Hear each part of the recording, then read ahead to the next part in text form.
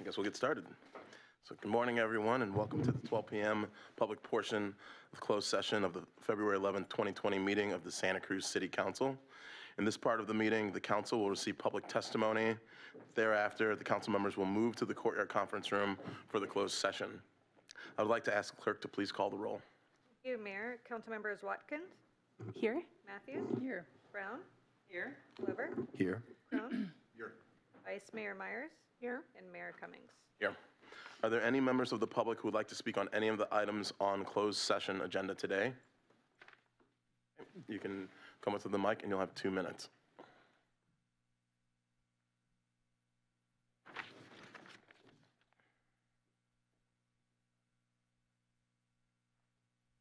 Oh, You can use the podium. Yeah.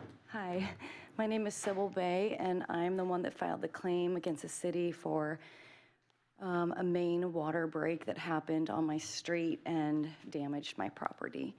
Um, I brought my binder today. I I'd submitted all my documentation um, to the city, but I brought backups today in case you want to take a look.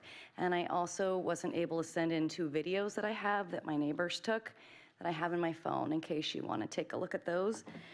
Um, But basically, I, my neighbor had noticed a wet patch in our shared alley that serves four houses.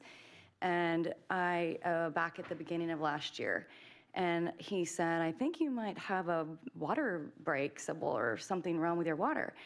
And I was, so I had called the water department, um, spoke to them many times. They came out, kept telling me my water meter was not running, it was not my water. But the water got worse and worse, and pretty soon my entire portion of the alley was wet. And, but my water meter was not running. So I didn't know what it was, and I had talked to multiple people there, and it's all, you can contact the water department, they have it all documented. I mostly spoke to Joanna, I think her name was, that um, she probably got sick of me calling because I kept saying, What is going on? And um, it turned out a woman named Leah came out many times, and she said, I think that we have to wait until the rain stops to test the water. Last, this is last winter. And I said, I, I need to figure this out because my neighbors aren't happy and it's eroding my driveway. It was basically coming down from DeLaveaga Park Road, the top of my house. I live on a hill. Am I over? Oh, no. Anyway, um, I have all the documentation and you can take a look and see what the, what had happened, but thank you. Thank you. Is there any other member of the public who would like to comment on this item? I just a quick question, would it be possible to get access to the video? that you have, I mean, is there a way, I'm asking the city clerk. Is there a way we can do that? I mean, uh, Just to have access. Yeah, I would, I would suggest that uh, you work with Patty Hayman, our risk manager, to arrange to Okay. have the emails, uh, and then she can then get them to the council. Leave the binder with Yeah. Yes, yes. You can and- leave it and with they- the- And they have all the materials too, just so you know, that you submitted. Uh, we've- They've got them in their packets too. All right. There's no other member of the public who would like to comment on this. We'll adjourn to uh, the courtyard conference room for closed session.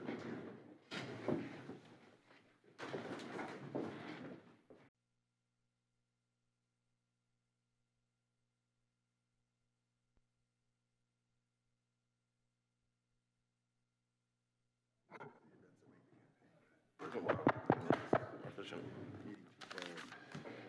Okay. Good afternoon, and welcome to our 12:30 session of the February 11, 2020 meeting of the City Council. I would like to ask the clerk to please call the roll.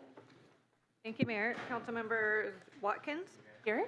Mathews, Here. Brown. Here. Glover, Here. Krohn, Here. Vice Mayor Meyers. Here. And Mayor Cummings. Here.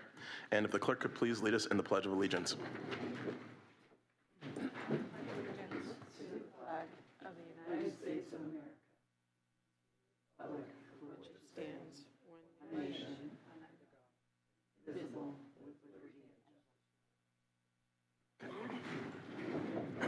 Before we begin, I would also like to acknowledge that the land on which we gather is the unceded territory of the Awaswa-speaking Uypi tribe. The Amah Mutsun tribal band, comprised of the descendants of indigenous people taken to Mission Santa Cruz and San Juan Bautista during Spanish colonization of the Central Coast, is today working hard to restore traditional stewardship practices on these lands and heal from historical trauma. Um, Moving on, we will start with the introduction of new employees, and I would like to invite up Assistant City Manager Laura Schmidt to introduce Brett Woolman.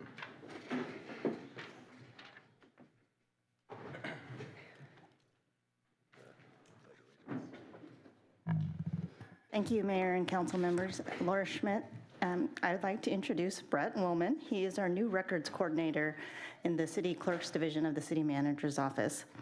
Brett earned a degree in business management at San Diego State University. You know Ralph graduated from there, right? I talked to him. Okay. And moved to Santa Cruz about nine years ago. His professional experience includes a variety of jobs in banking, plus a recent stint as a compliance specialist. His organization, customer service, and detail orientation were truly standout characteristics in his interviews here at the city. He has a wide variety of interests from reading, writing, running, music, and sports. For conversation starters, he more specifically plays the guitar and is a fan of the LA Clippers and the LA Chargers, which we may not hold against him, I suppose. You may still speak to him, though, and apparently he was an LA Clippers fan from when they were terrible. So he shows a certain level of dedication. He enjoys exploring the beaches and mountains in Santa Cruz and our surrounding areas. Please welcome Brett. Welcome. Thank you. Next, we have Director of Libraries Susan Nemitz to introduce Laura Kern. Hi, I'm Susan Nemitz. I'm the director of the Santa Cruz Public Libraries, and I'm here with Lauren Kern. Um, Lauren came to Santa Cruz in 2009 from Temecula. I'm learning my, my California lingo. Is it Temecula? Yeah, okay. Um, she came to be a student at UCSC and majored in biology. She joined the library four years ago as uh, in a temporary position as an aide, and she's now joining us to be a permanent library assistant at Felton. And I just want to do a shout out to Felton because it opens on Saturday, the 22nd. We'd love to have you all attend. Lauren um, writes and reads, which is true of most library staff, um, but she's also a homemade bread maker. Please welcome Lauren. Quick question. Susan, what's the date, the time for the Felton? Um, Speeches start at nine. The ribbon cutting's at 10, so you can time in between that. Thank you. Would love you all to come. Yeah. Next up, we have the Director of Public Works, Mark Dettle, to introduce um, three new employees. Good afternoon. Mark Dettle, Director of Public Works, and it's my pleasure to introduce three of our new employees. Um, Next to me is Jonathan Garcia. He's a new solid waste worker, uh, born and raised in Santa Cruz, uh, and currently lives in Santa Cruz. Has two younger brothers and a pet dog, and he uh, used to work for uh, Community Tree Service. Um, He attended Santa Cruz High, and he enjoys mountain biking when he's not working for the city. Jonathan. And next to Jonathan is uh, a new, our new engineering technician, Noi O Yan. And Noi was, she was born in China and moved to the United States when she was 14 years old. She attended high school in Round Rock, Texas, a small town outside of Austin. After high school, she moved to College Station and lived there for six years to attend school. She got her master's and bachelor's degree there. Um, and then she worked in Austin for two years before moving to California.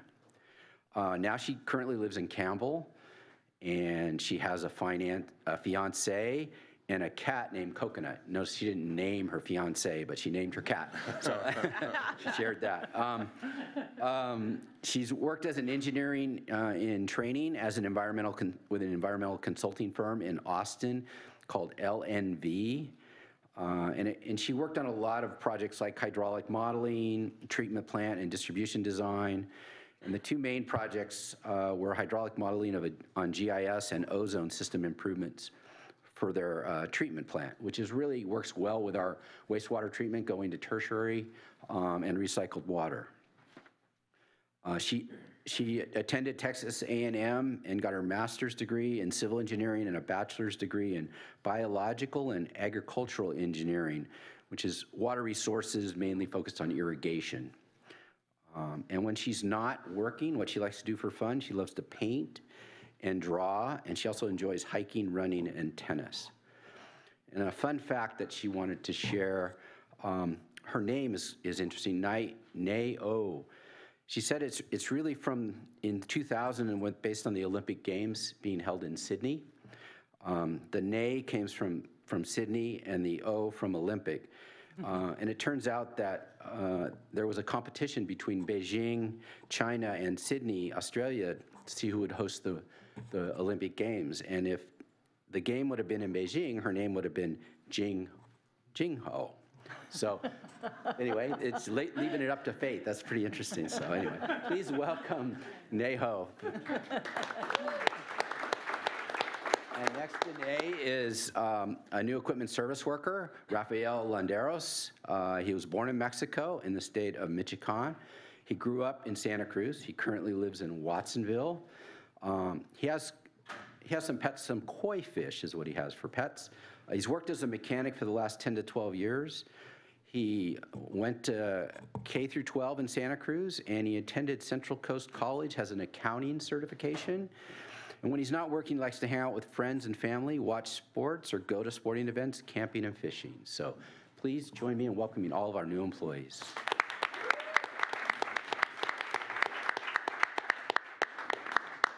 Thank you and welcome.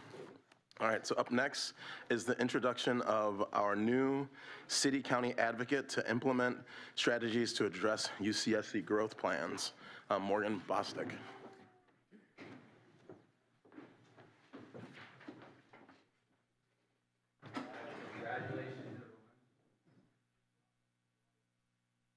Good afternoon, City Council, um, Vice Mayor.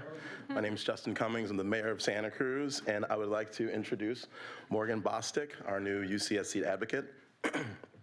Morgan Bostic has a degree from UC Santa Cruz in politics and legal studies. As an undergraduate, she was an intern for former Mayor Cynthia Chase and Councilmember Chris Krohn.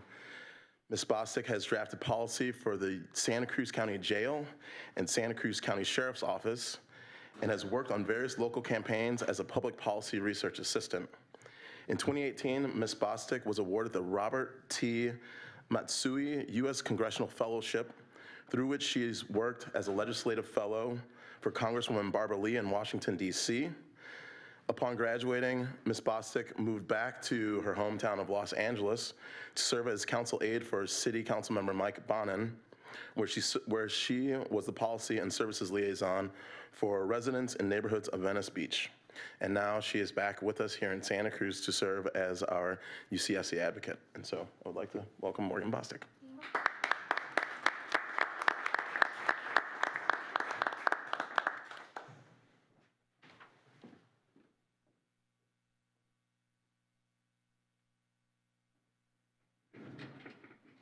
Okay, next is um, Parking for Hope check presentation.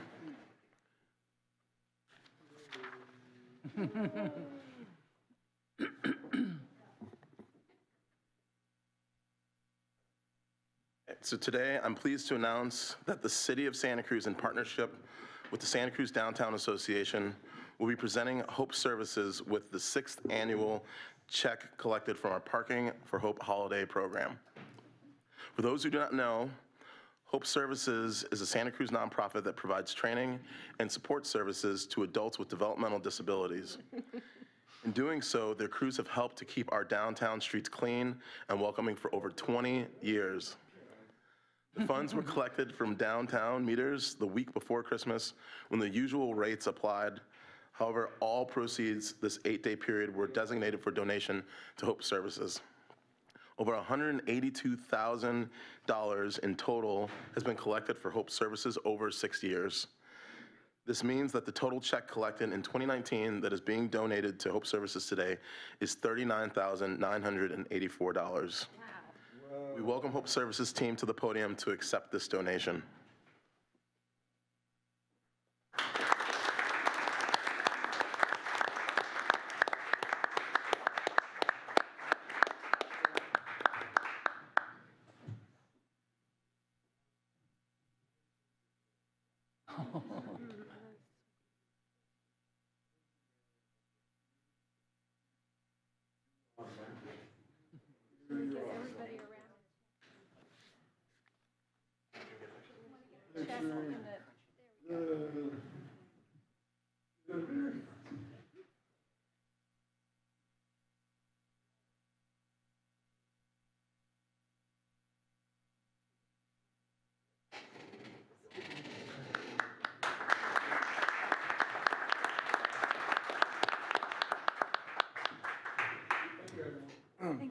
Sorry, real quick. Um,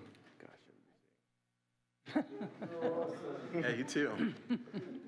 So uh, we'd like to, as a group, say thank you to the City of Santa Cruz uh, for this funding and support. Um, When told we'd be attending a city council meeting to receive a giant check, our crew felt appreciated and expressed their gratitude.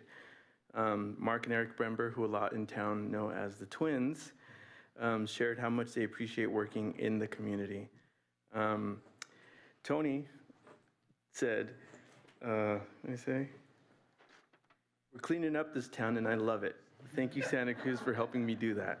Um, Sarah, over here, said, Thank you, City of Santa Cruz, for helping me have this job. And Cassie wanted to share her thoughts herself. Thank you for it. Thank you for this job. yeah, yeah. Yeah, thank you.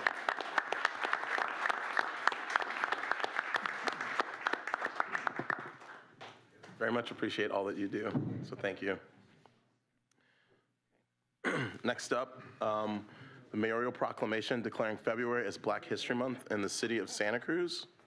Um, And I just want to read a few lines from the proclamation. National Black History Month in February affords special opportunity to become more knowledgeable about Black heritage and to honor the many Black leaders who have contributed to the progress of our nation. The mission of the National Association for the Advancement of- Colored People, the NAACP, the nation's oldest, largest, and most widely recognized grassroots-based civil rights organization founded in 1909, is to ensure the political, educational, social, and economic equality of rights of all persons and to eliminate race-based discrimination. And whereas the Santa Cruz branch of the NAACP organizes annual community-wide events such as Juneteenth, a Labor Day picnic, and events in recognition of Martin Luther King Jr., such as Youth Day, Youth Day, Gospel Night, and Martin Luther King marches. And whereas since 2018, the NAACP has co-sponsored the March for Dream in downtown Santa Cruz with the Santa Cruz Police Department. And whereas the Santa Cruz branch of the NAACP was founded circa 1949 to address local housing issues and has continued to work for decades to promote throughout Santa Cruz County equal economic opportunity, criminal justice, environmental and climate justice, civic engagement and education, including awarding scholarships to high school students who are pursuing post-secondary educations. And whereas acknowledging and understanding the struggles for equal rights in the African American community can strengthen the insight of all of our citizens regarding the issues of human rights, the great strides that have been made in the crusade to eliminate barriers of equality for minority groups, and the continuing struggle against racial discrimination and poverty. Now, therefore, I, Justin Cummings, Mayor of the City of Santa Cruz, do hereby proclaim the month of February 2020 as Santa Cruz NAACP Black History Month in the City of Santa Cruz. Encourage all citizens to participate in community practices that ensure equality for everyone.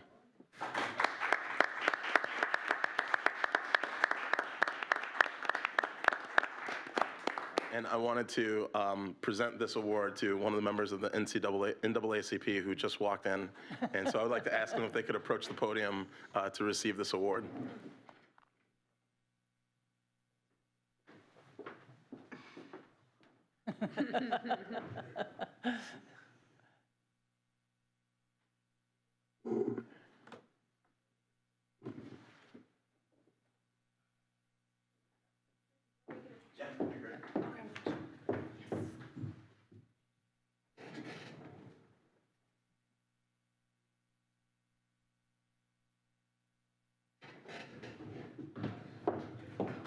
Thank you. Um, On behalf of the Santa Cruz chapter of the NAACP, I'd like to say thank you.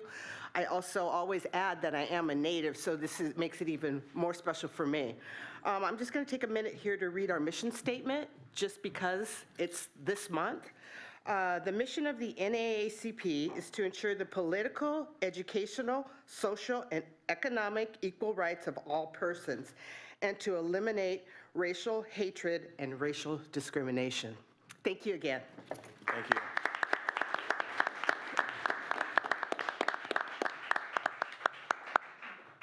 And it's probably worth saying that uh, NAACP, NAACP, excuse me, um, uh, and the university and the city, among others, were co-sponsors of the MLK Convocation last night, at which you were a featured speaker. So um, uh, it's a great partnership, great continuing program. Thanks. Thank you for that comment. Okay. I have a few announcements to make, and then we'll move on to our regular meeting. Today's meeting is being broadcast live on Community Television, Channel 25, and streaming on the city's website, cityofsantacruz.com. Our rules of decorum are on the window ledge to my left, and it is my job to keep the meeting running without disruption, and we ask that you respect your fellow citizens when you're inside or outside our council chambers. I'd like to a- ask the council members if there are any statements of disqualification today. Hearing none, I would like to ask the clerk to announce any additions or deletions. Mm, there- It's noted on the agenda, but number 14 is removed, pulled by the department, and won't be discussed. Thank you.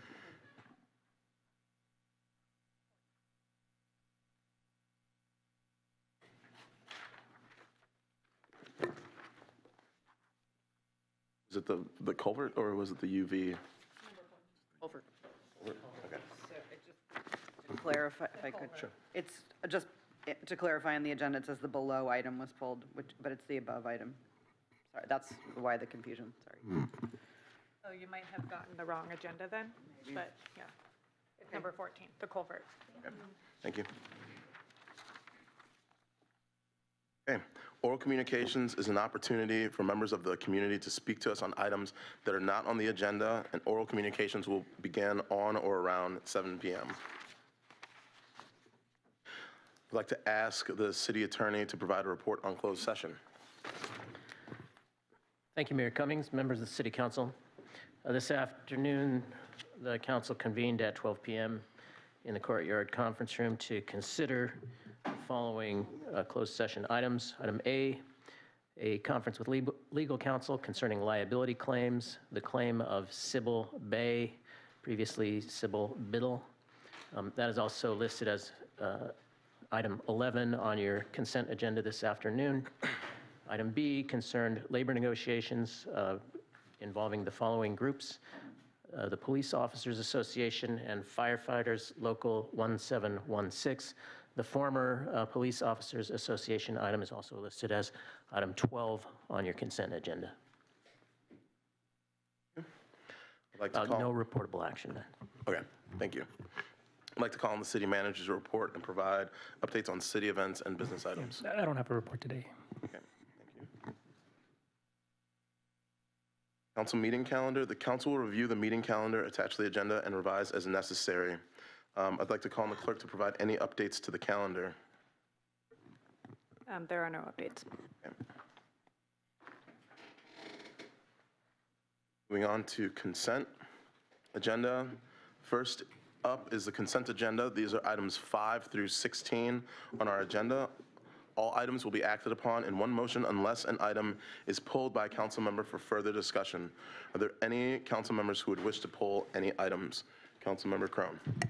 Thank you, Mayor. I've been requested by members of the public to pull item seven and item eight.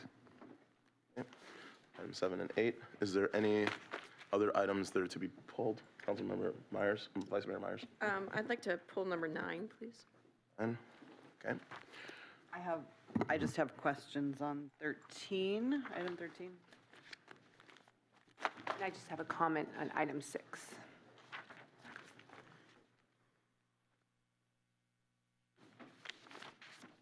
Okay. Then I have a question on item 10.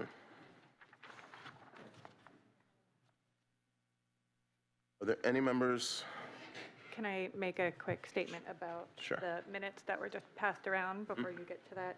Um, Councilmember Brown brought up that um, there were a couple friendly amendments that she had accepted, so we um, included those, and then there was an- a duplicate line, essentially making it kind of confusing.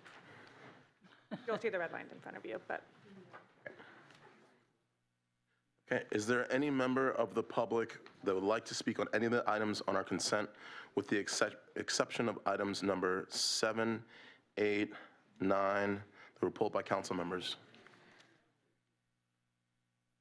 13? You can, you can approach the podium. You'll have two minutes. 13. It's just a question on it, so. I have questions, we didn't pull it. Okay, good afternoon, council members. Um, You're being asked on this agenda item to appropriate $80,000 to reinforce the levee bank. And um, just to tell you ahead of time, I'm not really expecting you to vote uh, no on this, and I won't hold a grudge against any of you if you do. But um, I want to place it in a broader context for a moment. Um, Jessie Street Marsh is a lagoon, um, a saltwater lagoon, a freshwater lagoon, or it's a lagoon, it's freshwater and saltwater. And this, and in, somewhere in the past, the- it was filled with a lot of um, landfill. So the south end of Jessie Street Marsh is extraordinarily high compared to the rest of the marsh, and um, it acts as an impediment to any kind of salt water getting into the marsh. Um, The natural flow would be into the marsh. Now, of course, it's blocked by the levee, which, and now it's called seepage, when it, when it, not a natural flow, but it's called seepage, because it threatens the neighborhood, and um, it threatens the boardwalk. In fact, I have some questions whether this is an emergency at all, um, considering the timing just before the tourist season. What I wish in my wildest dreams is that instead of spending $80,000 on this, that $80,000 would be used to remove the land flow, allow the ocean, the river water to flow into Jessie Street Lagoon, because inevitably that's what's going to happen with sea level rise. And that's the bigger context. This is good money following bad, $80,000 down the drain. Thank you. Thank you. All right. If there, is there any other member of the public that would like to speak on items with the exceptions of seven, eight, and nine on our consent agenda? Seeing none, I'll come back to council. Uh, We'll start with uh, Councilmember Watkins' comment on item number six. Um, I know I reached out to the mayor also to express my interest in participating in the subcommittee and also appreciation for, for forming this conceptually. Um, The thoughts that I had were to uh, consider equity as it relates to women and minorities accessing the industry, as well as the youth impacts and social norming. So as potential additions to some of the areas of focus that they'll be examining. I think that's appropriate. Yeah. Okay. Um, Moving on, we'll go to a question on item number 10, which I had. uh, One of the, the things that came up, a member of the public reached out um, and was wondering whether Habitat for Humanity could qualify for the Cal Homes funding as um, part of the technical assistance for self-help housing projects. I wasn't sure if someone could comment on that from staff. Good afternoon, Mayor and Council. Jessica Meller, um, Management Analyst from Economic Development. So Habitat, um, they are going to be submitting their own application, um, but we're not partnering at this time because they're focusing on their own application. Thank you. Moving on, um, there was a question, I think by Vice Mayor Meyers on item number 13. No, I'm, I'm 13. Oh, sorry. No. Meyers, I think, did you pull nine? pulled nine. Yeah, you pulled nine. Okay, so um, 13. Yeah, so um, this is, in part, my question is uh, related to uh, the comments made by uh, Barbara Riverwoman just now. Um, I guess I'm wondering, is somebody here who can talk about this? I think I saw, oh, you are here, thank you. Um, So if the, um, I get, it seems that the reason that you're, we're wanting to do this, to buttress the levee, is that the water is seeping through onto the street. Um, Understandable, Um, but is it, in seeping through, if it's doing that, then how do we know it's not seeping in the marsh as well? Is there any way to measure seepage in the marsh first? Um, This is, it is, as Barbara suggests, you know, it's a functioning ecosystem and it needs water to function properly. And so I'm, I'm just wondering if you could talk a little bit about what the danger is and um, if we don't do something right now without kind of looking at it further first. Uh, Yes, my name is Steve Wolfman. I'm a senior civil engineer uh, in the Public Works Department. Um, We're really just addressing the upper seepage that actually goes th- through the levee. Uh, We're not addressing any of the seepage that is, um, that could get to Jessie Street Marsh. Um, During this year, uh, towards the end of the summer, we had uh, the seepage showed up um, uh, towards the bottom of the levee.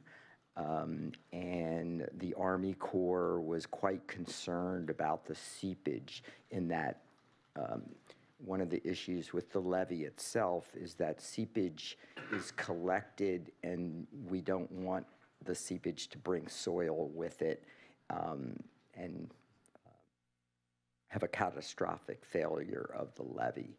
That's what this is addressing. So we're really buttressing the levee, strengthening it at that location, and collecting any water that does get through um, to put back into the uh, river. So the elevation differences, I mean, we're really quite a bit above what could seep under the road to Jessie Street Marsh. That whatever seepage is happening there will continue to happen. And it does happen. We, we, we can see it. Councilmember Krohn. I'm, I'm, I'm not sure, like, what's, what evidence, what tests have you all done to see if there is actually seepage into the marsh and that this won't now preclude that seepage? Well, the reason it won't preclude it is because the elevation difference between w- what we're trying to buttress the fill. We're not really trying to s- stop the seepage, we're going to collect it, but it's way above, it's above the road elevation. So the seepage that gets into the marsh would be below the road, and we're not, uh, we're not putting a cutoff wall to try to prevent that seepage from happening. So we're quite a bit above uh, the Jessie Street marsh, any Jessie Street marsh seepage that could occur. And we have quite a strong letter from the Army Corps directing us to prevent this uh, type of uh, water movement from happening. I could also let you know that the levee itself already has uh, seepage prevention within the levee. Um, The levee was not built as a clay core levee that prevents uh, the seepage, and we, we see it all the time um, throughout the city um, on San Lorenzo Boulevard and over um, on the other side in the uh, uh, Third Street parking lot. So we, we see that seepage. It's collected and it's put back into the river. I'll just say for the record, uh, um, so-called seepage is good for the marsh, and somehow we have to reconcile that, um, you know, the needs of, of, of us humans, along with a viable um, filtration system and a, and a viable marsh. Because one of the low-hanging fruit in the whole climate change mitigations is having, is investing in um, healthy, uh, viable marshes. Thank you, Mayor. Any further questions? Not a question, but I will just say there are a lot of people here in the audience, and it, it hasn't been clear, given all of the statements that have been made uh, previously, which, which are true. I think it's worth pointing out in the um, staff report that uh, the Army Corps and city staff agreed that the seepage was an emergency situation that could potentially result in a levee breach through sediment transport of embankment material, which could cause the levee to undergo rapid erosion and failure during the next high water event. So this is really a pretty profound um, public safety issue, and we are under many requirements to um, to work with the Army Corps on um, that levee. It's uh, I think we understand the longer term issues here, but I just want to put that out because it's I think it's something that's part of the bigger picture here. Any other questions or comments from council on this item? Yeah, I'm sorry. Um, The bigger picture is a viable marsh, and I'm glad that the uh, folks for the next item on the Amah Mutsun, I think they understand those issues between the conflicts between nature and, uh, and the sort of human endeavors. And so that's what's happening and playing itself out here as well. And since uh, Councilmember Mathews made that comment, that's why I'm also making this comment. Any further comments, questions? Thank you very much. Um, At this time, I'm looking for a motion on the remaining items on consent, with the exception of items seven, eight, and nine. I'll move the consent and with the um, revised minutes as submitted. Second. We have a motion made by Vice Mayor Meyers, seconded by Councilmember Krohn. Just a question, um, uh, Councilmember um, Watkins did make a few comments about um, the, was it s- item 6 And those were not part of a motion, I think, Right. but just accepted as, Recommendations. Oh, or how do we do that in the minutes if it's on consent? There was no action taken. There was no action, so So we I just would- take them, incorporate them into direction to staff, yeah. Okay. I just want to clarify that. Councilmember Brown. I also think it's, um, it fits with the initial directions Right, we right. gave. I agree. So it's, it's in the record Yeah. previously, but, yeah. Any further questions or comments on items that have not been pulled for consent? Seeing none, all in favor, please say aye. Aye. Any opposed? That passes unanimously. So we'll return to uh, the items that were pulled on consent, starting with item number seven, which was pulled by Councilmember Krohn. Um, I know there's many members of the public uh, wanting to speak on this item, and um, it- I'd like to go to the public, but if other council members have statements, that's fine. Questions? Are there any other questions by council members on item number seven at this time? Seeing none, um, we can go to the public for public comment. I know that uh, there was a representative, Chairman Lopez from the Amah Mutsun Tribal Band, who requested four minutes, and so I would like to invite Chairman Lopez up to the podium uh, for four minutes. If any other members of the public would like to speak on item number seven, which is related to the protection of the Amah Mutsun Tribal Band's sacred land of Juristac, I'd like to ask that you please line up to my left, and you will have two minutes.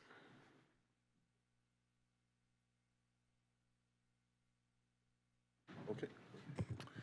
Um, Good afternoon, Honorable Council of Santa Cruz City. Thank you so much. To ask you to pause for one second. For those of you who are in the audience, you can't stand and block the people behind you, so thank you. And if you're holding signs up, please make sure that you're holding them low so that you're not blocking the people behind you. Thank you very much. Sorry to interrupt. Good afternoon, Honorable City Council of Santa Cruz, ci- uh, the- the City of Santa Cruz. Thank you so much for um, scheduling this um, hearing to consider the resolution um, regarding Juristac, the protection of Juristac and the denial of the sand and gravel mining. My name is Valentin Lopez, and I am the chairman of the Amah Mutsun Tribal Band.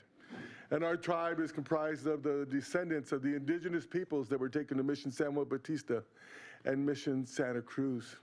Our people have been on these lands for 12, 14, 15,000 years or more. And if you think of that in terms of generations, our people that have been here for 800, 900, perhaps 1,000 generations or more. Many of our members been, believe that we have been here since creation. We do not argue with them. We believe it. Today, we're asking you to understand the, the importance of Juristac and looking at it historically. Our, um, I said our people have been here for 15,000 years. Our creation story tells us that Creator very specifically picked our people to live on these lands and to take care of them. We do not look at ownership. Our ancestors did not own this land. They realized that this land belongs to Creator. And the land today, the the homes that you own, you may think you have ownership, but truly they belong to Creator. And one day, Creator will show us all that. Um, what we learned about the lands in those years is that the land is sacred. And it's our responsibility, all of our responsibility, to maintain that sacredness of this land. Is my time that up? was four. Oh, okay. I was gonna say, I really blew it if it is. um, to maintain that sacredness of this land. And today we're being challenged to do that. In 2006, elders came to the tribe and they said, Our creation story tells us it's our responsibility to take care of Mother Earth and all living things. We must find a way to get back to it.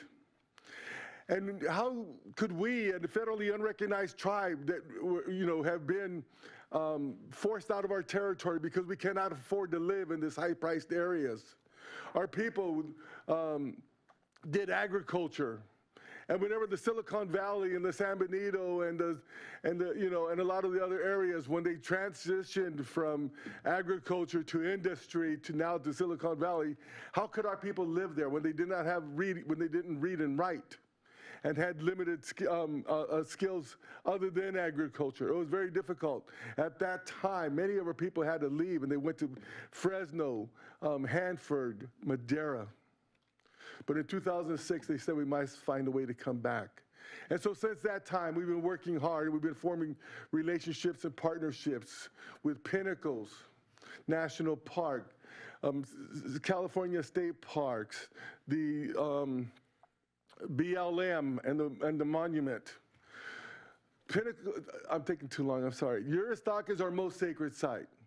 Our culture, our spirituality, our environments, our humanity has been under attack for generations and generations, and we're asking that be turned around. And we're asking you to not to, to stand with us to, for the protection of Juristac and to recognize that our spirituality and our culture must not be lost.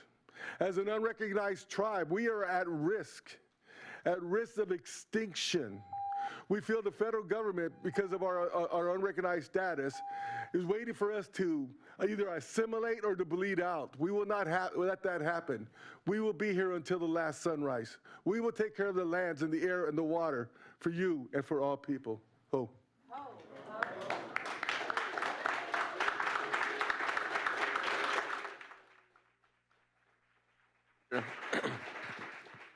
You'll, you'll have, have a up- representative you'll have, up the, yeah, you'll have up to two minutes, just to let you know. yeah, two minutes, right. Uh, Tribal rep, I was going to say tribal representative gave me the daunting task of following Chairman Lopez. So, my is Tony Rusomano. I'm here representing the Santa Clara, uh, Santa Cruz County uh, Democratic Central Committee uh, and the county's Democratic Party. Last August, the members of our committee voted unanimously to join with the Santa Clara County Democratic Party in urging all relevant government agencies to deny permits to operate a proposed quarry at Juristac. The Amah Mutsun tribal band of Costanoan Ohlone Indians are the descendants of people who lived here for thousands of years before being forcibly relocated and held by the mission system. Today, they are working to fulfill the responsibilities of their creation story to protect Juristac, which is the location of known cultural resources and burial grounds. Specifically, we are opposed to plans to operate a cement quarry within Juristac. It would threaten a Santa Cruz County wildlife corridor, and it would be located within a sensitive watershed of the Pajaro River. Passage of the proposed resolution would add a clear and strong voice in the city's continuing support of the Amah Mutsun tribal band. Thank you for your consideration. Thank you.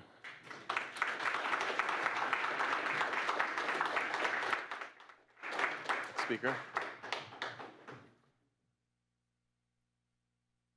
Thank you. Before I begin, I would like to offer thanks to the land and to the Amah Mutsun for their loving stewardship and their refusal to surrender in the face of so many hardships. I'm Dora Shuey, a board member of the Santa Cruz ACLU. The ACLU recognizes the crimes and atrocities against, the, against indigenous peoples for centuries and is supporting several bands in their legal efforts.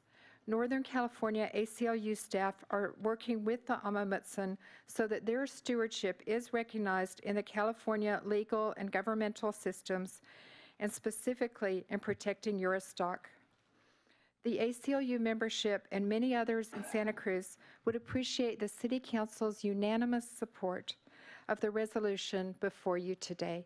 Thank you.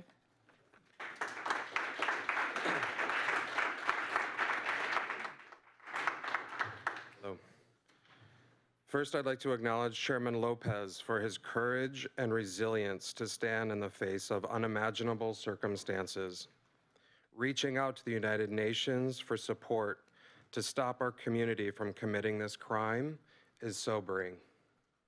We are in unceded, the unceded village of Uypi in the nation of Awaswas, now represented by the Amah Mutsun Tribal Band and you. My name is Greg Cotton. I'm one of the founding members of Friends of Juristac, a multicultural, ever-growing group that takes responsibility for our system that continues to deny Native people's rights and threatens to continue harm. I'm a local environmental researcher who has worked for, the, for years in the Pajaro River. This mine is very much a threat to an endangered watershed and endangered species. But this pales in comparison to the unimaginable and irreversible harm it would cause to human beings, both native and non-native. Our community has enjoyed an idyllic story of the colonization of this land that we now enjoy. Like the Southern Confederacy, we often omit the brutal part of our history, and for obvious and uncomfortable reasons. We name streets and raise romanticized mission bells in our parks that celebrate this brutal history. We are now here today to stand together, to turn this tide and transform the very heart of our, uh, and the foundation of our community, and maybe even heal a little bit in the process. I'm moved and proud to be part of this community and showing up in a meaningful ways to correct this system of injustice. It can be the beginning of something truly extraordinary, a radical notion where Indigenous people are respected and celebrated for who they are. Great leaders, extraordinary artists, spiritual leaders, teachers, neighbors, and human beings with spiritual rights. I urge the council to vote unanimously in support of the Amah Mutsun Tribal Band. This is the future. Thank you for being leaders in it. Thank you.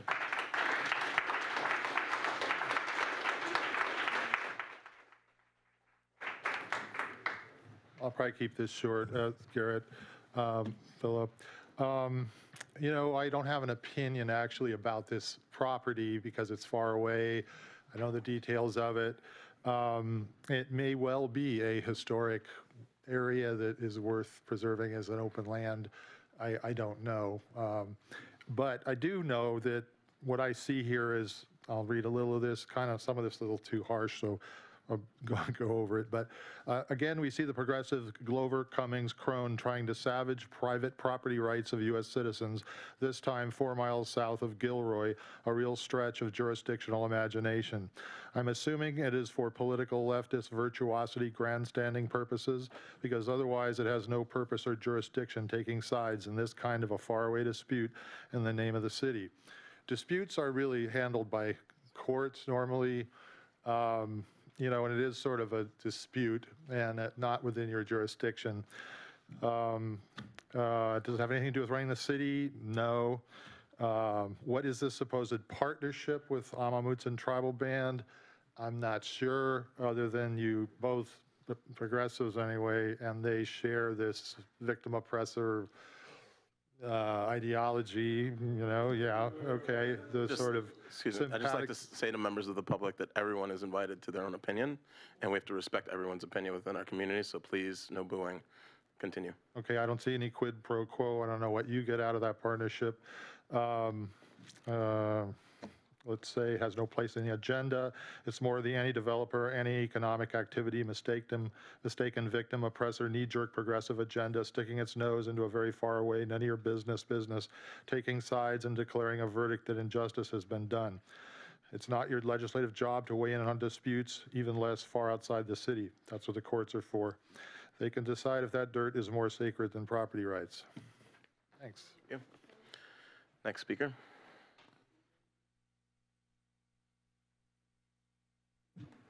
Hello. Um, My name is Erica Sunovic, and I'm currently the Conservation Committee Chair of the Sierra Club. I'd like to start by saying thank you so much to Val Lopez for your incredible leadership on this issue, and thank you to the City Council for considering supporting Juristac. And like many people have mentioned before, Juristac is of extraordinary cultural and biological resources, and also is a source of the Pajaro River watershed. And so it's so important that we protect Juristac on so, so, so many levels. And so I am thanking you all for considering this resolution and urge you to please vote unanimously in support of it. Thank you.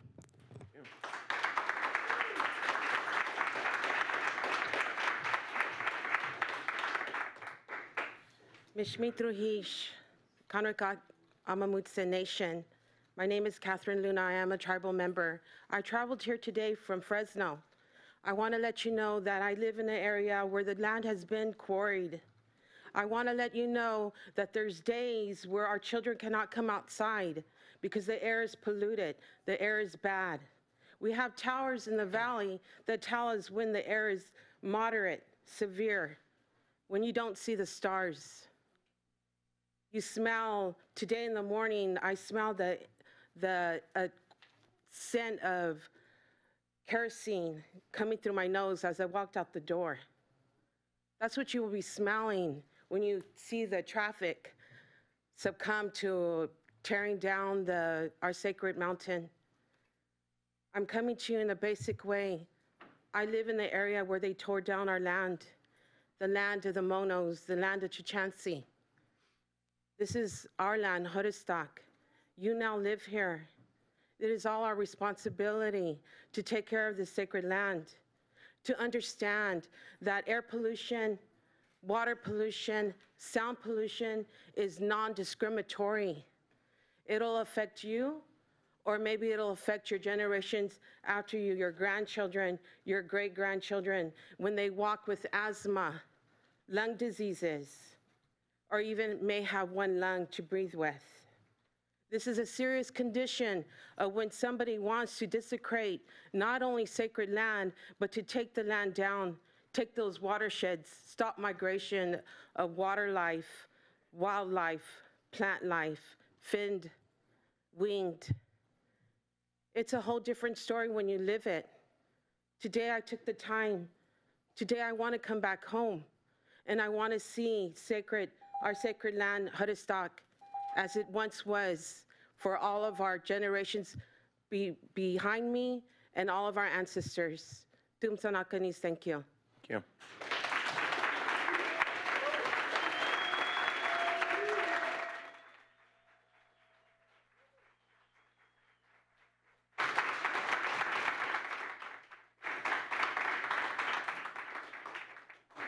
You'll have two minutes. Thank you, everybody who spoke. I totally in agreement. It is our responsibility to take care of Mother Earth and all living things. We are at risk of extinction, actually, all living things on the planet. And I'm just quoting some of this. This mine is a threat to all life, needs to be stopped. And the previous speaker spoke about how we don't see the stars, and pollution is non discriminatory.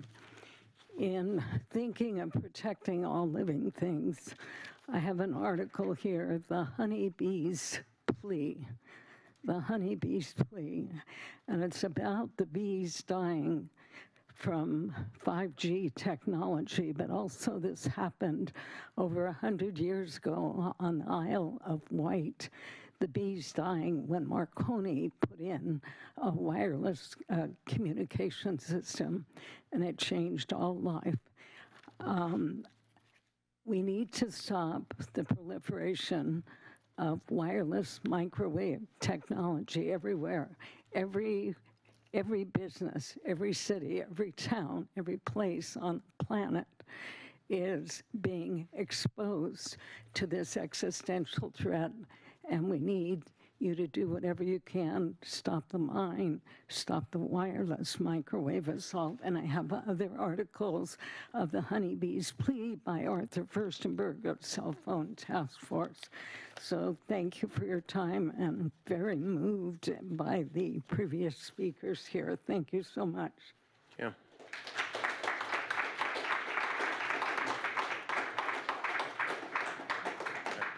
There any other member of the public who would like to speak to us on item number seven? Okay, seeing none, I'll move back to council for action deliberation. Councilmember Krohn. Thank you, Mayor, and thank you all for coming, taking your time out of the, the, the day right now to, um, to be here with us. This is wonderful. Uh, Mayor, I'd like to make a motion, a resolution recognizing and supporting the Amah Mutsun tribal band in protecting their sacred lands of Juristac from the developments of public or private entities, and instruct the mayor to send a letter to Santa Clara County and I just want to quote one thing from our, um, from our resolution. Now therefore be it resolved that the City Council and the City of Santa Cruz supports the efforts of the Amah Mutsun Tribal Band to preserve Sargent Ranch, Juristac as open space in perpetuity and to regain access to their cultural and spiritual sites at Juristac. Second. So I just want to bring this back for a second. Um, Councilmember Krohn, um, can you restate, I know that you just read that off, but I'm wondering if you could restate clearly what the motion is, um, and then if there's other comments we want to make after we've made the motion, I think that's appropriate, but just so for the purposes of minutes and clearly knowing what the motion is on the floor, can you? Okay, the motion on the floor is uh, resolution recognizing and supporting the Amah Mutsun Tribal Band in protecting their sacred lands at Juristac from the development by public or private entities. And we instruct the mayor to send a letter to Santa Clara County. Second.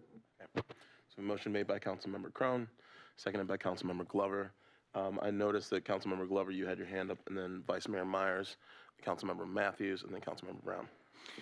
Thank you, Mayor. Uh, Thank you for the motion, Councilmember Krohn, and thank you to everyone who came out today to address us on this issue. It's been something that I've been looking forward to for a while now, and being able to have these conversations and have the force of the city, or at least the voice of the city, behind the Amah Mutsun Tribal Band, the Friends of Juristac.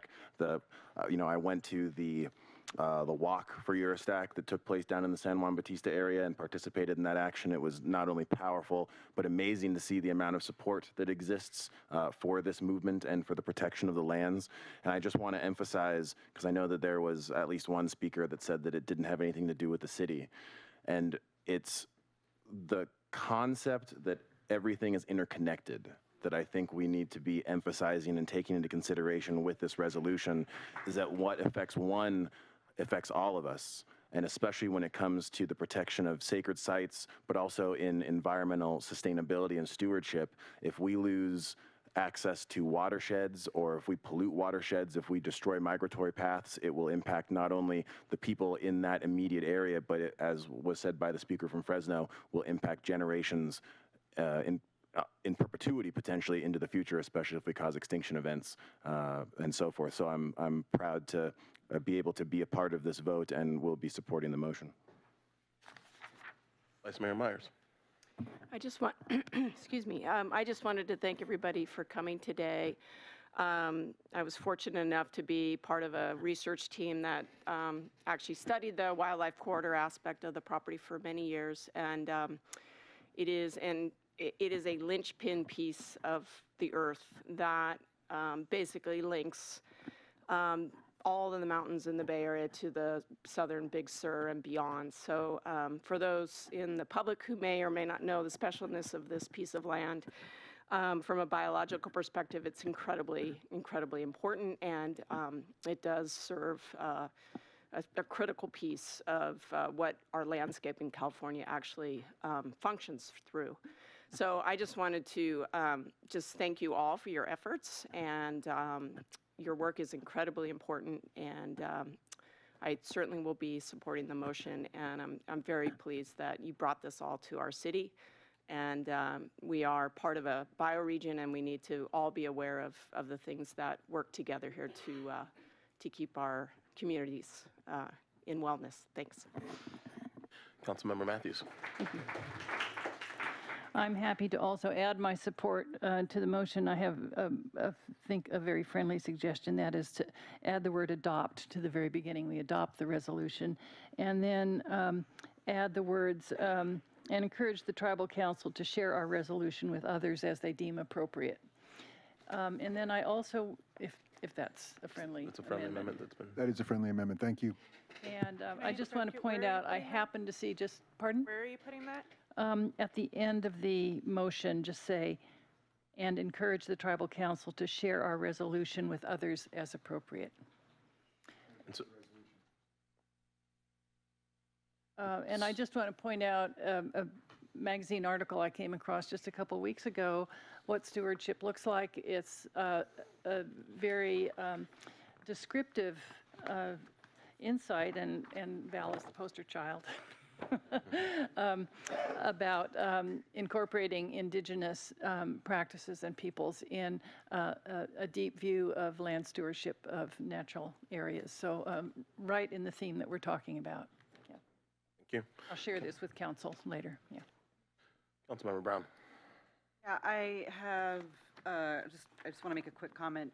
First, to thank everybody who's come out uh, today, and all of you have been working so hard on trying to raise awareness about this really critical issue.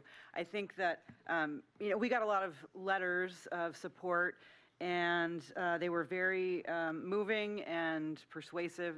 I didn't need persuading, but um, I just want to read a couple of sentences from one, and this is from Rua Bush. I don't know if I got that name right, and I don't know if you were here, but it was really a beautiful um, letter. And so, in addition to the kind of environmental, wildlife, uh, public health issues, obviously, that this uh, project or proposed project raises, um, it's really critical that we um, recognize the, the, the, the critical foundation of this site, as, um, as Val suggests, uh, to the Amah Mutsun. Um, they're U.S. citizens, Santa Clara and Santa Cruz County residents, members of our community, our neighbors, classmates, coworkers, and friends. The construction of a gravel mine at Juristac would be a decisive blow to the continuity of Mutsun culture and curtail their ability to perform the rituals and ceremonies necessary for the functioning of their cosmology and community well-being. And so I'm really pleased to be here to support uh, this resolution, and I would ask if the maker and seconder of the motion would accept one additional friendly amendment to, in addition to um, directing the mayor to send a letter to Santa Clara County, uh, directing the mayor to also send, issue a press release about our action today. Yes, thank you. Good idea. Accepted. That was a friendly amendment made by Councilmember Brown, accepted by Councilmembers Krohn and Glover as makers of the motion. Is there any other comments? I'll just, I'll just briefly add on to what has already been said by my colleagues here. I want to thank those who came. I know, Val, we tried to connect, and um, I think there was some sort of incident over Highway 17, so it's really, it's really great to see this on our agenda. I'm happy to support this resolution moving forward, and I'm pleased to hear of the amendments to express that beyond our city and into the public, so hopefully we can get more support as well. Thank you. Well, I'd just like to say that um, I agree with all the council members who've expressed their sentiments today and want to thank you all again for showing up in such large numbers in support of this resolution. And I think that it was summed up very well when someone said that, you know, to paraphrase, we might not all be from here, but we all live here, and we have a responsibility to protect our lands and to protect uh, the, the sacred lands of the indigenous communities who have been the original people of this area. So with that, um, Is there any other questions, or comments by council members? Okay, um, I'd like to, all those in favor, please say aye. Aye. Any opposed? That passes unanimously.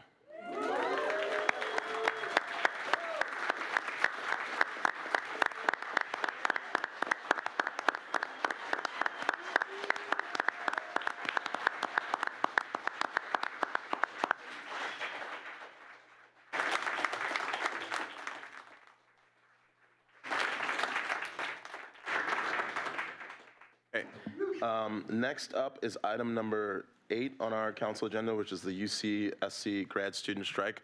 Before this happens, um, maybe we'll take a couple minutes. If there are individuals who are going to leave at this time, uh, we'll give you the opportunity to exit the building, and we'll reconvene in about, we'll give ourselves a five-minute break.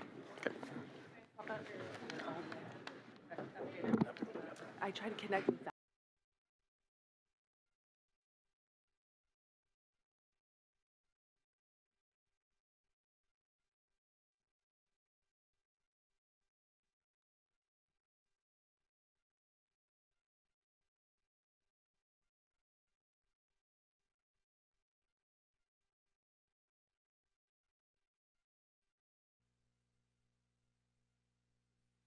Art, there's an ad for the wildlife viewing guide.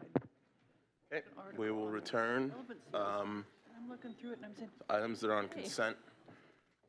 Moving forward, item number eight that was pulled by Councilmember Krohn regarding UCSC graduate student strike. Councilmember Krohn. Thank you, Mayor. This is a very sort of timely issue, too, um, with the, uh, the stuff that's going on, the strike that's going on right now in front of uh, UCSC. And uh, we all know that something has to give here. We have a, a, a terrible uh, a housing, an affordable housing crisis in Santa Cruz.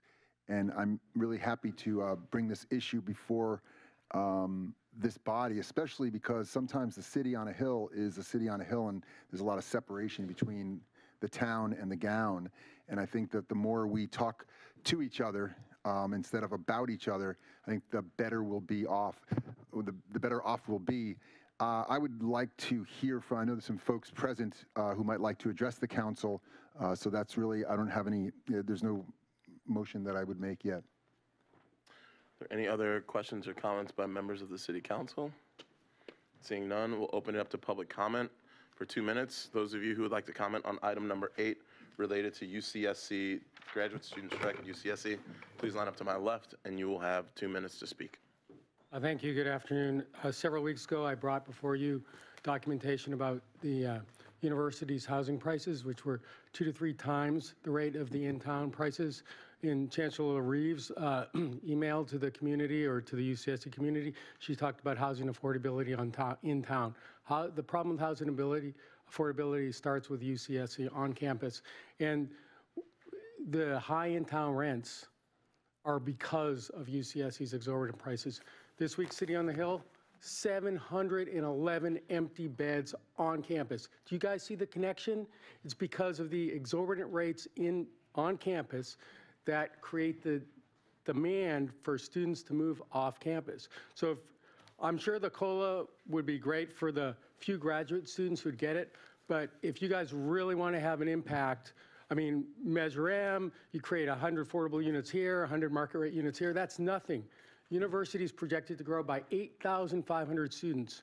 The only really impactful thing we can do as a city is to put pressure on UCSC to provide housing that's at least on par with the city. I mean, could you imagine, instead of being two to three times more expensive, and for those who didn't hear me, Four-bedroom apartment on campus, more than $9,500 a month. That's not with food service.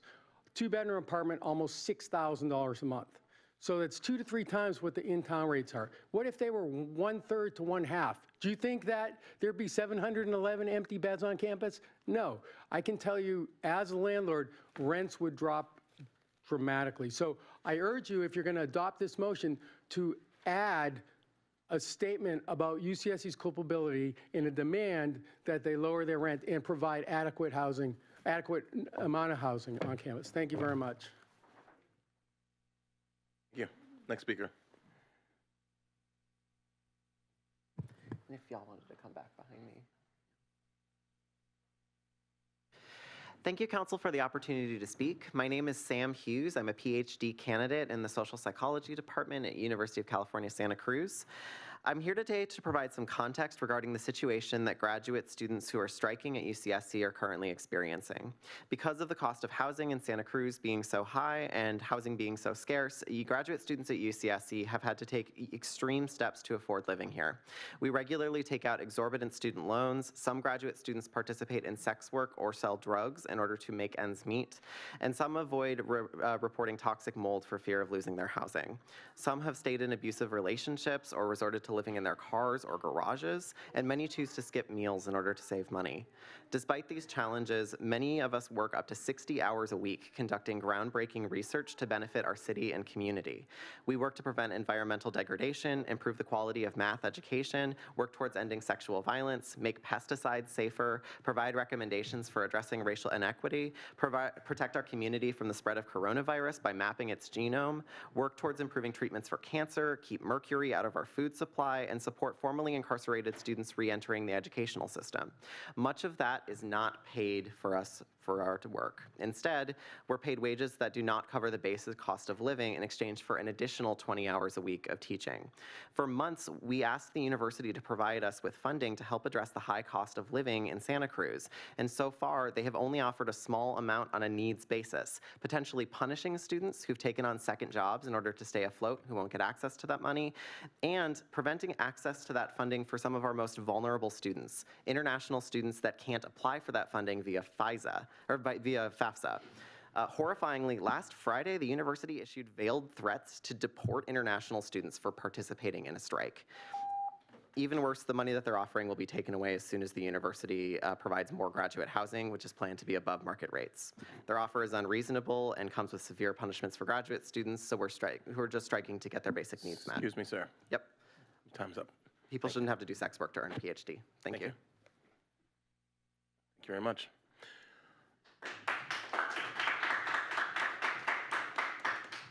Just gonna ask, I know you were all were in line um, before. Yeah, I, I get that. I'm just saying, if you all are gonna stand, I'm gonna ask that you stand over here and then come up one by one, um, rather than kind of all stand in front of everyone in the audience during this entire time. So go ahead, you'll have two minutes. Uh, council members, mayor, thank you for your time. I am a, my name is Molly Hafer, and I am a politics undergraduate at UC Santa Cruz, and I'm here to talk on some of the opinions of the undergrads during this strike. As undergrads, a major part of our education comes from the hard work of our TAs and our graduate students. They pour so much into making sure we thrive in our classes, so it only makes sense they should be able to thrive in their home lives. In the end, housing situations have a dramatic impact on work performance, and if one branch of our student body hurts, we all hurt. Undergraduates and graduate students are together in this issue, contrary to the administration's rhetoric. I'd rather have my fellow students be able to have food and shelter than know what my grades are. And that is all I have to say. Thank you for your time. Next speaker. Thank you all. Uh, I'm Julia Soares. I'm a sixth year uh, PhD student at UCSC and a Santa Cruz resident for the last five and a half years. In the time I've lived here, I've watched my friends and colleagues grow more and more desperate to meet rent. Between teaching, mentorship, research, and research, most of my colleagues work more than 60 hours a week but have no financial stability. There have been times where I did nothing but work from when I wake up and when I sleep for weeks. But still, we don't make enough to live without severe rent burden. Please stand with us, your graduate student neighbors. Everyone deserves a living wage. Thank you.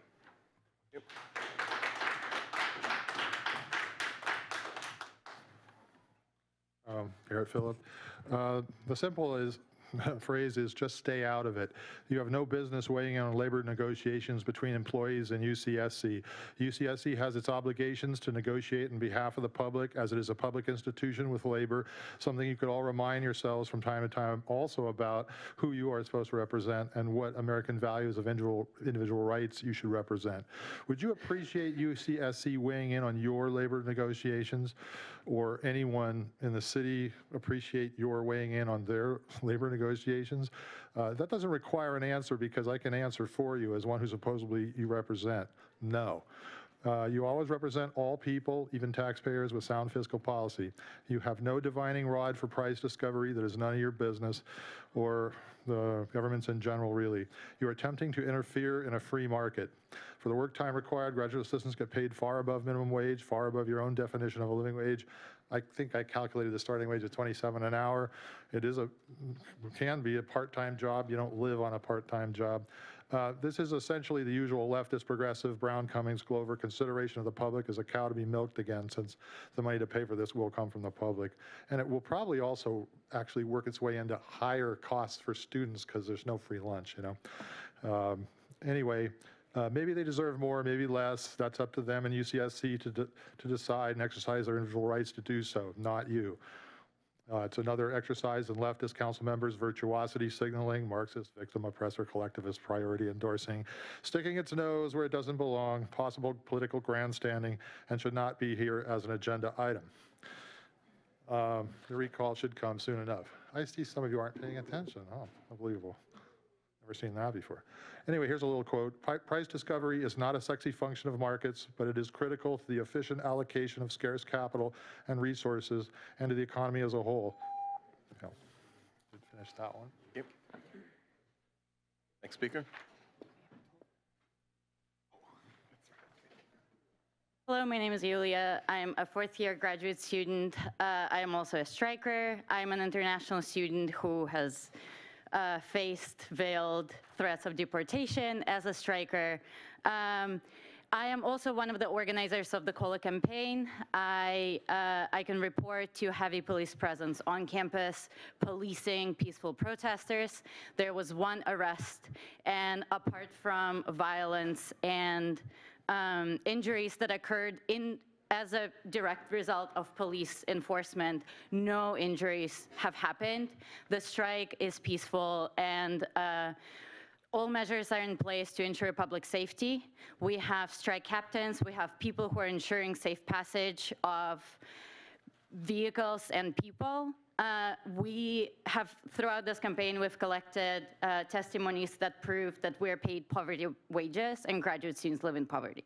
Graduate, being a graduate student is a full-time job on top of being a teaching assistant or being a research assistant, and we ask that you intervene and stand on our behalf. Thank you.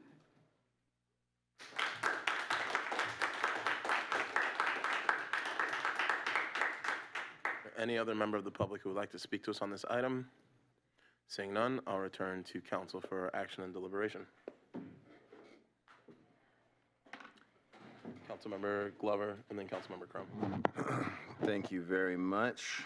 Um, I'd like to make a motion to direct the mayor to write to the University of California, Santa Cruz administration to acknowledge how difficult it is for UCSC graduate students to try to live in a community where the cost of rent far outstrips their salaries, express the city of Santa Cruz support for the, for COLA for um, graduate students, and re- request the cost of living adjustment and call for an immediate remedy and resolution. So a small change there from the main recommendation, and that was to change the words from support the current strike to supporting the uh, COLA for all, for all students. I'll second that. If you would add, um, I think uh, Mr. Grodberg makes a good point that in the mayor's letter, if he could also address the uh, exorbitant rents that UCSC charges on campus. Accepted. Okay, so there was a motion made by Councilmember Glover, seconded by Councilmember Krohn with uh, friendly amendment. Can you, ex- can you say the, specifically what that friendly amendment is? Because it didn't, didn't feel like that came out very clear. That the mayor would um, include in, in, in your letter uh, sentiment about the exorbitant rents that are charged on campus, and those rents essentially setting the market in Santa Cruz, because all landlords pay attention to that, to the rate that they charge. Again, I'm just gonna, I'm trying to do this for clarity's sake. Yeah, yeah. That if you're gonna make a friendly amendment, or if we're making motions, that we state the language. Okay, that the mayor, that the mayor's letter address the exorbitant rents that UCSC charges on its campus housing. Period. Period. Thank you. Now, if you'd like to. I make thought you com- wanted a conversation. If you'd like to make comments on, after we make the motions and the friendly amendments, it's fine to make comments, but I think let's, it's important that we clearly state what our motions and friendly amendments are, so that the clerk is able to capture them and the public understands what the motion on the floor is, so. And I accept that friendly amendment. Okay, so friendly amendment made by Councilmember Krohn, accepted by Councilmember Glover. Um, Councilmember Mathews. Um, I appreciate the modification in the language uh, and am happy to support it as now proposed. Um, And I just want to point out, I'm not going to make part of the motion, but point out, we had an introduction at the beginning of our meeting this afternoon of Morgan, who's been hired as the, um, uh, to staff the effort of the uh, Measure U City-County group to deal with the impacts of university growth. And um, this just makes it very clearly. And one of the main um, directions of her work will be to connect with students and have them convey the impact of university growth on their student experience, the quality of their student experience. And certainly, even the thousands of units that are proposed on campus now, currently in the courts, but even those don't deal with growth. So uh, for those who are looking a little bit longer in the future and want to become involved um, with our advocate on that issue, uh, you're welcome to get in touch with me after the meeting, and, and I'll make sure that you are connected with Morgan. Yeah. Thank you. Councilmember Brown, and then myself, and then Councilmember Glover. Uh, uh, Just really quickly, I'm uh, pleased to support the motion and appreciate the language change. I did want to acknowledge that in addition to the, the requests and, and letters we've received from people in the community in support of this action, we did receive a message from uh, Chancellor Larive, and I did, I just wanted to acknowledge that um, we received it. We appreciate the efforts that, um, that she's discussed, talked about um, initiating and, and believe that, um, you know, it, that's a good start, but there's ways to go in order for uh, graduate students to be able to, um, you know, um, survive in this community. And I also want to just say, this is not, uh, in, from my perspective, this is not an attempt to interfere with uh, their labor management negotiations. This is a response to a request from members, a, a desperate request from members of our community to support um, their struggle. And so, uh, you know, I just wanted to make those comments and say, um, I'll be voting yes. I just wanted to, well, I'll add Councilmember Cronin Stack. Um, I'd actually like to ask for a friendly amendment uh, to the motion. Uh, First, I want to express that, you know, kind of as my colleagues have been stating, you know, this is the council's response to members of the public, specifically graduate students who've been reaching out to us, asking for our support with them. And in no way are we trying to influence any kind of labor negotiation.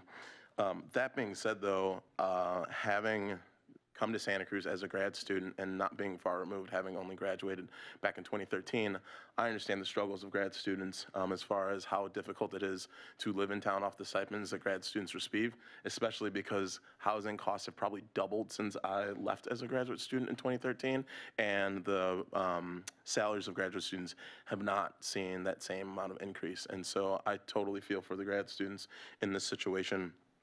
Additionally, since attending graduate school, or beginning, I should say, in 2007, um, I have not ever heard of the type of force that's being used on campus um, ever before. And so I would actually like to also, as a friendly amendment, ask that we encourage the, um, the, the UCSC um, reduces the amount of police presence um, that's being seen on campus. Here, here, I love, I, I appreciate that taking it up a notch, and I completely support that addition and amendment. And it's an encouragement, so, you know, I think that it's I, I, as a seconder, I also do too, but, and I understand that I think we've had it- sporadic conversations with our own police department in their um, uh, involvement in the, in the strike as well, and I think they have sort of taken it down a notch uh, because this is a UCSC issue, and um, it's a problem, I think, that they've created, uh, and they can solve it too. And, and just so the public is aware, we received a letter from our police department yesterday. They were not on campus yesterday and involved in any of the activities.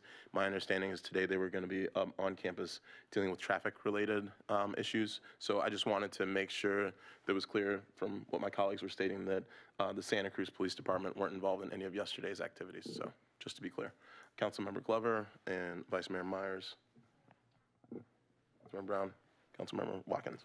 Go ahead. Thank you. I think it was, I don't mean the question, you Mayor, I think it was Councilmember Krohn after. Oh, it was? Right. Yeah. Um, Uh, So two things. One, uh, yeah, just to reiterate what the mayor just mentioned, uh, we received correspondence from the police chief saying that he'll be instructing our SCPD staff not to participate in any of the, I believe, enforcement or the arrests that are going, that could potentially take place on campus. So we're trying to control it that way. And I just was hoping that the uh, clerk in the motion, I may have forgot the word um, to support the COLA for all and also the, the cost of living adjustments and the campaign COLA for all. I just wanted to make sure that that was included in there to emphasize the support for the campaign and the work that's going on there. We good? Cool, thank you. Councilmember Krohn. Uh, I wanted to underscore what Councilmember Mathews was saying, because for the first time, the city has an advocate, that we actually have staff that's going to work with the university, between the city and the university, and needs uh, help from all of you, as well as a lot of folks who are on campus, uh, and in making it really clear in Sacramento what the pressures are here, because they're not really getting it there right now, is from our experience, and that's what this person hopefully will be um, putting together research and interviews and taking it to um, those elected folks in Sacramento. Vice Mayor Meyers. I just want to thank the students who came out today, and, um, you know, we obviously have limited, um, we, we, we can certainly show support and are very supportive of, of what's happening with the students here living in Santa Cruz. Um, My uh, ask of you today is to also hold us accountable. Um, We need to build more housing in Santa Cruz. And um, so please come ask us to do that. We um, have uh, done a lot of work over the last couple years, and we still have, are not building housing. So um, we, you know, that's one way to try to um, make your residence here in the time, or maybe your permanent residence here, um, while you, uh, you know, figure out where, what you're doing in the future. But uh, we have a housing emergency in our city, and uh, that needs to be part of, of also what, what you need to be asking us to do is let's build some housing. Thank you. Councilmember Brown took herself off stack, so Councilmember Watkins. Sure, I'll just, I just wanted to echo what Councilmember Krohn acknowledged about Councilmember Mathews' comments in regards to having this person now here to help us work with the university and advocate for uh, a better relationship and, and moving forward for uh, meeting our, our city's needs. And then also Councilmember Brown's comments in regards to hearing from the chancellor and how we as a city need to work with the university to be able to ensure that we have a, a, a sound partnership, but recognizing that these needs impact our community and impact the university. And, and I thank the students for being here. Um, I think also on a kind of a, may, maybe at a, a larger level, it's disheartening to know that we haven't valued education to the point where we want to see higher education thrive and people be able to make that work because we have such a need to have brains in our in our nation um, leading the way and and it makes it really hard and it makes it really elite and so um, just recognizing the struggle and knowing that that struggle is existing for many others as well. I do wanted to get clar- I wanted to get a little bit of clarification on the last friendly amendment, um, and I, I sort of how I heard it or maybe understand it is more um, thinking about how we would encourage sort of more de-escalation strategies um, as opposed to force. Is that reflective? I, I don't know, or maybe if you don't mind repeating what you had. Sure. Um, What I had asked is that we um, encourage the chancellor to um, consider reducing the amount of police presence and additionally adding in force um, would be appropriate. I just have been receiving numerous photos from uh, students where they're showing on the order of 50, 60 police officers who are on site.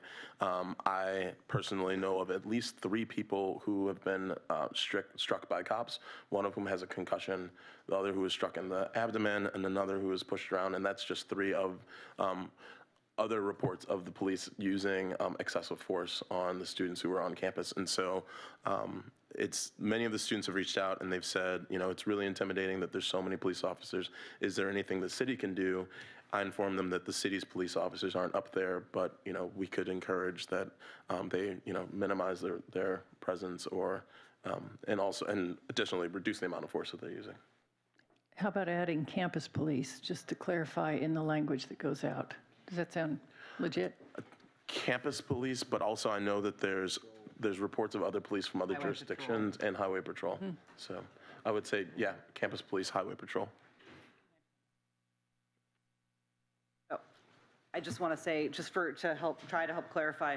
So the way, so I, I've been at, on that end of a, I'm, I'm not going to say the wrong end because there is no right end, I believe, of a police baton. But, um, you know, having been there as a graduate student at Berkeley, what we learned, and I, and it happens at all the campuses, is that um, regionally, police force, you know, uh, some police forces will come in and if their jurisdictions are willing to loan them out for these purposes, then they'll um, come onto the university campuses. So in this case, it's highway patrol, I think is the only other one, but it, there could be other um, local law enforcement. I don't believe the sheriff's office has sent people up. But so it, it can be, so law, making it kind of law enforcement in general um, kind of covers whoever might end up.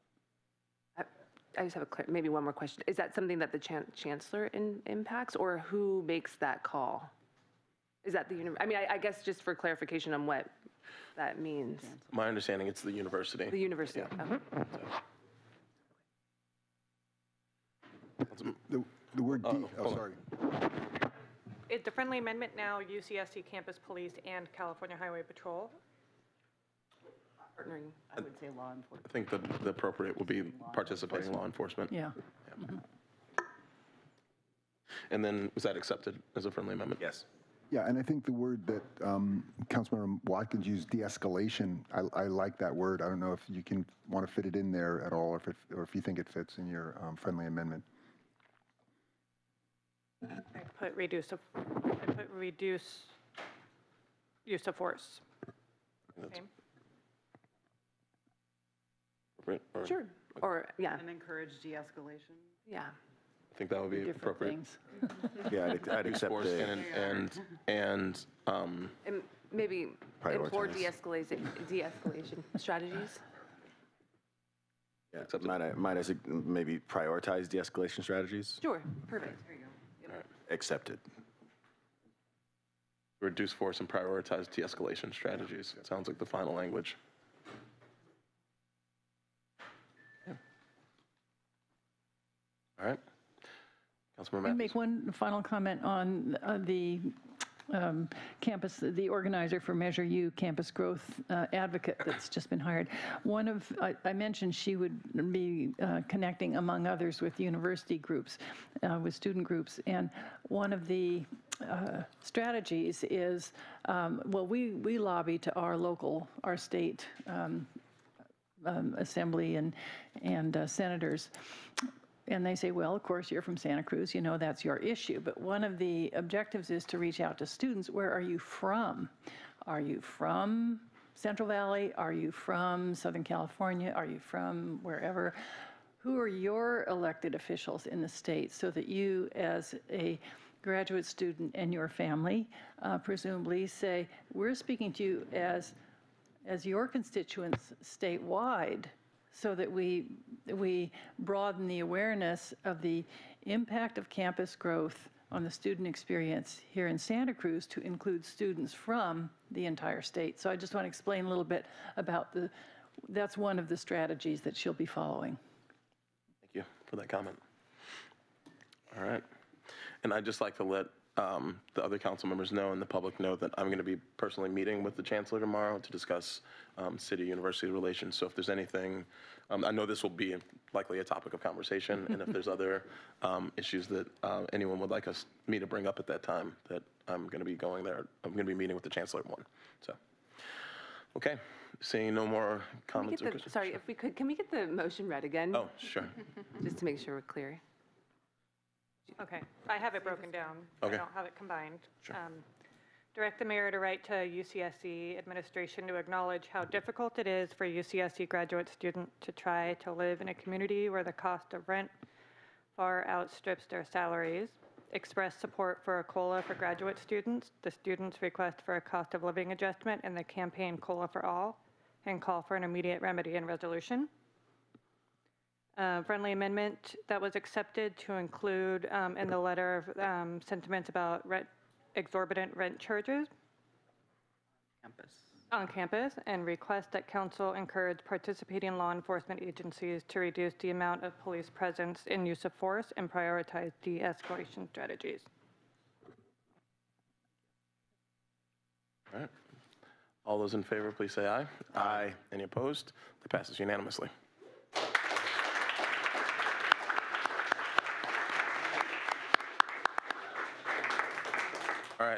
Last item, we're, just so um, council members are aware, um, we're about five minutes over, and we still have one item left on consent, which is our city council policy 6.9 council request, which was pulled by council, by Vice Mayor Donna Meyers, and so I'll turn it over to Vice Mayor Meyers. Um, I just wanted to state that I'm not going to support the, um, the motion. Um, I think we've, I think we've, from what I understand, we've used this on two agenda reports, and I feel like there was a lot of work gone into um, what looked to me like a pretty, um, pretty viable process, and I understand testing it out in the first couple, couple of agenda reports is, is always difficult, I'm sure, between the, um, the agenda folks who were trying to, to complete those reports as well as the staff. But I feel like, um, I just feel like we're, we're just sort of, sort of casting aside. So I understand we'll have a subcommittee, but I'm not going to support that. I feel like we just, we really are jumping the gun and not really testing this out in a long enough period of time. That's all. Thank you. Okay. Are there any questions by council members? Councilmember Watkins?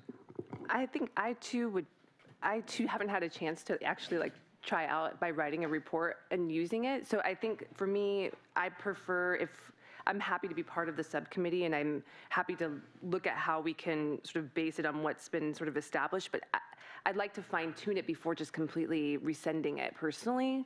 And I'm wondering if there'd be potential for movement on that while the council looks at some of the challenges that may arise with it as it comes, that you experienced in the first agenda reports, but could likely go forward even further to then be informed as we look at a new strategy. Because for me, I haven't had a chance to really see what is like substantially flawed about it, you know what I mean? So I, I'm wondering, instead of just completely rescinding it, if there would be a potential for discussion around having it temporarily in place for trial to understand how to fine tune and improve moving forward.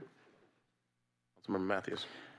Uh, I'm thinking along those same lines that perhaps the direction to go, since there was a subcommittee that met and apparently agreed unanimously on it when it was brought to the council, council approved it unanimously, the um, motion currently on, the um, policy currently on the record. Um, The motion could be to um, revisit the current policy for uh, clarification and streamlining and use the committee that's been suggested here uh, to do that, um, just to give us a, a chance to um, make it more workable without abandoning it. And I think what was driving the uh, motion that we recently adopted, not the motion, the policy we recently adopted that is currently before us, um, that was a, an effort to grapple with the um, kind of steady stream of major work products um, put before staff to accomplish in a fairly quick turnaround, which uh, I think most of us would agree uh, has not been workable or satisfying. So my preference would be to um, revisit and clarify the existing policy for um, uh, streamlining and clarity.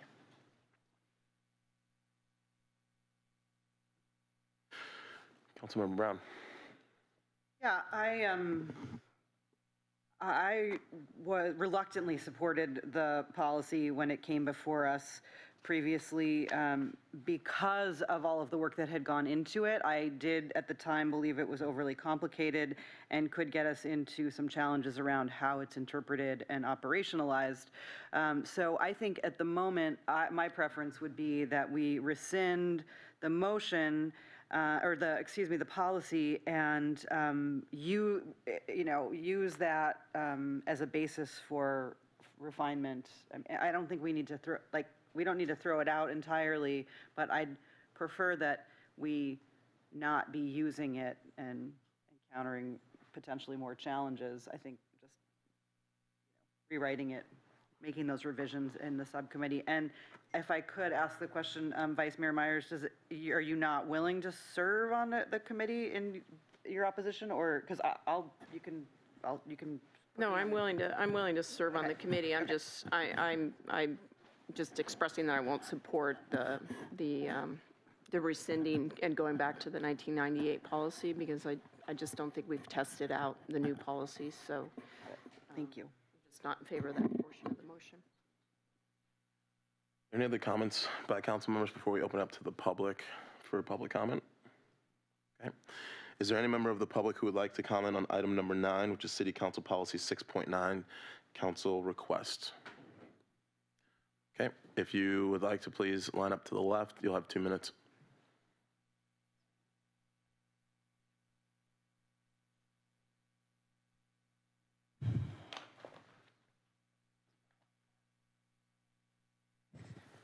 I'm assuming this is about getting items on the agenda. Mm-hmm. I think that would have been nice if it had been clearly stated in the agenda today for the public, and I find it telling that it is not. The agenda has been an enormous political football and problem ever since the progressives achieved a so-called majority on city council, which became effective in 2019.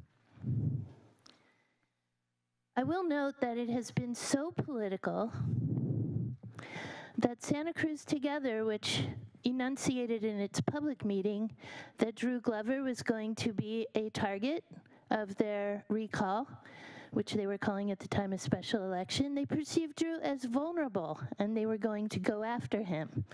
And they were specifically going to go after him using the homeless issue because Drew, they knew, was an outstanding advocate for the most poor and homeless in our community. Interesting that we were able, as progressives, to get one big issue on the agenda, and I'm sure Cynthia is going to try to counter this, but I really hope that she does not. Um, because it was the only thing we were able to get on the agenda for the first three months that would really look toward helping the homeless.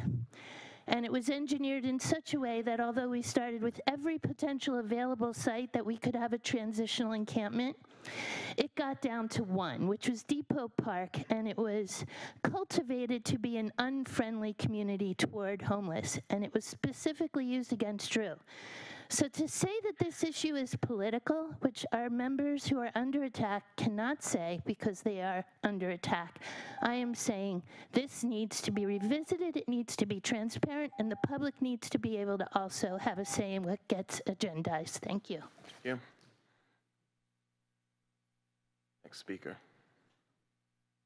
I'll be brief. I looked in the binder and I couldn't find information about what, what the policy was in 1998. And I would have loved to have read it or made copies or taken pictures.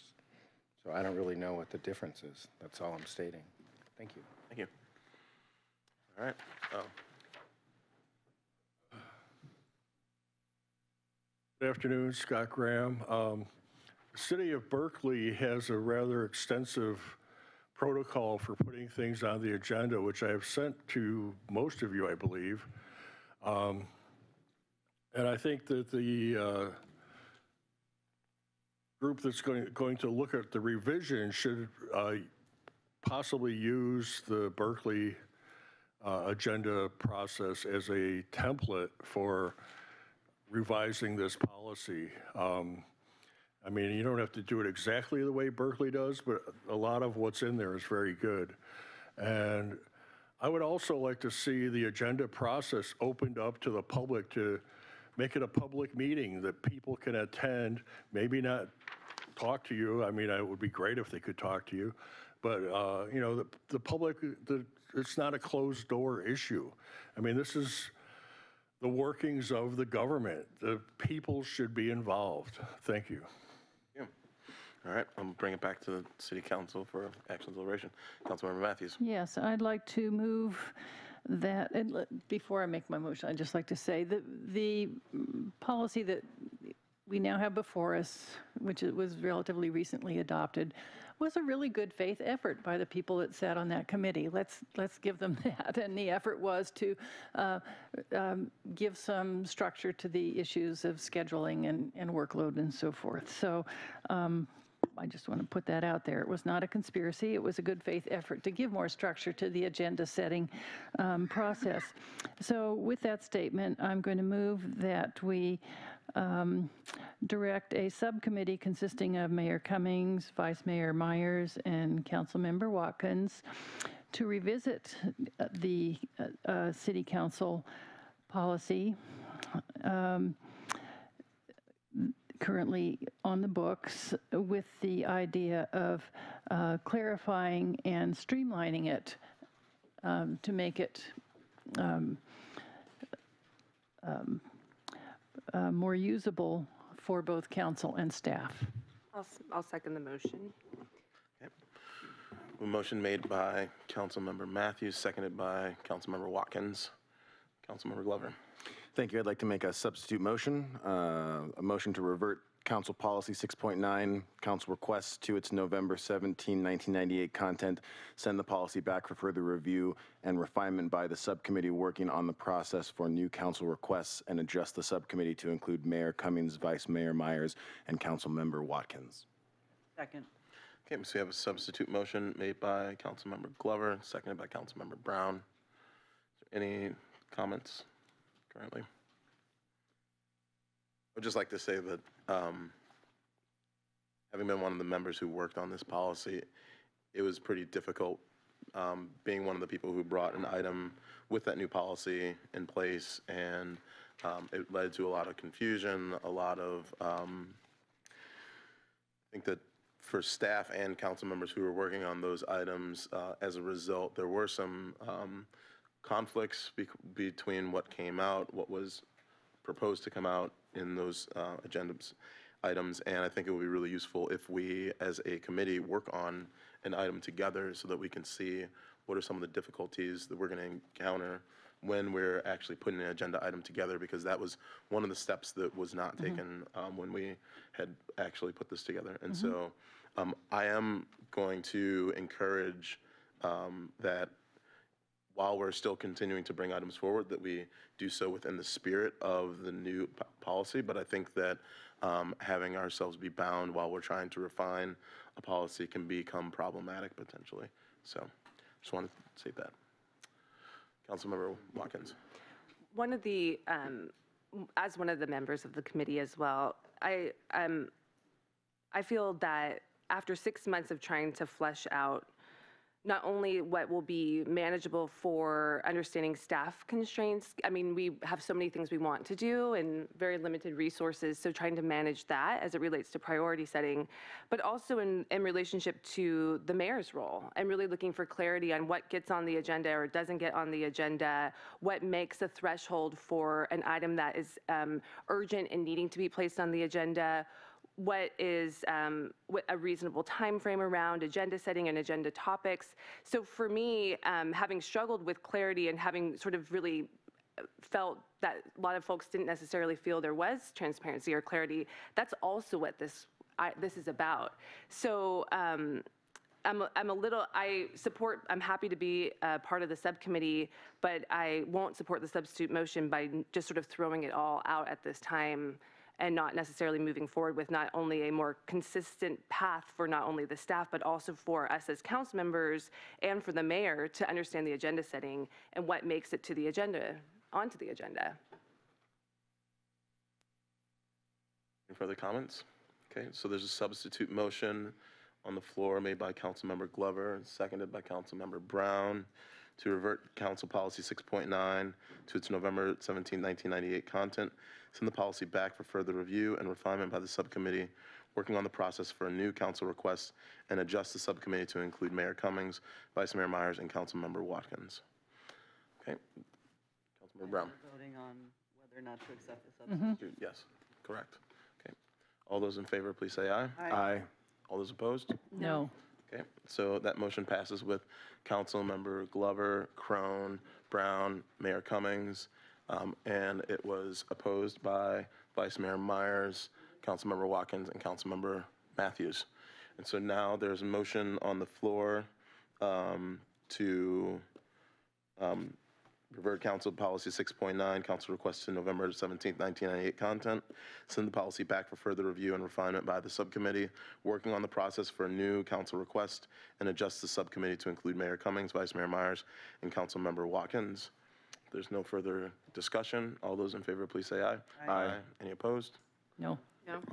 Okay, so that motion passes with Councilmember Glover, Krohn, Brown, and Mayor Cummings voting in favor, Vice Mayor Meyers, Councilmember Watkins, and Councilmember Mathews voting against. Okay, I do have a question. Councilmember Mathews. What do you anticipate as a timeline for this? I think two out of the three of you have been through this partially already, mm-hmm. correct?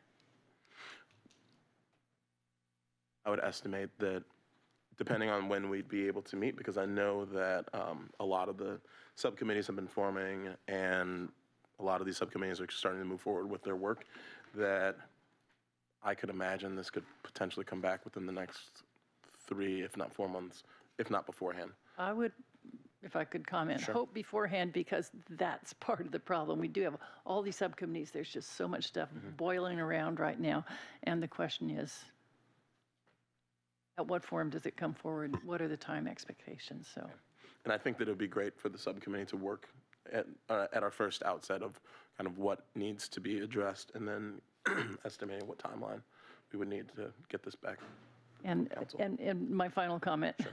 Um, Someone mentioned, I think it was you, that part of the, pro and I wasn't part of the committee, so I don't know, but there, there wasn't um, as full of a staff input into the process that was concocted as there might have been. Did I misunderstand that? I think there was a misunderstanding. We worked closely with. um, Okay, with okay, staff that on was it, yeah. Vice Mayor Meyers. I'll just state for the record that I'm ready to work on this starting next week. So I'll be out of town for part of it, but I think this is very important, and I don't think we should wait three to four months to, to try to remedy this. I, I, I just think it's very important that we clarify this. A lot of work was done on it. Let's, let's just get to work and get it done. Appreciate it. All right, agreed. Great. Thank you very much. And so that concludes, um, pub- that concludes our consent agenda items for today. So next up on our agenda is, uh, our agenda is item number 17, general business.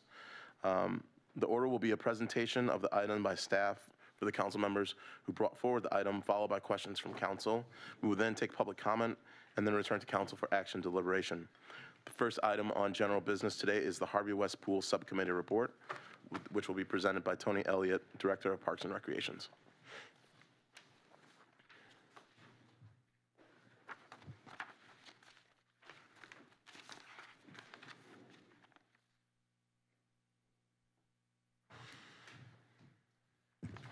All right, good afternoon, Mayor and City Council. Uh, Good news is we're sunsetting one subcommittee to make way for uh, a new subcommittee here.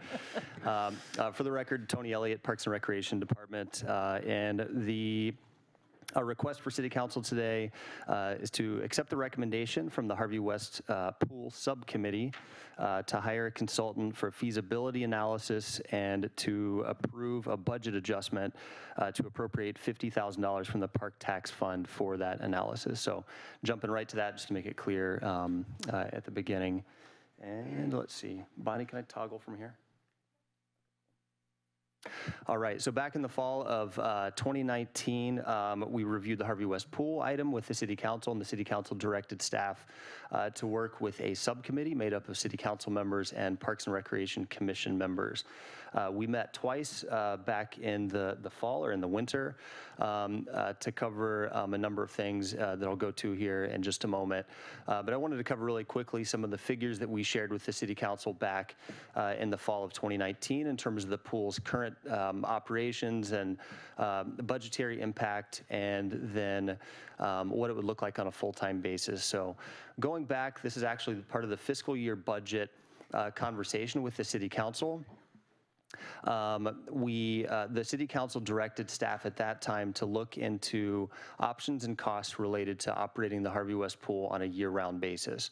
So what we brought to the council as a follow-up from that uh, direction uh, almost a year ago uh, was information on the current operation. So the current operation is before you here. We spend um, a net of just shy of $100,000 per year based on the current operation. That operation runs from March through um, uh, March through October each year, so it's a pretty limited format. And Jim Booth Swim School is our primary uh, source of operating the Harvey West Pool. So our our expenses are pretty low, um, but really our services are pretty low at the pool um, as it stands. What council had asked us to look at originally was uh, the cost of a year-round operation, and so the net cost, what we estimated would be um, about 1.2 million per year, and we estimated on the high end uh, that we could get up to a revenue of about $400,000 per year. So the net general fund impact um, annually would be just about uh, $800,000 uh, per year. So just again, just to bring those up to reference those figures that we reviewed just about um, a year ago. So the subcommittee met um, again uh, over the winter a couple times. Uh, we had two different meetings. In the first meeting, we talked um, uh, what I'll call the what, uh, and really that is what is the what is the vision? What is the vision for the Harvey West Pool? Um, uh, so we talked similar to the conversation that we had with the City Council last year, and similar to the conversation we had with the Parks and Recreation Commission. Really, the what we talked about things like uh, very low cost or free opportunities for, for example, all youth in Santa Cruz to be able to have swim lessons. Um, we talked about the pool um, as a place where families can gather and have picnics and, and spend the day. Um, uh, so kind of that family sentiment. And we talked about opportunities for classes and lap swimming and some of those things. So really a lot of vision, a lot of passion and fire came from the subcommittee, uh, both the commission uh, and council side in terms of what could the pool be. Um, and that really is reflected in the Parks and Rec master plan as well. The pool, Harvey West Pool is identified as one of the top uh, recreational uh, options and amenities within the park system. So the pool is highly favored uh, by the community, but the question of what, what is that vision, uh, really took the, the, the precedent for the first, uh, or the priority for the first meeting uh, that we had. The second subcommittee meeting, we talked about the how. So we talked about the vision of what we wanted the pool to be, and then we started to really get into, okay, how do we make that happen? Uh, is the pool big enough currently? Is it ADA accessible? Uh, do we have the proper technology uh, and infrastructure to run the pool uh, on a year-round basis? And so we brought in uh, Parks and Recreation staff. Um, in particular, we brought in some of our folks from the Central Zone. Blake Wessner is our uh, Central Zone Park Supervisor. Uh, and Blake, uh, um, in a really great way, in a very professional way, brought us back down to earth. Uh, he let us know what the, the pool needs, what it would cost, and so it was a little bit of that reality check, which was a good thing. So currently, um, currently, the really the immediate needs at the pool, if we were to open the pool on a year-round basis, we would need to invest probably close to a half million dollars. So based on the figures that we have at the moment, that number is uh, 452,000 uh, that's before the council here. So those are really the immediate maintenance needs uh, that we would need to put into the pool immediately um, to to expand the operations from the current limited uh, calendar to a year-round uh, calendar. This number uh, represents the things that we know. So there are some things that we realize that we don't know related to Harvey West Pool. Um, there are a lot of ADA upgrades that we know that we need to make, and we don't have costs associated with those yet. Um, we also know that the pool is losing water. Uh, we don't know where that water is going exactly uh, and the extent of that issue. And so we know that we are losing water. And so that could be another major cost related to the pool. So with all of these things said, the committee really, it kind of boiled down to, um, we have the reality of the condition of the pool, but we also have this vision of where we want the pool to go. Um, and so what the committee recommended um, actually uh, was perfectly consistent with what we have in the Parks and Recreation Master Plan. And that is essentially to further study the pool, study the feasibility, uh, study the business case, and study the market. So really to understand from our community, what does the community want from a pool uh, in terms of city services? What are the competitors, so to speak, doing? So what is, uh, what's happening at the Simpkins uh, Swim Center? What's happening around the community? Um, and what would it take to potentially build a new pool, uh, to expand um, if achieving the vision really is best uh, uh, sort of created uh, by developing a new pool. So the recommendation for the council today, um, from the subcommittee, uh, made up again of council members and commission members, um, is to, uh, to accept the recommendation uh, to hire a consultant for feasibility analysis um, and to approve a budget adjustment of $50,000 uh, from the Park Tax Fund for that analysis. And last thing I'll say, I just want to be very clear. I I had a couple questions from the community. We are not um, proposing that we shut down the pool or cease operations. But what we will do, I think, if the council says uh, today, go ahead and, and hire this consultant uh, with this funding, uh, we will keep the pool open and do everything that we can to keep it operating and running. We don't necessarily need to put uh, this $450,000 into it today, but if we do operate it on a year-round basis, a more expanded basis, we do uh, need to make these investments uh, very soon. Um, We do have some other projects ongoing right now. The heating system, we've got an on-bill financing opportunity uh, that we're taking advantage of, uh, of right now uh, to improve the heating um, and energy efficiency. So there are things that we are doing. So I just want to be clear that we're not proposing closing down the pool, but we uh, would like to further study it. So uh, with that, um, I'll look to the subcommittee members to, to weigh in or happy to answer any questions. Great, thank you very much. Do any of the subcommittee members want to start by speaking to this item? Yeah, I'll just, um, just want to thank Tony and the staff. Um, They brought forward a lot of uh, really good analysis for us. Um, It was very obvious once we dug into some of the numbers and actually um, understood the level of repairs and replacement um, that was going to be needed, plus the mystery of actually where the water's going, um, that the facility is, is really degraded from really just lack of any capital investment over the last 15, 20 years. So um, I think once we got a hold of those numbers, we realized that um, we, we, you know, we, we wanted to, to potentially look at something that was um, maybe a little different than when we envisioned going in, but I just want to thank the staff because that analysis, I think, really turned uh, the tide in terms of how we thought about what we were going to do, as what our recommendation was going to be. So thanks, Tony. Councilmember Watkins. I'll just sort of echo the comments that my colleague made and thank the staff as well as my colleagues here and our commissioners who chose to serve as well. I think we all share uh, love of this community resource. It holds so much potential for our community and really wanting to see it move forward in a way that's informed. And so um, coming from a place of like, we want to get it done to like, okay, this is what we need to know in order to do it right for the for the future, I think is a really a good place to be. So I, I'm really encouraged by moving forward from that place and, and um, hope the council will support the recommendation. Yeah, just really quickly, I'll say, uh, it was a wonderful experience to participate in this process, in the meetings, in those conversations. I, um, I really appreciate the commitment. If anybody thinks, anybody who's out there thinks that the pool is neglected, um, we don't use it as much as we would like to, um, it's, it's not, it certainly isn't. It's not a reflection on how much we care about the pool, and that became very clear to me in those meetings um, and talking with Blake.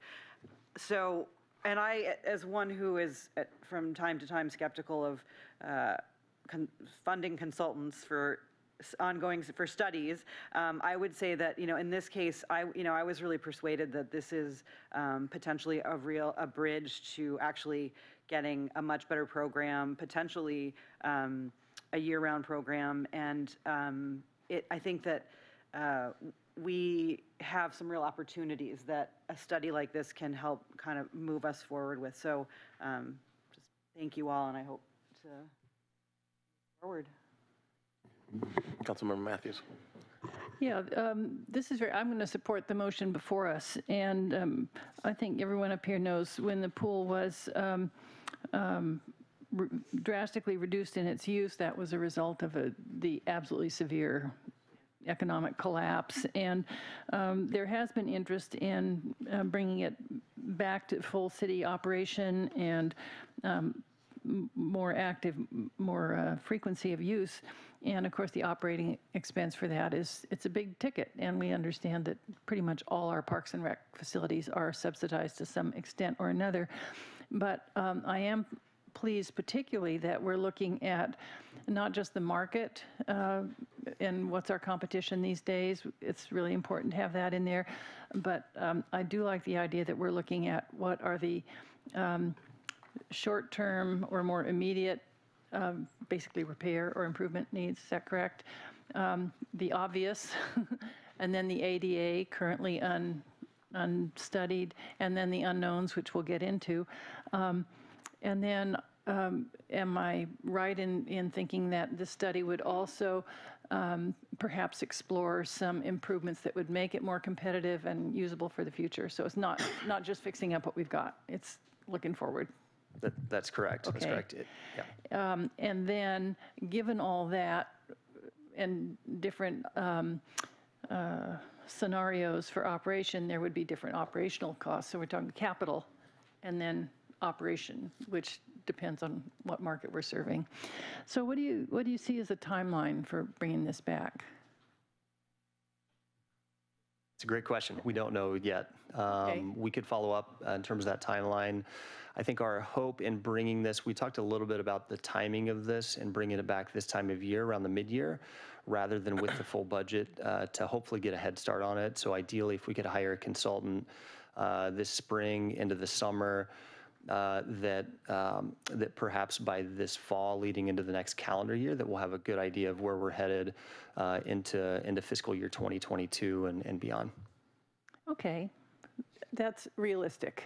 And um, I just want to say this is one more dramatic illustration of um, the needs of our capital, our just valued community assets that have not been maintained and not been improved in decades. And um, I really support knowing what this one will cost and what it can do for us. And we got a lot of others out there too. Agree with that statement. I had one question, and I'm not sure if this is something that can be answered right now, or maybe if this needs to return to council in the form of a memo. But some members of the public had reached out, and they were curious about the park tax fund. And so what pays into that, f- like, so what pays into that fund? How much money's in that fund currently, and the purposes and use of that fund? Yeah. Just uh, one second, I just, I gave something to Bonnie. She could put it up right now, and that would help us get a visual of it.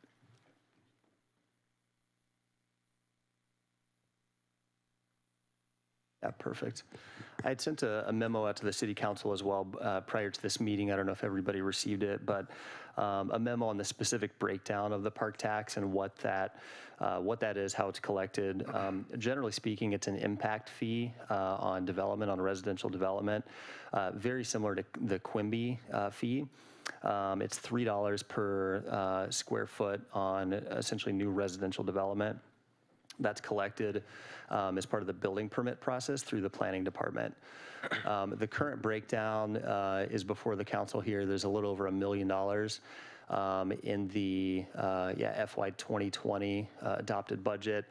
Um, A lot of that, we don't have the full, um, the full scope of what is encumbered essentially here. So there are a number of projects that are tied up or that those dollars are committed to existing projects.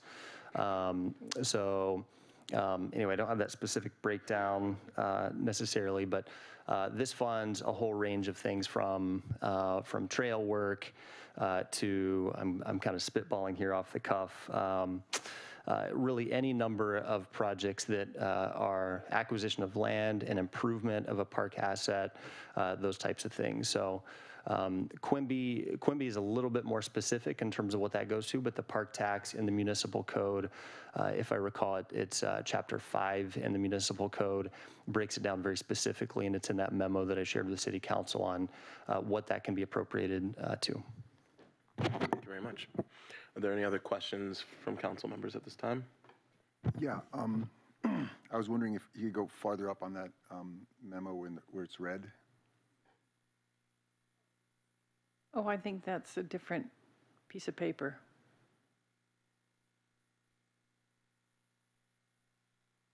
Um, because I had a couple que, I mean, I just wanted to go through the numbers with us, because I don't, I don't, I don't understand it. Um, Since we have the opportunity to do that right now. Yeah. This one? That one, yeah. Yeah.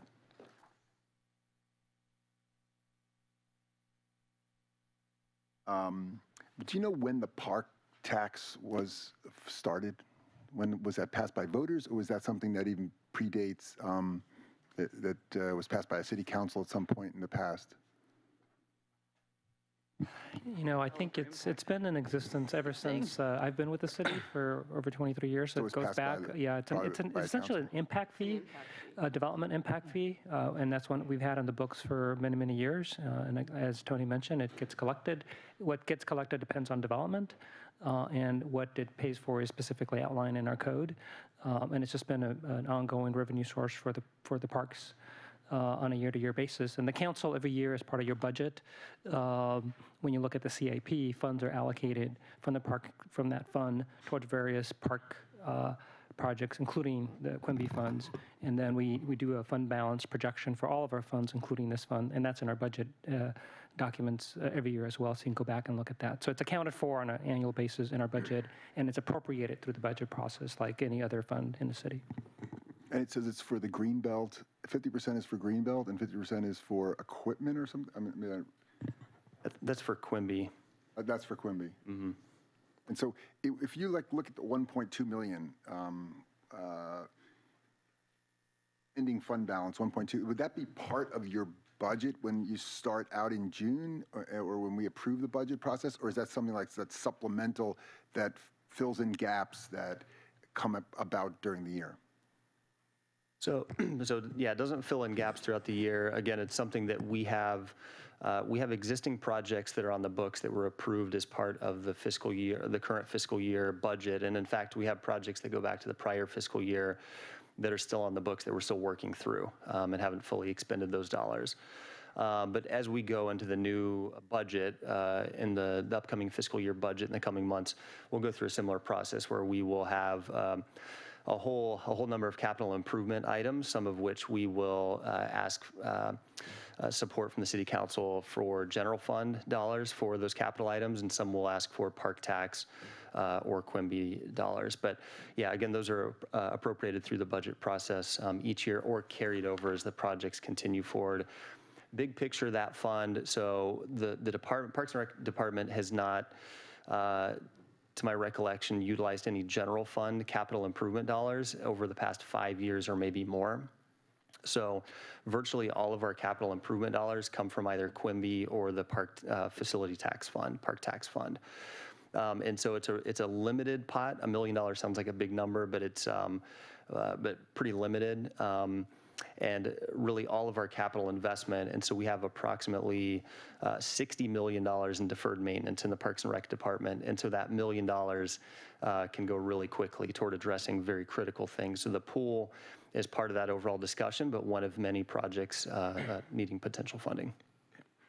And when you get the 50,000, the 50,000, you have to take it out of a- something else that's already, it was already committed for or in law, the project just hadn't been started yet? So we, we have $50,000 available that is not uh, tied to a project currently. So that's where we're asking uh, support of the council to um, uh, allow us to appropriate or appropriate that 50,000 to be used for this use. Um, A, a big portion of, or a a portion of the overall park tax fund, um, strategically, we actually withhold to be ready for a potential grant match. So a lot of grants, uh, it might be an 80-20 match. So we actually hold a couple hundred thousand dollars um, up to a half million of that million to be ready for any grant opportunities that we can leverage those funds. So uh, some of that we withhold as sort of a, a reserve within that, but 50,000 can come out of um, the overall bucket. Thank you, it's helpful to know, thank you. All right, thank you very much. Is there any other council member who has questions at this time? Okay, Thank you very much, Tony. Thank you. Is there any member of the public who would like to speak to us on this item? If you would like to, please line up to the left, and you will have two minutes.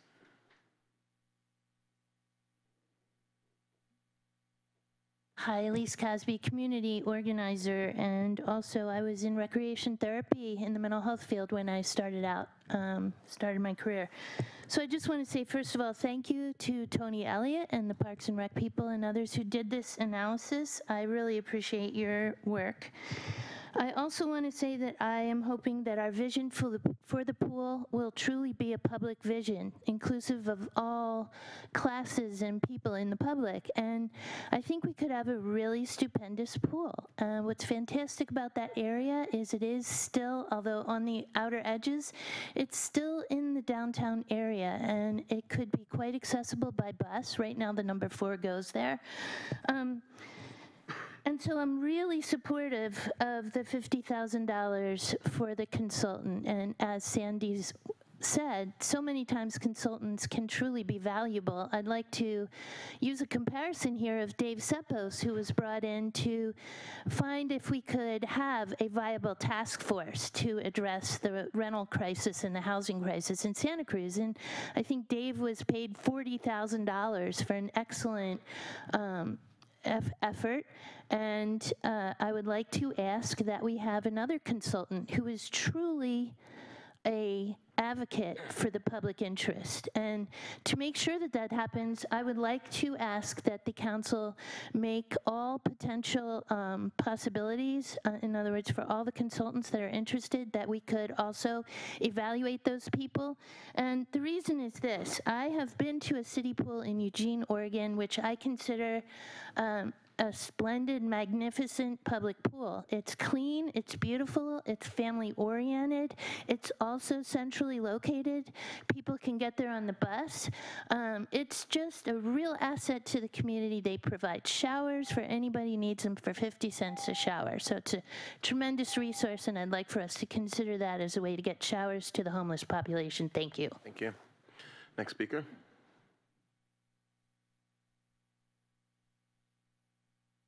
Hi, good afternoon, Margaret O'Shea, resident of Santa Cruz on the west side.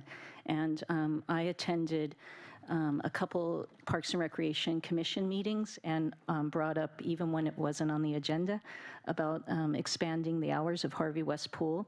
Um, So it's been an issue that I'm, I'm following. I was very happy to see in the Santa Cruz Sentinel that it was on the agenda today, so that's why I came. While I was waiting, I read the um, February 6th Harvey West Pool Subcommittee report. And um, so I, my comments are brief. I'd like to say that a concern um, I continue to have um, is the limited hours when the pool is even open at all. So I um, urge um, the council to make sure that that's included in the statement of work, that if one of the options as presented in this February 6th report is um, continuing with the existing scope of operations March through October each year, um, that that be looked at. It's, um, it's, and I, um, I, I won't turn around, but I even want staff to know how, how valued this is. That's why I came to this meeting. I really appreciate that the department and the department leadership has continued to push for this. I thank the committee, the commission for looking at this. Um, but it is a problem, the existing hours. Because um, Jim Booth Swim School operates it, I've even had a discussion with a staff member that there's been lack of communication sometimes between the department and the Jim Booth Swim School about the hours. So it's advertised as these are the pool hours. Turns out, if you're swimming there, you got to be out of the pool by a certain time because they're locking the gate at another time. So, so we need to kind of fairly advertise the swim hours are X, which is like, let's say the pool's open 12 to 2 in the summer for swimming on a Sunday. Turns out you need to be out of the pool by 1:30 or 1:45. And that's, I've seen so many families really devastated. You get there and you got to get out of the pool. Thank you so much. Thank you very much. Is there any other member of the public who would like to speak to us on this item? Seeing none, I'll bring it back to council for action deliberation. Councilmember Brown. Yeah, so I um, am ready to m- make, to move the recommendation to accept the recommendation from the Harvey West Pool Subcommittee to hire consultant for a feasibility analysis and adopt a resolution to amend the fiscal year 2020 budget and appropriate funds in the amount of $50,000 from the Park Tax Fund. I'll second that. All right. So we have a motion made by Councilmember Brown, seconded by Councilmember Watkins. I do have comments, I- but I didn't want to, I wanted to. Yeah, that's, yeah, so. I'll make okay, you comments can follow whenever, up. when it, when, Okay. you can just put me on the stand. So you can, we'll follow up with Councilmember Brown, Councilmember Watkins, Vice Mayor Meyers, Councilmember Krohn. Uh, So I wanted to respond to the comment that was just made by Ms. O'Shea. Um, I'm wondering if, it- I don't know that we would need to include it in a motion, but I'm wondering if we could follow up on that and, and try to figure out how to make it clear to the public. Because I could imagine taking some kids down, like, that would be a hard thing to pull them out if they're not aware that the hours are actually shorter than advertised. Yeah, I appreciate her making that point, and we'll look into it to make sure our hours uh, are accurate as posted. Thank you. Great. Councilmember Watkins. I was just sort of going to similarly follow up with that. Um, having been there with the trying to find the time and the kids, it is it isn't really conducive to families being able to access it, and it is a short time, and there is an abrupt end. So the um, definitely the clarity in advertising and transparency, but also the direction of trying to move to have the pool open more frequently is the intention behind where we hope to be. Mayor Marsh? I think I skipped. You're good? Okay. Councilmember Krohn. What about the other issue that came up? What's your thoughts on providing showers like that being part of the work of the consultant to think about having more showers there to provide, you know, to supplement what we provide now at the Homeless Resources Center and Yeah, I think, I think all those are great questions in the context of, of what could this facility become. Um, In the Park and Rec, Parks and Rec Master Plan, it even alludes to things like a, like a fitness center, uh, health and wellness facilities. So I think as the consultant goes through it, um, we'd like for them to consider what all of those uh, might look like, what could really be incorporated, and then how we operate that. um, uh, Again, from an operation standpoint, I think that's the other question. Um, But yeah, absolutely. Seeing no further questions, there's a motion on the floor by Councilmember Brown, seconded by Councilmember Watkins to, um, to accept the recommendation from the Harvey West Pool Subcommittee to hire a consultant for feasibility analysis and adopt a resolution to amend the fiscal year 2020 budget and appropriate funds in the amount of $50,000 from the Park Tax Fund.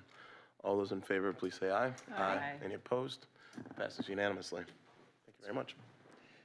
Okay, next item on our agenda, item number 18 of general business is ordinance amending SCM section, SCMC, section 15.38.010 and section 15.38.030 regarding small cell wireless facilities. Uh, This presentation will be by Joshua Spangrud, Senior Civil Engineer, and Stephanie Hall, Deputy City Attorney.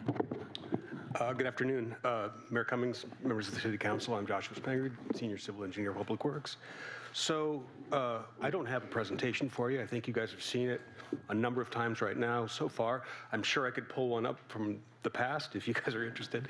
But basically, what we have here are several m- minor adjustments to language from the last time uh, the ordinance was proposed. Uh, Our city attorney, I'm going to turn this over to the city attorney's office. They're the ones who really did it. My name is just on the report, so. Hey, thanks. And- And I'll be filling in today for Stephanie Hall, uh, Deputy City Attorney. I'm Tony Condotti, uh, City Attorney. Um, This ordinance has somewhat of a circuitous legislative history, uh, going back to April of last year when the council introduced ordinance number 2019-06, which would take uh, the city's wireless communications facilities regulations out of Title 24, your zoning code, and move them into Title 15, uh, which pertains to streets and highways. Um, A separate ordinance, 2019-11, was then brought forward to incorporate wireless communication facilities uh, into um, Title 15, and that was introduced by the City Council at your meeting on November 26th of 2019. Uh, Also, at that time, were adopted regulations that implemented the ordinance, as well as uh, a resolution adopting a fee schedule for processing permits for wireless communications facilities. Uh, The reason why I mentioned the circuitous legislative history is that when both ordinances came back for final adoption on December 10th, the council uh, expressed an interest in additional changes, and rather than have a reintroduction of both ordinances or ordinance 2019-11, the council directed that those changes come back in a new ordinance, um, and specifically, the changes were to eliminate subsections uh, subsection F of section 1538010 regarding the purpose and intent. Uh, The language that is proposed to be eliminated states that the purpose and intent is not to limit or prejudice any individual's ability to seek a reasonable accommodation under the Americans with, with Disabilities Act or any other applicable federal or state law to the extent such requests are consistent with applicable FCC regulations uh, and federal and state laws. Council directed that we return with an ordinance to eliminate that language as well as uh, an amendment to subsection 030B4, which states that the chapter shall not apply to facilities for small cell wireless facilities that are suspended, whether embedded or attached on communication cables or lines that are strung between existing utility poles in compliance with applicable safety codes. Um, As to the reference to uh, ADA accommodations, that's already covered in your uh, adopted regulations. And and as to the reference to small cell wireless facilities that are suspended on uh, wires or cables, um, those are prohibited in your regulations as well. So this is really just a cleanup ordinance, and I'm happy to answer any council member questions or comments. Are there any questions at this time by council members? Councilman Krohn? You saw the um, email I sent to uh, Barb, Barb Choi and her response, and so that's um, been changed according to what you just said, it sounds like. Uh, Yeah, I agree. There's, there's some, uh, I would say somewhat ambiguous language in the report as to what the staff's recommendation is, but after we've discussed it with staff and uh, internally in the city attorney's office, we're comfortable with the proposed amendments as they're presented here. Thanks. There's no other questions. I'll open it up to the public for public comment. And if there are members of the community that would like to comment on this item, I'd like to ask you please line up to my left. Um, And I'll invite up first Satya Orion from EMF Aware, who reached out for extra time on behalf of that group, and so you'll be given four minutes. Thank you, Mayor Cummings and council. So it sounds like you've done my work for me already. You- You're uh, recommending these to be deleted, and I can just say, and thank you uh, for hearing me. Um, This was, first item was submitted by me, not something that was in the ordinance, and so I'm just asking it be deleted. And the second one, I felt, just to give you a reason, I felt uncomfortable with adding um, another, of taking something that's, could be potentially added to the wires and uh, saying that it wasn't covered under regulations. So um, I'm happy that it's prohibited currently, so thank you for that. Um, So I'd like to, I want to take the opportunity to have one more request. Um, a small change, but quite important one, to the uh, permit guidelines section of the ordinance. Um, Section 4, public notification, 2G. I realize it's not on the agenda today, but I'm hoping it could be agendized for the next meeting. Um, This is regarding the submission of requests for reasonable accommodation under the ADA or other applicable law. Um, I'm at what I'd like to first ask for is that the five calendar day time limit be removed.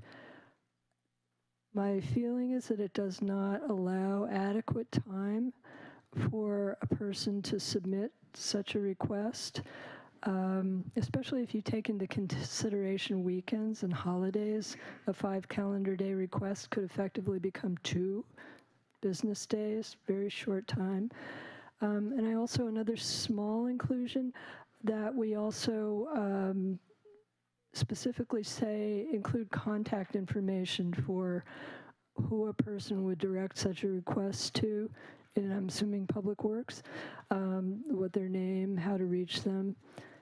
I just, um, I believe that honestly, people will make these requests as quickly as possible, but it just seems really important that we not, um, that we just do everything possible to make that process as easy as possible, easily accessible as possible, and, and not create further access barriers, which is what we're trying to eliminate by this. I mean, the, the, I'm very, very grateful that this is even included in the ordinance because it's, what it's doing is it's providing a legal pathway for people to potentially stay in their homes who are extremely EMF sensitive and might have to leave otherwise. So, um, so I thank you, and I and my request would be that um, thank you for hearing me say this today, and that we could bring it back to the next meeting for a more thorough discussion of what would be reasonable, considering all that I've said. So, thank you.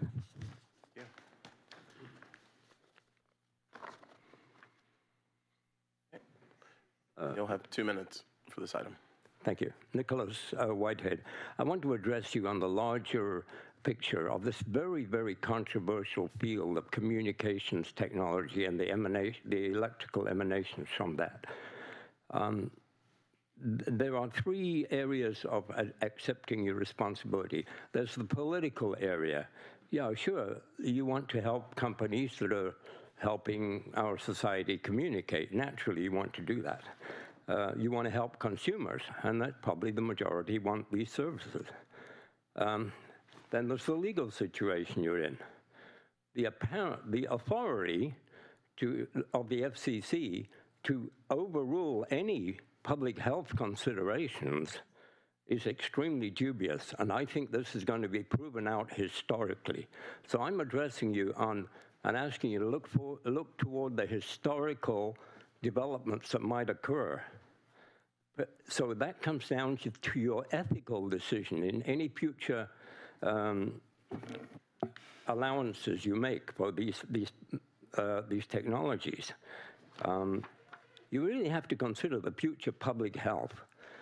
Not all the information we have is reliable. There are alternative sources of information. There are an increasing bevy of speakers internationally and in the US who can address uh, accurately, scientifically, the, the public health effects of these uh, high powered uh, transmissions, these particular frequencies.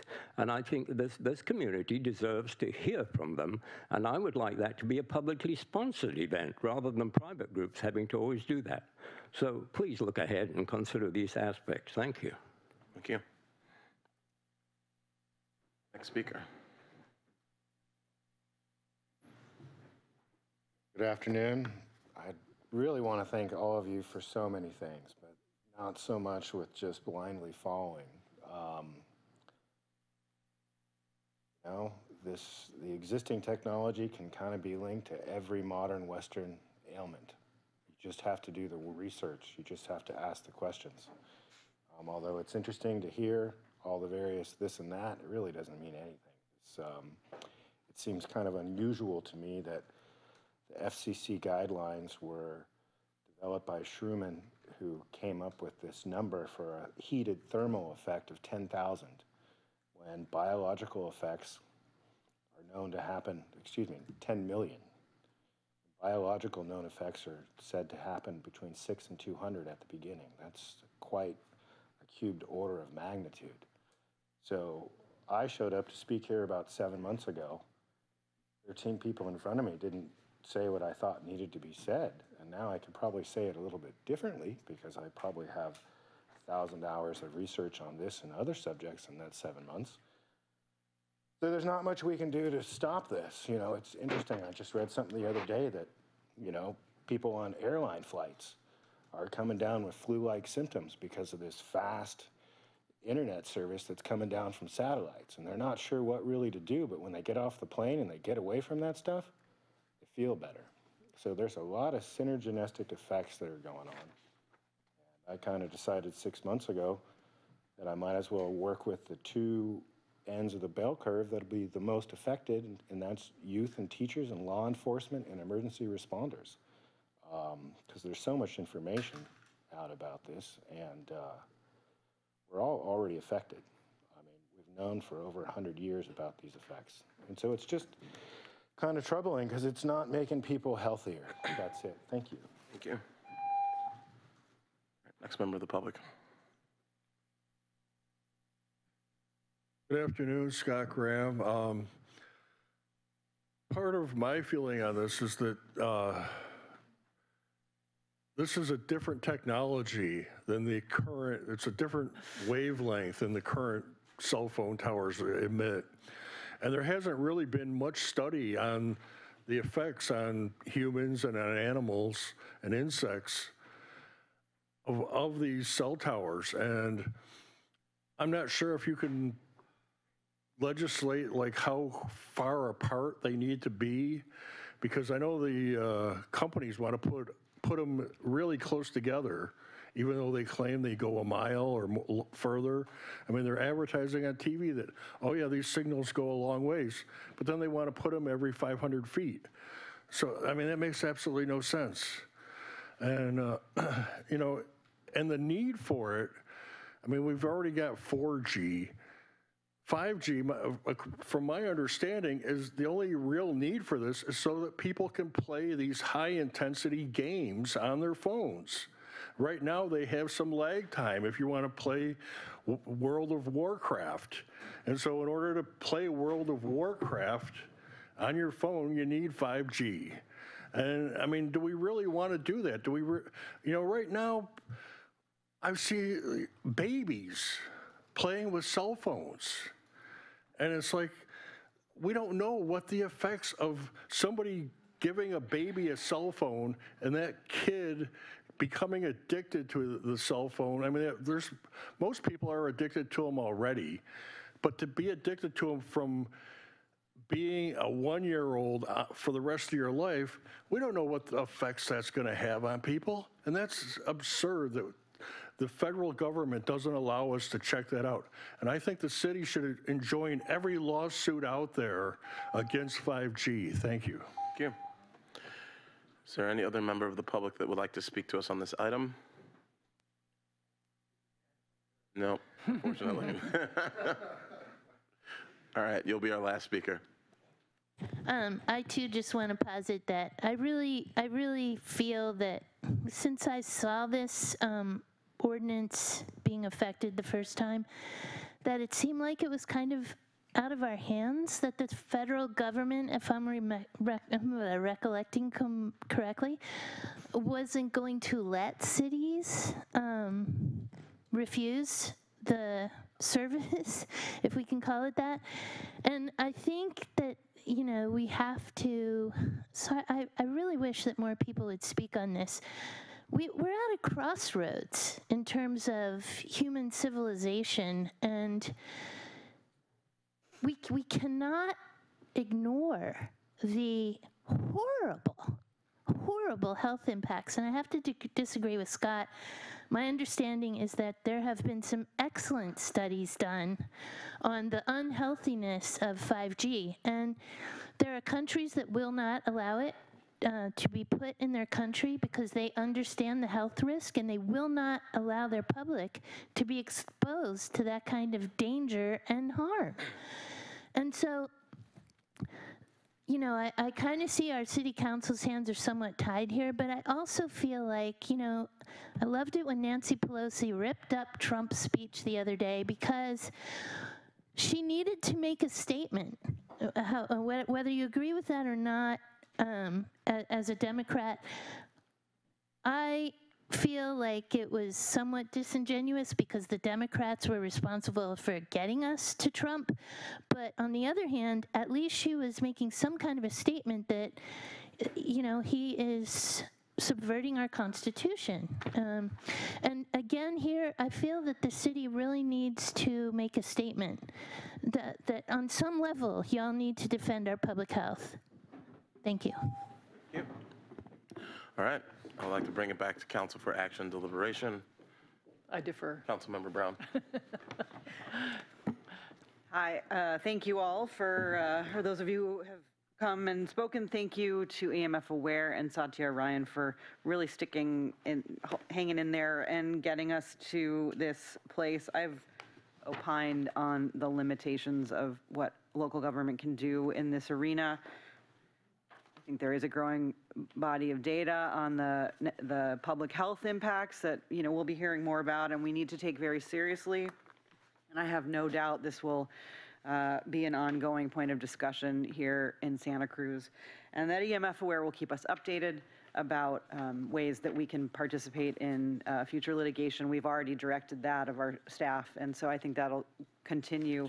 Um, And so right now, I'd like to uh, move the recommendation that we um, introduce for publication an ordinance amending section 15.38.010. It's the stat, it's the recommendation here. Um, So um, amending the ordinance with the red lines that were included in our agenda packet um, as on a first reading. Um, Second. Okay. So we have a motion made by Councilmember Brown, seconded by Councilmember Mathews to accept the staff recommendation. Is there any further discussion on this item at this time? Seeing none, all those in favor, please say aye. Aye. Any opposed? That passes unanimously.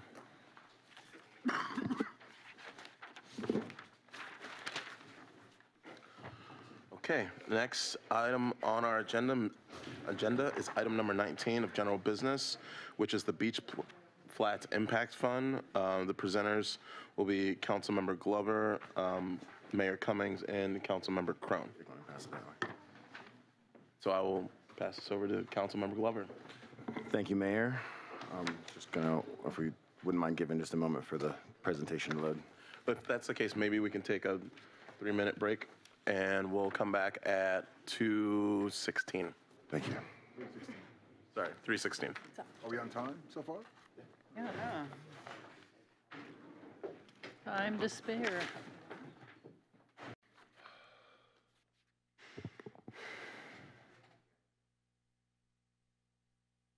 All right, I guess we'll bring this back since we have quorum. Wonderful. Oh, wait, great. Thank you, Mayor. Um, And uh, to my fellow colleagues, hello. Um, I'm Councilmember Drew Glover, and it's my pleasure today to talk to you about the idea of the implementation of a Beach Flats Impact Fund. So to provide a little bit of background with regards to the impetus behind this, uh, in December or January, uh, we were approached by representatives of the Beach Flats community neighborhood and organizations serving the Beach Flats community to address the impacts felt by the lowest income neighborhood in the city of Santa Cruz caused by the operation specifically of the boardwalk during summer months. So I'll first start by just kind of breaking down what is a, a benefit district, uh, because it's essentially what we would be creating as a parking benefit district. We're referring to it as an impact fund because we want to acknowledge the impact that um, the Beach Flats experiences from the boardwalk. But a parking benefit district, or PBD, are defined geographic areas typically in downtowns or along commercial corridors in which any revenue generated from on-street and off-street parking facilities within the district is returned to the district to finance neighborhood improvements. Um, There are successful examples of this that can be seen uh, around the country.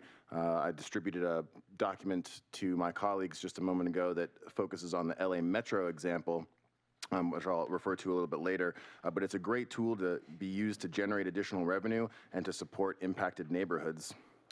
Uh, so why implement an impact fund? Well, uh, there are these three primary reasons of things that we can uh, look towards, which is uh, the ability to provide necessary improvements of social services and communities, fund the communities most impacted by some of the different commercial activity that's happening uh, in a city, and implement and create community projects all to address some of the issues. Uh, During the summer months specifically, in the neighborhood of the Beach Flats, it's inundated by attendees from the boardwalk who uh, essentially overwhelm the area. This increased attendance results in increased exposure to CO2 emissions, noise, trash, traffic, and wear and tear on the 21 acre neighborhood, all of which negatively impact the quiet enjoyment and the use for the residents. Um, some examples are road and drainage degradation, inaccessibility to parking, and uh, a feeling of essentially being trapped in your own neighborhood. Uh, just to provide some context as to the beach flats and some of the stuff that they're dealing with down there, even with the cost of housing, uh, is the uh, survey that was done in 2016 by No Place Like Home, which looked at the rents of rate burden situations, overcrowding in housing, uh, as well as forced evictions. And not only of the 435 renters that were surveyed along beach flats and Lower Ocean talking about uh, being rent burdened, 73% experienced being rent burdened uh, in the beach flats and Lower Ocean neighborhood, but people from the Latinx community uh, reported back at about 80% of that population being rent burdened. Uh, looking at the issues of forced eviction especially for uh, families with children, was about 46%, and Latinx families at 52%. So not only um, with regards to beautification topics, but we'll also be talking about other ways that the impact fund can be used to prevent homelessness and also support affordable housing development. So here, I just want to take a second to illustrate kind of the general proposed area of the map of the benefit district, of the benefit district itself. Now, this map doesn't extend all the way to the, uh, the wharf, but the proposed streets can, can give you an idea of the volume of meters. You can kind of see them. I don't know if you can see them from here, but if you look behind you, the little yellow dots that represent the different meter locations. Um, these uh, would be included in the benefit district, but could include Beach Street, potentially from the wharf to the boardwalk, uh, down past the boardwalk with this curve that you see here up onto Third Avenue, and then down Raymond, Leibrandt, Second Avenue, and First Street, which continues over, if the image were to continue to the left, past that large parking, um, parking lot over to essentially the boardwalk bowl. So how would it work? Um, these are some preliminary estimates based off of some of the numbers that were given to us by staff of the overall parking revenue that is generated from that specific district, looking at the meters in question. Now, the way we got these numbers was, you know, uh, this is an underestimate, let me emphasize that, of the amount of revenue that can be generated to go into this impact fund because the way that we calculated this was just taking the overall projected revenue for fiscal year 20, uh, dividing it by four essentially to get the months of the year, which is June through September, and then looking at a 15% annual increase over the next three years uh, to generate these numbers. Now, I say that this is an underestimate because we didn't calculate that there would be an influx of the parking during those months, which is where a substantial amount of that overall estimated revenue would be coming from. Uh, the reason why we have it structured this way um, is because the parking that's surrounding the boardwalk is regulated by the Coastal Commission. So the city is able to do small annual increases that do not exceed 25% annually or 50% over three years, which would then require an approval by the Coastal Commission. So if we were to look at, say, a proposed increase of 15% annually, then within the first year, based off of the projections for fiscal year 20, we would see $16,000 coming into the fund.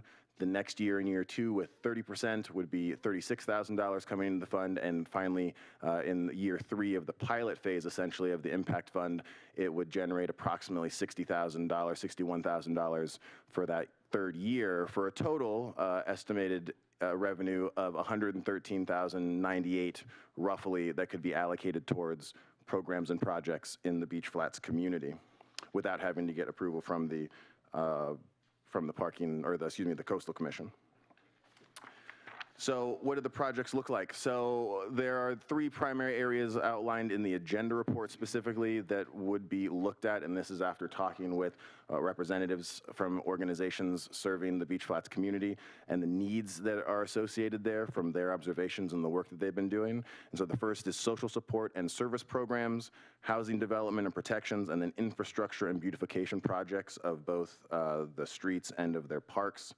Uh, the Impact Fund is envisioned to support work geared towards creating affordable housing development, supporting social programs and services, which could include free legal clinics, supporting tenants' rights, after-school youth programming, counseling, community resource centers, services helping to reduce homelessness, supporting the Beach Flats Garden, increasing access to quality, healthy foods, and providing funding and uh, for increased access to community resources such as healthcare for the Lower Ocean and Beach Flats neighborhood, but also infrastructure repairs like roads, parks beautifications, and drainage solutions, um, which have all been an issue uh, in that surrounding community. Um, the projects will be created for the community, and this is where I will turn you to the Metro document that I shared with you because it gives a really great kind of breakdown of what LA has already done with some of these uh, benefit districts or impact funds, which, and I quote from the piece, are used to make various improvements such as street sweeping, tree planting and trimming, sidewalk and street repairs, street lighting, graffiti removal, historic preservation, putting utility wires underground, um, and also, which is not mentioned specifically, but I think is something that uh, is relevant to the beach flats uh, and parking access, is to be able to offer parking permits to all uh, neighbors in that area so that they can have security in their parking. Um, The way that it could be structured, and this is something that we'll get to when we get to the recommendation, uh, is developing the benefit district through the involvement of key stakeholders, businesses, developers, landowners, but especially the organizations and the community members serving uh, and living in that community to help figure out what the process could be to develop the rules of the parking district, and also taking the initiative steps to work collaboratively, collaboratively, excuse me, to create shared goals and objectives, uh, to create an overall plan for the parking district. But then, just as importantly, is figuring out the way in which to develop the granting process of those funds to programs to ensure that they are serving that community directly and are not being siphoned out of that fund for outside projects and outside areas. So uh, the idea with the agenda report specifically, as you can see with the recommendation, which I'll repeat in just a second, is to uh, work or direct staff essentially to work to create a proposal that would come back to council for review by April 2020, so that then we could have an in-depth kind of process engaging the community uh, as well as different stakeholders to have those conversations and come back with a plan that council can review and then ideally approve uh, So the recommendation here is uh, to, for a motion to direct staff to work with co-signing council members, community bridges, and other interested community partners to develop the policy framework, feasibility, and implementation plan to establish a Beach Flats Impact Fund through parking meter revenue and return to council with analysis results and action plan no later than April 2020. It's really a conversation of equity and making sure that those that are impacted by the tourism that we experience in the community are having money essentially put back into their community, not only to help with mitigating climate change, to address the issue of CO2 emissions, but also to make sure that they're living and thriving in a, a community that's well served. So thank you. Very much. Councilmember Krohn, do you want to comment on this at all? Just to um, reiterate uh, Councilmember Glover's earlier statement about the impacts on the Beach Flats neighborhood um, that, that go on every summer when it's really intense. And, um, and I'm really glad to be part of this, bringing this forward uh, to address and hopefully alleviate and improve that part of the community. Thanks. I'll just say thank you for the presentation and for kind of summarizing many of our sentiments as the members of the city council were bringing this forward. Um, I'd also like to say that, you know, one of the reasons why I'm very much in favor of this item is because as a resident of the Beach Flats community, I understand how it is to be directly impacted by the traffic during the summer. Oftentimes, as Councilmember Glover said uh, earlier in his presentation, uh, from members who live in that community, you can sometimes feel like you're imprisoned in your community during high um, levels of traffic. So oftentimes, if you are planning on driving and you leave between the hours of around 10:30 and you know 4 or 5 p.m., sometimes it can take you often up to an hour to hour and a half even to get out of the community or to get back into the community. And so oftentimes we find ourselves parking outside of the community and walking back in, having to go back later on to get our vehicles because we just can't simply have access uh, the community. And so um, I think that it's important that as a community that's probably the most impacted um, by summer traffic, that we try to do something uh, to give back to that community and um, really support uh, the people who live in, in that area. Um, Are there any other questions by council members currently at this point, point in time? Is, is there staff comment anticipated on this or not? I do, So this plan and timeline was constructed in collaboration with the city manager's office. Uh, So they are aware of all of the proposals and content of the agenda report and the timeline. Also, oh, sure, go ahead. you go ahead if you have something to add to I that. was, I was going to add to that, I think that um, in the spirit of the council policy that was adopted, um, one of the reasons why we brought this forward in this manner is because it's an opportunity f- before we, you know, kind of begin working with staff, um, that we bring these ideas forward and then um, we bring it to council to see if this is something the council would, would be interested in having staff work on. And then we um, kind of develop this process, working with staff and stakeholders in the community on this item. Um, I have been contacted by staff who've mentioned that um, they would very much like to be involved with this, should it move forward. Um, This morning, I was also contacted by the Seaside Company, who said they weren't in opposition, but they would like to also be involved in this. And so I think that uh, the intent is that if we're moving this forward, we then begin to have communication and conversations with these different stakeholders, and we figure out a process um, in order to be able to bring this forward. Because I also, as someone who's signing on to this, have um, some concerns around rates, who's going to be affected, what are the zones, what are the meters. And so I think that there's a lot of work to be done, but we wanted to bring this forward um, because we can't really bring it forward otherwise without getting council's approval. I appreciate those comments, and um, as proposed here, uh, I completely appreciate the, um, the issues, the underlying issues that this um, proposal raises and, and tries to deal with. It seems to me that as proposed, it's very limited um, in both the mechanisms for dealing with those and it, more significantly to me, um, ignores a huge amount of work that's already been done and is in the pipeline and particularly, um, and I don't know how much the newer council members know about this, the neighborhood um, uh, uh, revitalization strategy area, which encompasses this area. Um, uh, We are um, we have invested a lot, have developed a lot of plans over time with stakeholders. Uh, Programs are in action. I think it's through economic development. And it might be helpful, I don't know if other council members would like to have a brief description, but it occurs to me also, um, there's so much um, involving many departments, the, the climate action, Parks and Rec, Public Works, that, and, and of course our housing programs, that are very much focused on the, um, uh, the elevated uh, issues in the beach, beach flats and lower ocean and south of Laurel. I mean, that's, it's kind of a larger area there.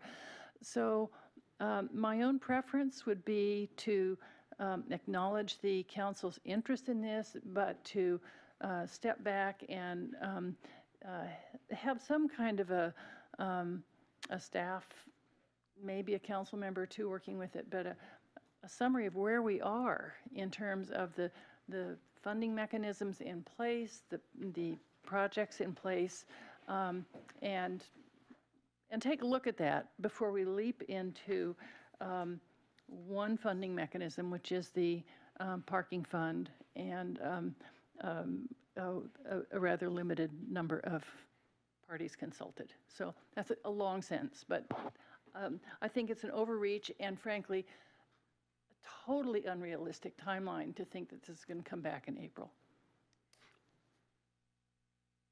For Watkins? I'm going to wait till the comment section because I think this is the question section, right? Yeah, Well, Was it comment? no. Questions? Oh, Sorry. Um, I'll reserve my comments, but I, but I do want to just express my excitement for the interest in this. I think as we think about uh, health and all policies, equity, sustainability, and public health, this is really aligned with those values. Um, I see health and all policies as sort of the the framework that's this broader theory that's sort of designing how we think about that with our policymaking. The implementation could look something like how are we looking at it in specific areas and applying it to different decisions. So um, I just want to acknowledge that nexus. I would love to hear from the staff in regards to some of the work that's already happening. Um, I know that Tiffany Wise West is doing a lot of work in the beach flats in terms of climate change and sustainability and resilient coasts and access and and uh, doing a lot of outreach in that regard. So I don't know if if she wants to speak a little bit about some of the work, but I do want to. Um, I guess the broader in- interest is understanding sort of that holistic picture and how this fits within that and how are we going to move forward in a way that's really informed and inclusive in terms of community outreach and programming and planning. Um, and sure, an impact fund, uh, I hadn't heard of that before, could be a piece of that puzzle uh, once I know more about it.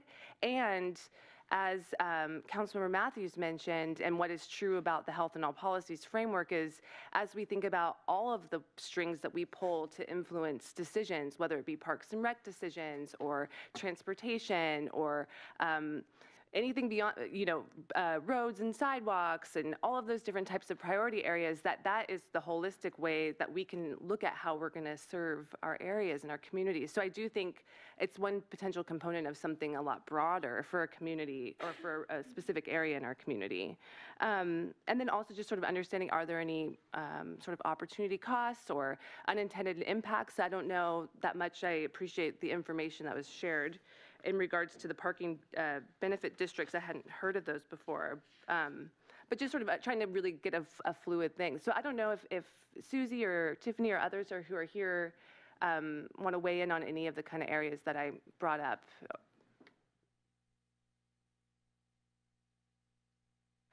Sure. Hello, council members. Tiffany Wise-West, Sustainability and Climate Action Manager. Um, I really appreciated the fact that um, the social vulnerability to climate change assessment was referenced in uh, the staff report. And I think, as you all know, the Beach Flats residents are already experiencing the impacts of climate change, and that will continue to increase over time. Uh, through the Resilient Coast Initiative, which is about halfway through, we have uh, Vice Mayor uh, Meyers and uh, Mayor Cummings that are both on the Technical Advisory Committee for that. Um, that project um, is really a community-driven, data-driven process where we are uh, trying to work with the community uh, to identify climate adaptation measures for the Beach Flats area and the accompanying financing that needs to uh, come with that. Um, so clearly, coordination with this effort would would be appreciated and and could potentially uh, improve the base of knowledge that you're working from. We have conducted over 125 door-to-door interviews in the Beach Flats, um, several community meetings, including one coming up on March 7th. Um, so that's a little bit of background on what we're doing and looking at both short, medium, and long-term solutions. What are the triggers for those, and what are the financing mechanisms that are available? Thank you.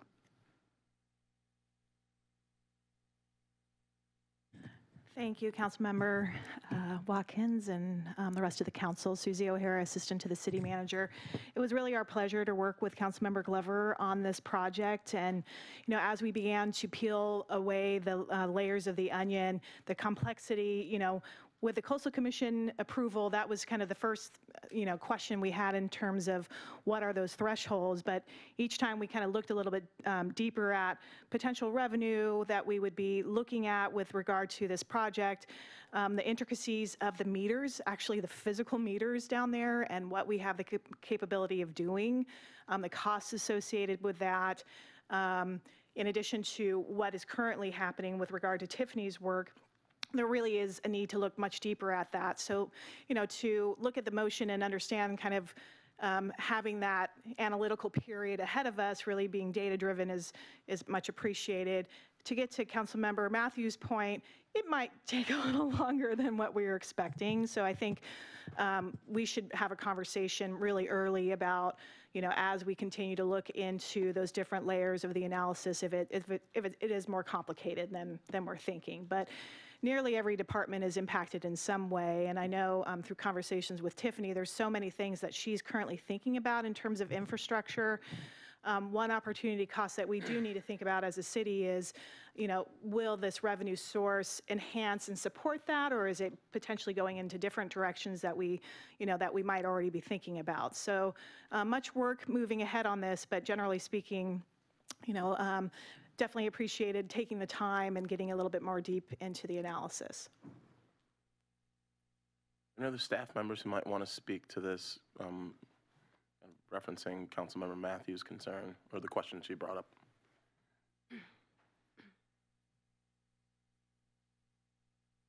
Good afternoon, Mayor, members of the council. Bonnie Lipscomb, uh, Director of Economic Development. I just wanted to weigh in because we do have a process going on right now for our consolidated plan. And just a, a little bit as way of background, our consolidated plan is a five-year planning process that we do that enables us to allocate CDBG and home funding in our communities. And through that process, and we're in that process now, and so we've been doing series of outreach meetings, but the Beach Flats area is part of a neighborhood revitalization revitalization strategy area specifically that enables us to prioritize CDBG and home funds. And so we have a whole plan, um, and we do it every five years. So we have a series of them, and they're all accessible through our website. And you can look at um, that process and our outreach. And in fact, we just conducted outreach um, through, with the help and assistance of Nueva Vista into this area and received close to a thousand responses, which is great. Um, so we'll be coming to you in March um, with a draft of the plan and the priority areas, as well as again in April. And then some of those decisions will be included with recommendations related to CDBG allocations for the next year's budget. So there is a lot of information about planning and process. And I'm encouraged with the priority areas as well. I think that reflects um, on a lot of the priority areas that are in um, the consolidated plan um, and in this NRSA. But I will say that the, the area that's been um, identified through the NRSA, the Neighborhood Revitalization Strategy area, is, is a little bit larger than just the beach flats. It includes Lower Ocean. It goes up a little bit to um, Cathcart, south of Laurel. It's looking at um, geographic areas. So it's not exactly the same area as this. So it would be great to look at both plans and to see if, if there's some alignment there. So there is um, a lot of work that's been done to date. I think um, it makes sense to look at these together. It's definitely one of the priority areas um, in the city. Thank you.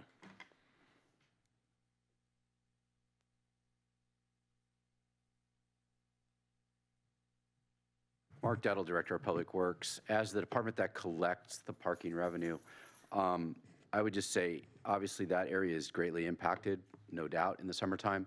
Um, This increase is not going to affect the parking availability in that location. It won't change that. It will bring in revenue that you can use. Um, It is general fund revenue, just so you know that. It's not parking district revenue. That area goes to the general fund. Um, There will, there may be an unintended consequence, though, by increasing the rates on the meters.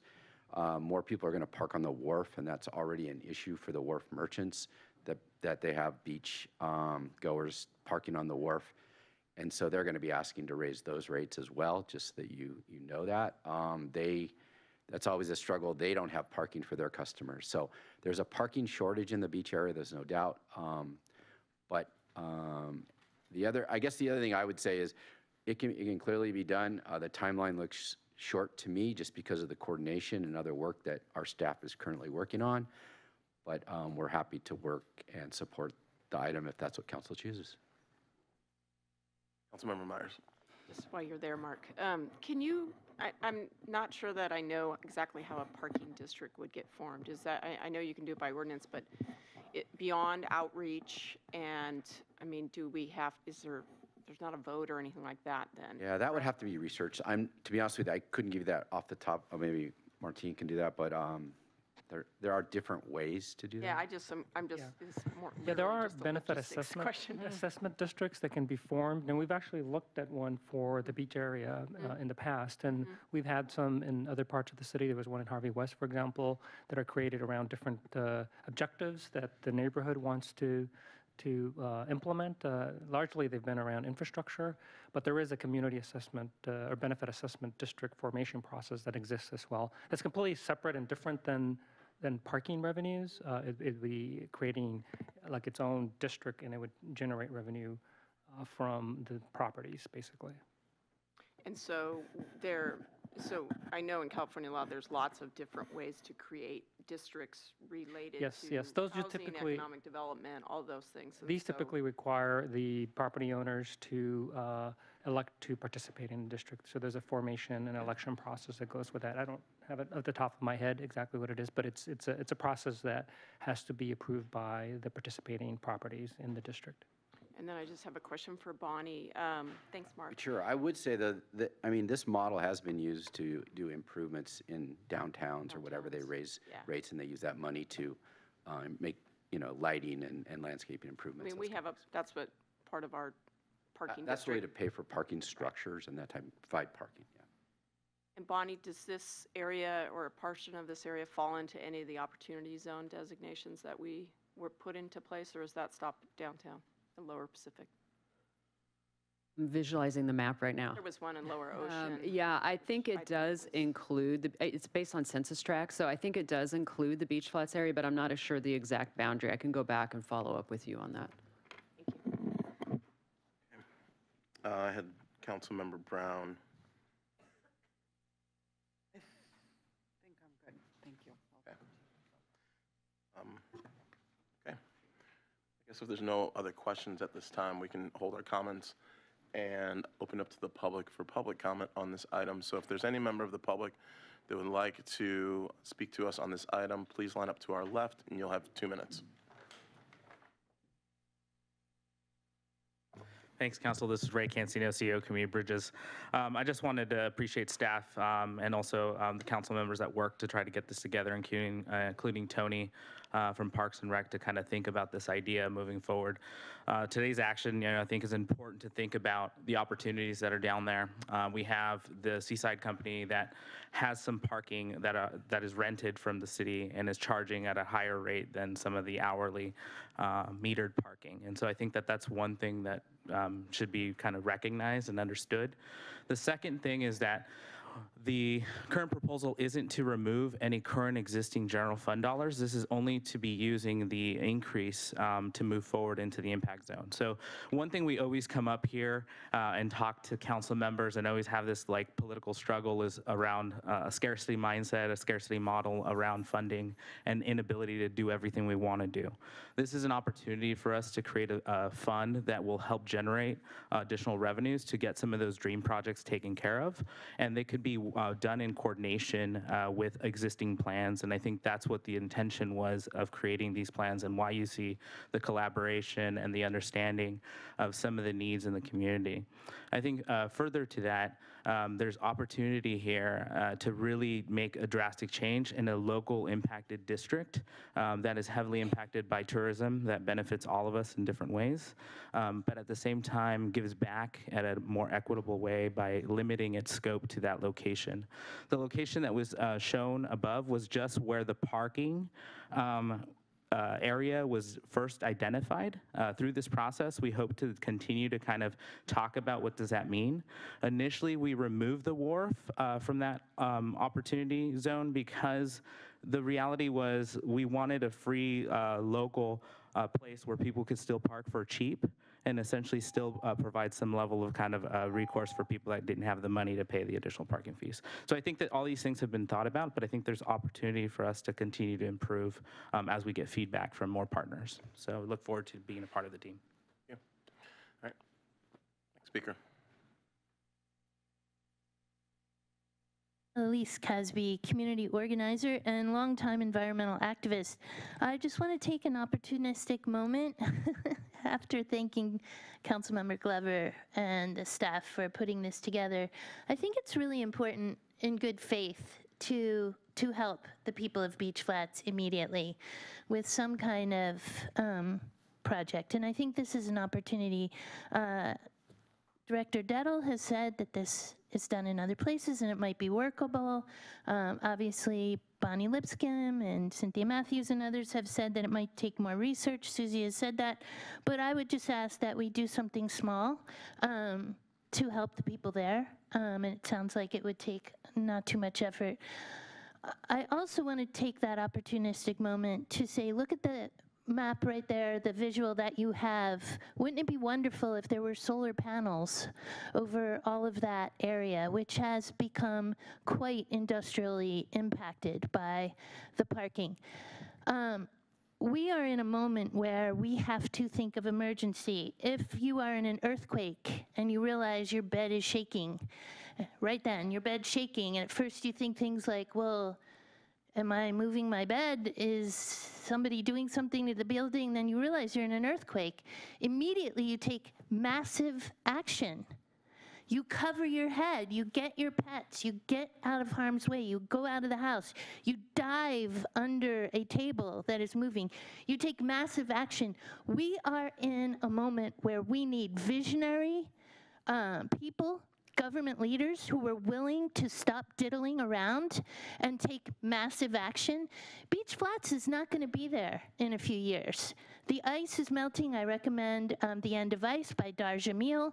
Please help us do something small now like this, but really let's put solar panels all over that parking area and get not only energy, but revenue. Thank you. Next speaker.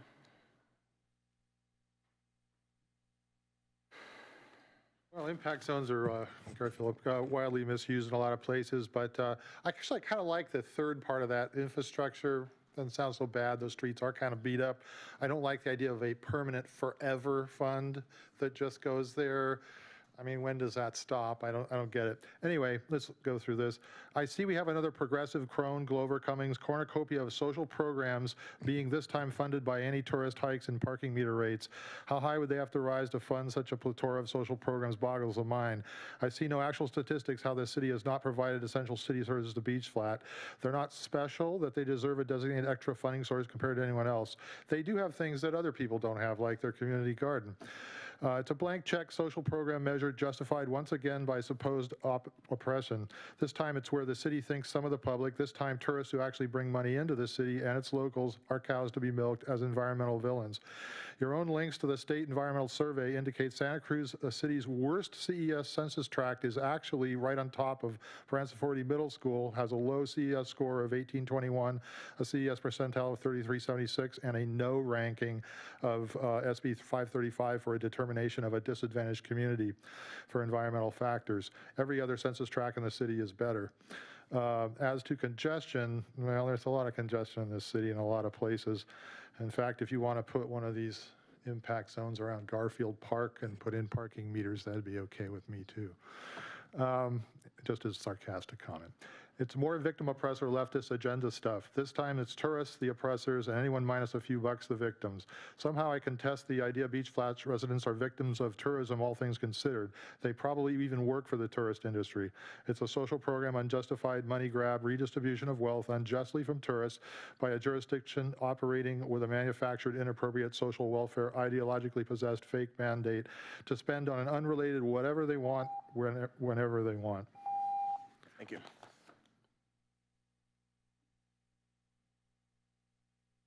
And I'd like to ask if there's any other member of the public, aside from the gentleman who's approaching the podium, who would like to speak to us on this issue. Seeing none, you'll be our last speaker.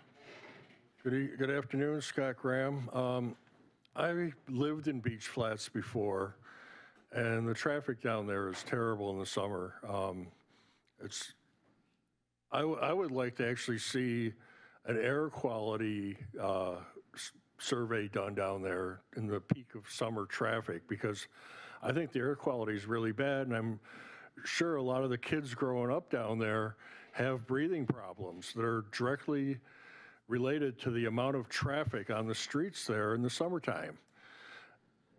and it would be really great to somehow eliminate the traffic. I mean, if we, you know, put in a monorail or something, um, have people park up on the summit and take a water slide down into town or something, you know? It's like, um, and just to get rid of the traffic. I- There's got to be a solution to where we can get less traffic there. And as far as increasing the revenues of this fund, uh, how about a tax on the parking at the boardwalk? So that, you know, they are contributing to the some of the solutions to the problem that they've caused. I think that might be a good idea. Thank you. All right. And so with that, I'll bring it back to council for action deliberation. I'd just like to say before we move on this item, to me, it sounds like there is a lot of, there's a lot of consensus around um, this impact fund being something that can be beneficial to the community. And I think that um, one of the things that I've been hearing from council members in terms of questions and comments is really around coordinating with what the city's currently doing um, and what's going on in a lot of the different departments. And so I think it sounds like, you know, if we're able to coordinate our efforts well, that this could be something that we could work on. And additionally, that the timeline seems a bit short. And I would agree that I think that that does seem like a pretty short timeline, given that it's, uh, it's the middle of February and April's going to come really quickly. So um, I saw Councilmember Watkins, Councilmember Glover, and Councilmember Mathews, and then Brown. I, I appreciate your comments, Mayor, and I think um, maybe I could offer a friendly amendment to help sort of um, identify those in the direction. If, There's no motion yet. oh, okay, maybe then I can offer the motion if that's uh, okay with those. I know it was, I'm- I already thought we were already there, but I I realized that was before public comment. So maybe I'll just go ahead and move a recommendation to direct staff to work with co-signing council members, community bridges, and other interested community partners, and then through an inclusive and equitable community and data-driven process that includes the incorporation of current resilient coast adaptation efforts and outcomes, high up as a framework, economic development's current efforts, and a more detailed analysis of establishing a beach flats impact fund, including fund allocation strategies in the context of existing funding opportunities, um, to develop a policy framework, and then the remainder of the, of the motion, to develop a policy framework feasibility implementation plan, or to inform the development of a positive, uh, to inform the development of a policy framework feasibility and implementation plan to establish a beach, beach flats impact fund through parking meter revenue and return to council with analysis, results, and action plan as early as possible or before summer. Second. Okay. Yeah, Sorry? Pick, pick one. Okay, um, As possible. with, it- with, a- as, as close to April as possible, as early as possible. I mean, I'll second that and then we can talk about it. Yeah, absolutely. Um, Do you want me to repeat it? Yes. And ho- if, if you could speak slowly as well. I have it, yeah, let me just, uh, but you would have to add it. I don't have it, I have it sort of, my little, my comments blended into that. Do you want me to em- email what I have? Reread it? Okay, I'm gonna, I'm gonna go slow, I'm sorry. Okay. So motion to direct staff to work with co-signing council members, community bridges, and other interested community partners through an inclusive and equitable community and data-driven process that includes the incorporation of current resilient coast adaptation efforts and outcomes. HiAP as a framework. Economic development's current efforts, and a more detailed analysis of establishing a beach flat, flats impact fund,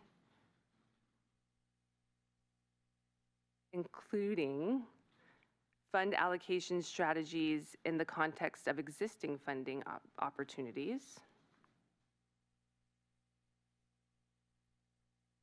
Opportunities to have developed to create or to establish the pol to establish um, to inform the policy framework feasibility and implementation plan. I think we could really just probably have that and return to city council as close to April 2020 since the other is already referenced above. Does that fit for you, Councilmember Glover? Um, if I could have it reread in its entirety and I can kind of compare it, uh, then would been totally. That was. Could- think While we're waiting on that, I'm wondering if it's okay if there's other comments that were brought up, if we can address those and then we can revisit the motion. Yeah. Um, I can come back to you once, once it's kind of cleared up, and so if that's, if that's okay with you, unless you want to comment. Oh, I just had, uh, uh, just with regards to the, it was nice to work with staff on this project uh, and kind of get the idea of what's going on. Our, our idea and perception, I believe, was to acknowledge the interconnectedness of the policy and how it needs to be worked across departments, but because of the uh, policy and the eight hours of time and not wanting to get ahead of ourselves and reach out to staff to have them invest time on it without the express direction of the council. That was kind of left out, which is why we met with the city manager's office representatives and the director of Parks and Rec. Um, so moving into this uh, with the, I think it was encompassed and I, I'm sure when we hear it reiterated in the current motion, that it will take form that it is across all affected departments, essentially with regards to looking at that kind of stuff. Um, and I appreciate some of the feedback, not only about the uh, implementation plans or plans that are already being worked on, like the neighborhood revitalization plan and, and working with the resilient coast plan, but also in thinking about the uh, impact on the wharf. So thank you, Director Dettle, for that input. And I'm looking forward to the process of working through this with all the different departments so that we can talk about how we can minimize unnecessary impact in other places, but still be able to um, kind of uh, move on those opportunities as was uh, suggested by Mr. Cancino. So. Councilmember Mathews. Um, It, I do get the impression that the motion as stated uh, duplicates a huge amount of work that's already in, in process, that has been done and is in process. So that's a concern for me. Um, I wonder if the maker of the motion um, wants to reconsider integrating, and then the other thing is, who takes the lead on this? Would this be another um, three-person council subcommittee working with uh, a lead staff person? Um, It seems to me um, the way the whole neighborhood revitalization research and outreach has proceeded with a longer-term plan um, has been one that um, relied heavily on outreach, reporting to council for direction, and then um, taking it the next step. And quite honestly, that's what I see as probably um, a more productive um, path to go. I just, I just want to put that out. It's certainly the path I'd prefer. Councilmember Brown.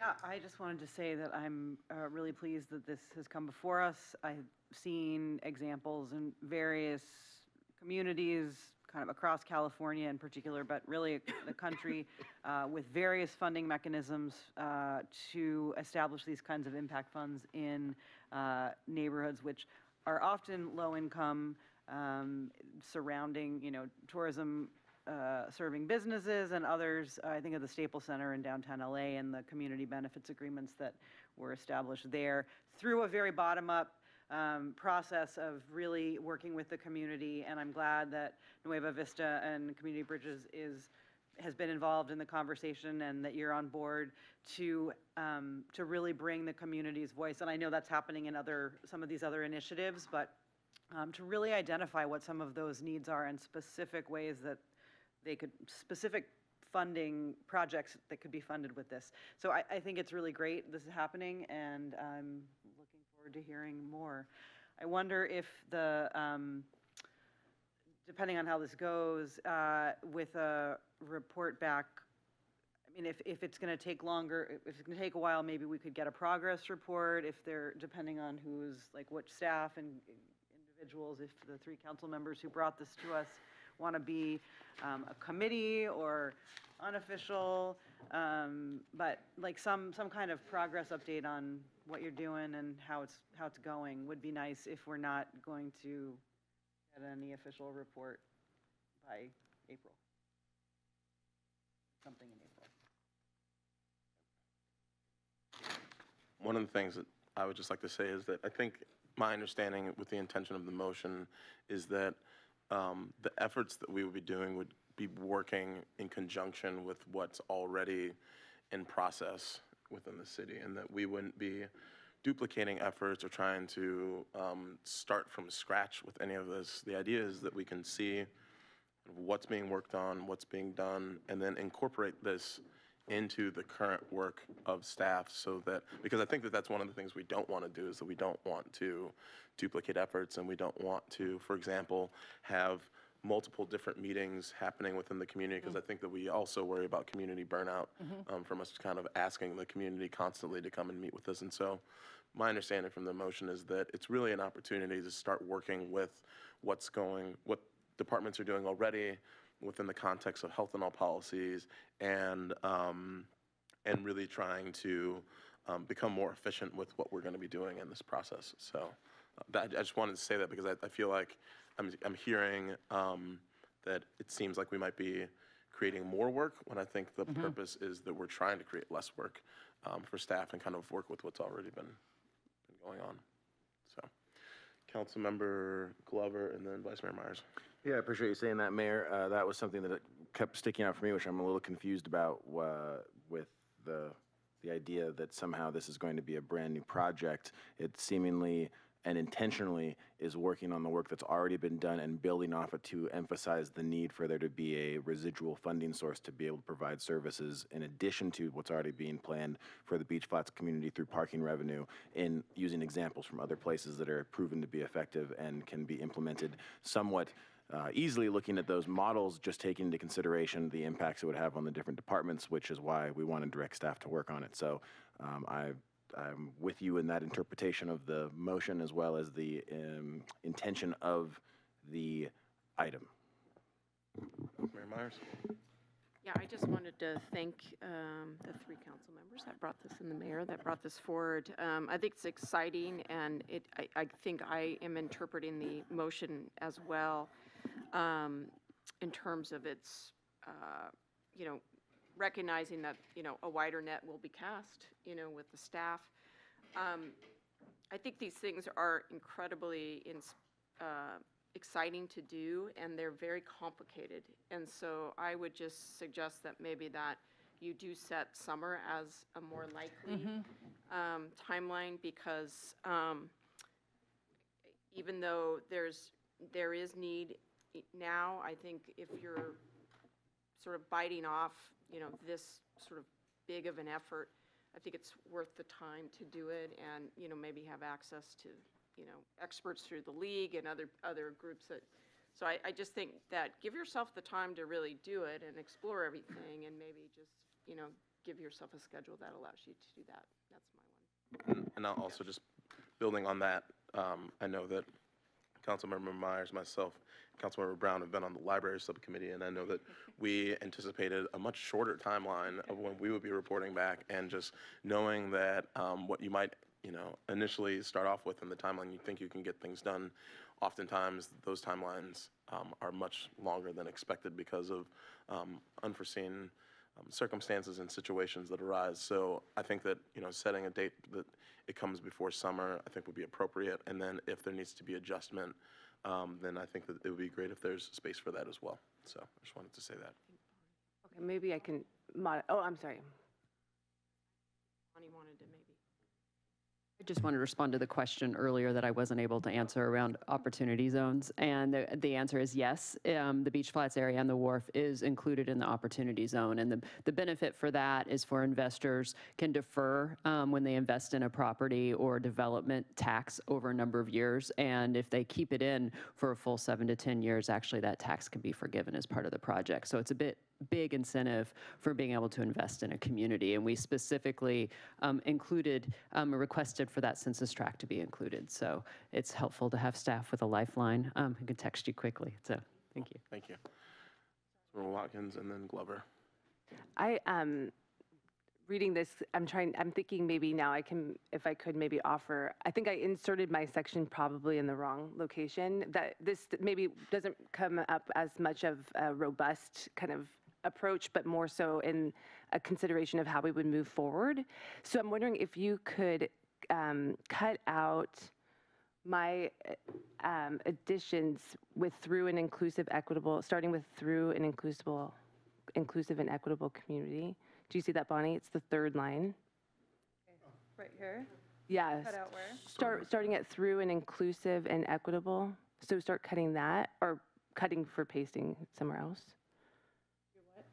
So we um, select through an inclusive, equitable community and data-driven process that includes incorporating um, current coast adaptation efforts and outcomes with the framework, with the, it's the Health at All Policies framework, economic development, and more detailed analysis of the fund allocation strategies and existing funding opportunities. No, just, um, just cut it out to that, to the, yep, cut that. Cut. Cut, Just to cut, and then we'll paste it, um, t- and then paste it after implementation plan.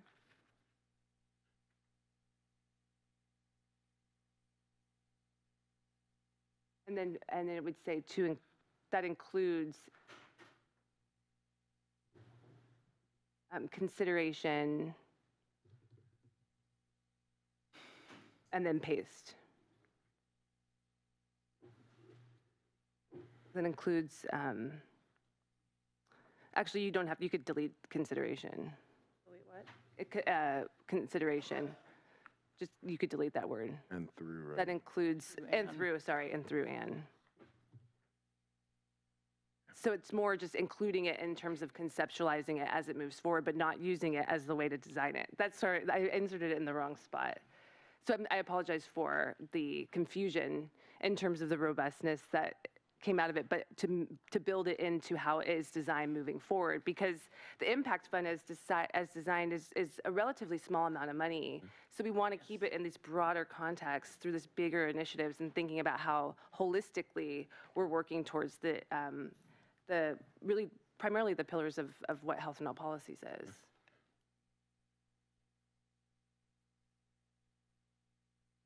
Does that make more sense? Yeah, I'm just reading Okay. through it. Twice.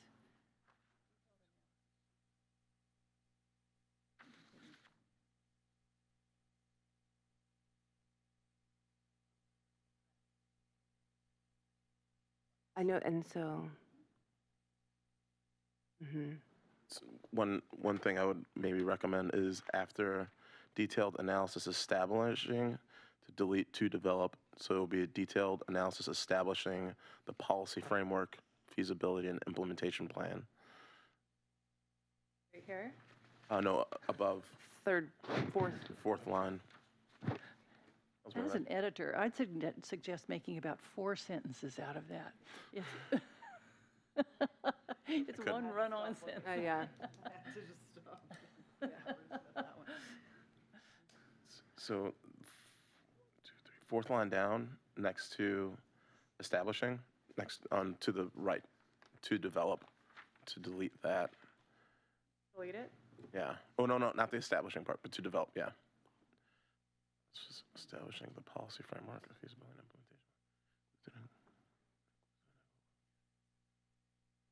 implementation. Uh, oh, Mayor, with the. Councilmember Glover. Uh, I know that uh, Councilmember um, Watkins suggested the health and all policies be in there, and I think it should go outcomes with the health and all policies framework, Yes. Mm-hmm. So you can, yeah. comma, economic development's current effort, comma, and more detailed analysis.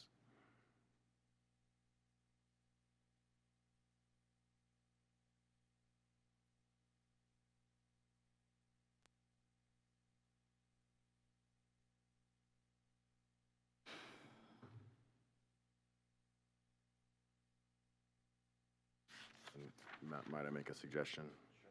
Under including fund and then in addition to allocation strategies, instead of just another and, because that's a lot of ands.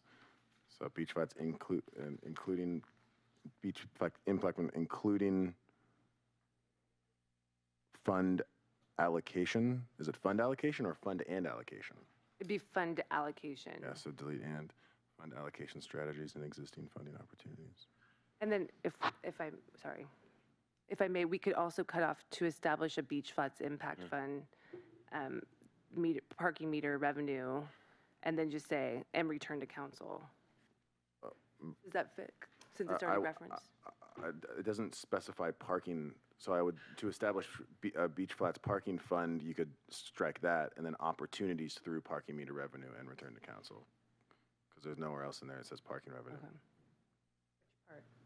If you just strike to establish a beach flats impact fund, and just take that out, First part of that highlight right there. yeah, there you go.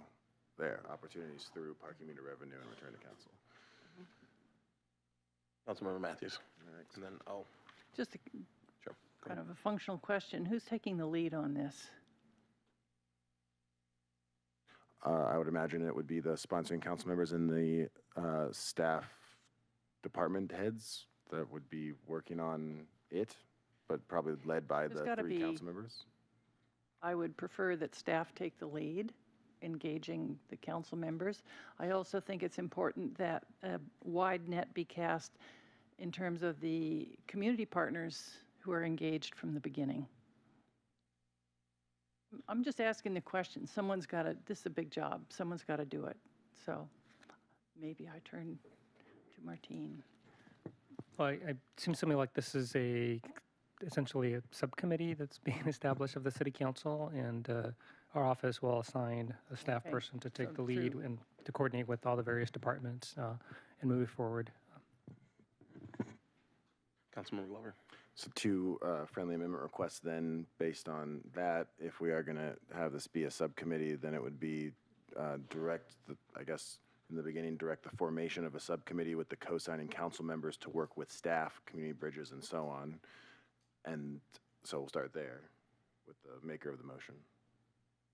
So you can, can you just state that portion of the amendment again? Yeah, the direct the formation of a subcommittee with the co-signing council members, because that would be the three council members that signed on to it, and uh, to work with staff, comma, community bridges, and other interested, and so on. And other, Interested Community- I think partners. What he's saying is to, to then continue on the rest of the Yeah, motion. it's just an amendment to that first sentence. And so this is to maker of the motion or a friendly amendment? Yeah. Great. Okay, uh, so there was a friendly amendment made by Councilmember Glover, accepted by Councilmember Watkins, Councilmember Mathews. Oh, And then the second one was uh, to, for what Councilmember Brown had said, which just not just an open-ended as soon as possible, but to have a report back sometime in April of the pro- progress, whether or not it's able to be moved forward or not, but a report back in April just to let us know where we're at. And that would be to the maker of the motion, friendly amendment, just an informal report back. just a report back, mm-hmm. yeah. Sh- Update, sure. Okay, so another friendly amendment to have a report back in April, made by Councilmember Glover, was accepted by um, Councilmember Watkins. And then Councilmember Mathews was on deck, and I have a comment as Technical, well. I think it's, a s- it's not a subcommittee, it's a committee, right? I mean, it's not a, not a sub of anything. Right, it's Yeah. committee, yeah, sure. Yeah, we slip. I would just like to add, if um, this might be accepted, um, that the last sentence where it says strategies and existing funding opportunities through parking meter revenue, I would like to ask that there be a friendly amendment that um, it be in existing funding opportunities, including but not limited to parking meter revenue. Because I think that there may be other opportunities, and we don't want to um, leave there, leave any opportunity out. And we can consider parking meter revenue, but is there something else that we might want to consider as well, in addition to parking meter revenue or in place of parking meter revenue? So that's a That's fine. friendly amendment. My con, uh, so I, I feel I understand where you're going with that, just because you want to maximize the benefit to the district. I'm a little concerned that in doing that, it will make it too broad and not focused enough. Uh, you know, if we can create the benefit district that's specifically focused around parking meter, meter revenue now, and then maybe revisit it after that's established and you're starting to generate revenue through that in collaboration with the other uh, departments that are doing the work. But if, you know, if you were to just look at all other potential revenue generation, that could open up the timeline to be much longer than just analyzing the parking and the impact of the parking changes. Go, Councilmember Ma- Um, Watkins and then Krohn. My, my thoughts around that is to understand that even if that, we did establish just this parking revenue, or, or not, but we do want to think broadly about other funding options or opportunities. So I am supportive of that going on, because it, it is one funding source potentially with limited funding revenue um, growth, and there are other ways that we can leverage additional funding, uh, whether we have it now or in the future. But I do think we want to keep it in that broader context. So I'm supportive of adding the addition personally. To um, Councilmember Krohn, and then I have a comment to make as well. Thanks. With respect to um, the parking part and the April 20th, is it, are we trying to get this done before the tourist season by June? My understanding is, well, I'll, I'll, I mean, I, I guess I can speak to it, but my understanding is that and what's been expressed by the community. And I think that what an understanding that many of the council members have is that this is going to be pretty complicated. Um, it sounds like there's a lot of work that's been going on um, in multiple different departments, and if we're going to try to coordinate this in a in a way that you know we can really make it work for the community, it's going to take some time. And so I think that that's why um, bringing it back, you know, before summer was laid out as a timeline. And I think that personally, it's something that we, the members of the subcommittee, should look at. And, and so I was going to even say that by having that language around including but not limited to provides flexibility within the subcommittee, and the members of the subcommittee can actually, you know, decide what is the appropriate way to move forward so that you know, if it's going to be, we're include, you know, if we want to consider a breadth of funding opportunities, that might take a really long time. Do we want to focus on something more narrow? We have that flexibility. So, um, so I'll just, I'll just end there. But that's, that, those are my thoughts. Um, and that actually takes care of my comments. So, Councilmember Glover. So you're sticking with that friendly amendment with the broadness? Yes. All right, well, then I will also accept it uh, as the seconder of the motion. Just wanted to make sure that it was So we have a consistent. friendly and- amendment made by Councilmember Glover. That was made by you. Or sorry, myself. Friendly accepted by Councilmember Glover And- and by uh, Councilmember Watkins. Yeah, and then the other thing um, was, I guess it was just had to do the timeline, but that's okay since I'll be on the committee. So we'll talk about it then. Councilmember Watkins. I just think, I think we have maybe one more editing um, little bit, if you wouldn't mind going up, Bonnie, on the, on the screen. Um, To inform policy, um, and then take out the second, and that, after data-driven process, take out that includes again.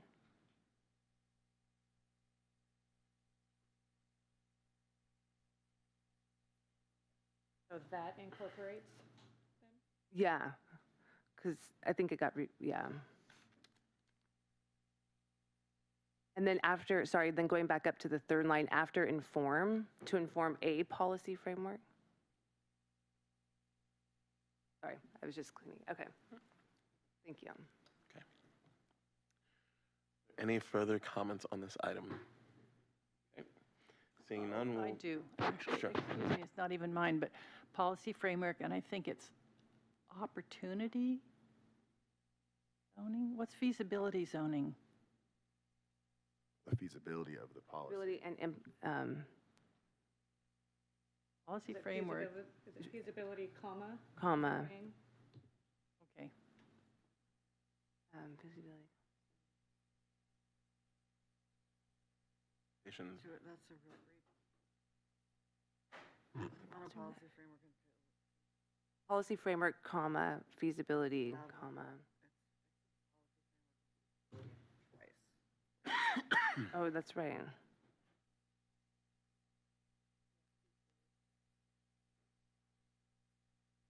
So I had a pol, pol, um, policy. Feasibility.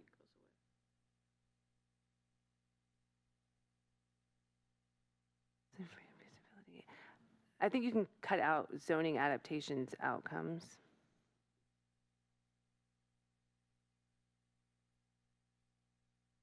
Feasibility.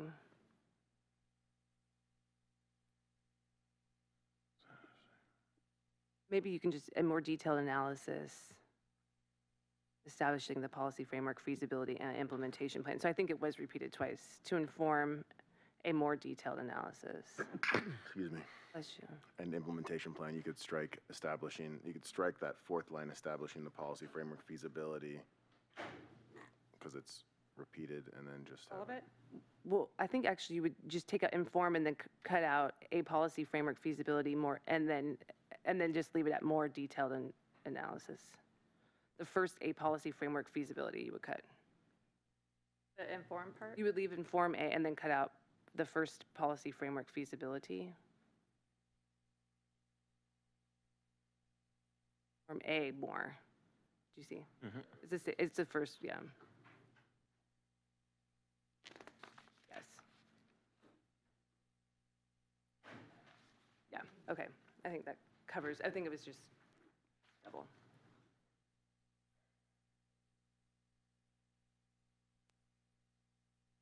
Yeah. This was posted twice, I think. Mhm.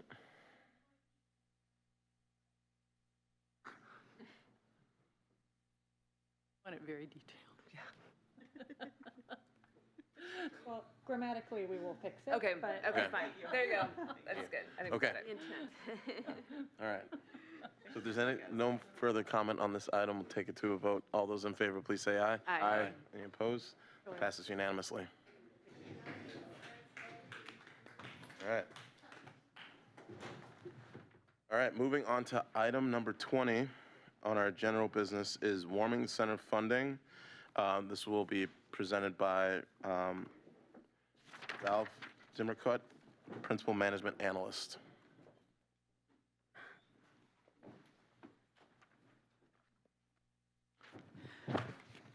Ralph Demerica, Principal Management Analyst with the City Manager's Office. Um, Good afternoon, evening, everybody. Um, So this is a quick presentation, and before you today is, um, you- the council is being asked to review the proposal from the Warming Center and the draft agreement uh, that was prepared by the city attorney. And if council wishes to proceed with funding the program, um, to a uh, motion to authorize the city manager to enter into a contract in a form approved by the city attorney uh, with the warming center, and B, um, to um, pass resolution to amend the fiscal year 2020 budget and appropriate um, a general fund budget of $15,000 to the program. Um, If, as you uh, all may remember, um, at the January 14, uh, 2020 City Council meeting, um, a motion was carried to potentially allocate $15,000 to the warming center, um, with added stipulation that uh, an indemnification insurance um, reporting on the process, scope of work, and a budget for services um, be returned to the City Council at the earliest possible meeting um, in the form of a contract for the City Council's approval. Um, Following that meeting um, on January 23rd, um, we received a document from the Warning Center, uh, Warming Center, detailing their scope of work, um, budget of ser- services, and uh, reporting process, um, as was requested by the City Council. Uh, we forwarded this information to the City Attorney's Office, who then drafted a uh, agreement um, for your review tonight. And um, should the council wish to financially support the warming center, um, a resolution for a budget adjustment, um, which is attached, would also have to be adopted. And the $15,000, as mentioned, would come from the general fund. Uh, I believe um, we have Mr. Adams here who could answer additional questions um, from the warming center. And um, that concludes my report. Thank you. Thank you very much. Are there any, before you leave, I just want to see if there's any questions for you from members of the council. Yes. My only question is uh, technical. So I assume when, in the, reading through the material, um, that the contract which suggests Exhibit A, by Exhibit A, you mean the warming center scope of work, which it just doesn't say Exhibit A on it. Is- That's Exhibit A? Yes. Okay. Yeah. So I just wanted to Let me make double that, check that for you. make sure of that. And I think that's, I have some questions for Mr. Adams, but I think that's all. Okay. Thank you. Easy. Oh, wait, um, Are we asking questions on the contract itself, or are we still deliberating? if there's any questions for Ralph at this time. regarding that. I just had, uh, yeah, um, I- well, I'll wait, I'll wait till we. And, well, and Okay. I'll Mr. ask. Condotti, would, Mr. Condotti, would you be available to answer yeah. questions regarding the contract Um, specifically?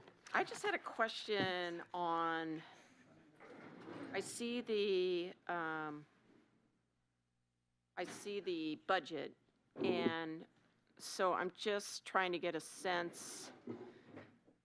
So, so I just want to make sure I'm understanding what we're, what's proposed. So this is for warming, warming center, um, provision of, of warming center um, nights tied to specific conditions, as well as materials, it looks like, um, for uh, folks when they're, when they're, when they're entering into those, um, you know, the warming center nights. I don't know. I- M- you know, Mr. Adams, did you want to discuss the specifics of your budget? Yeah.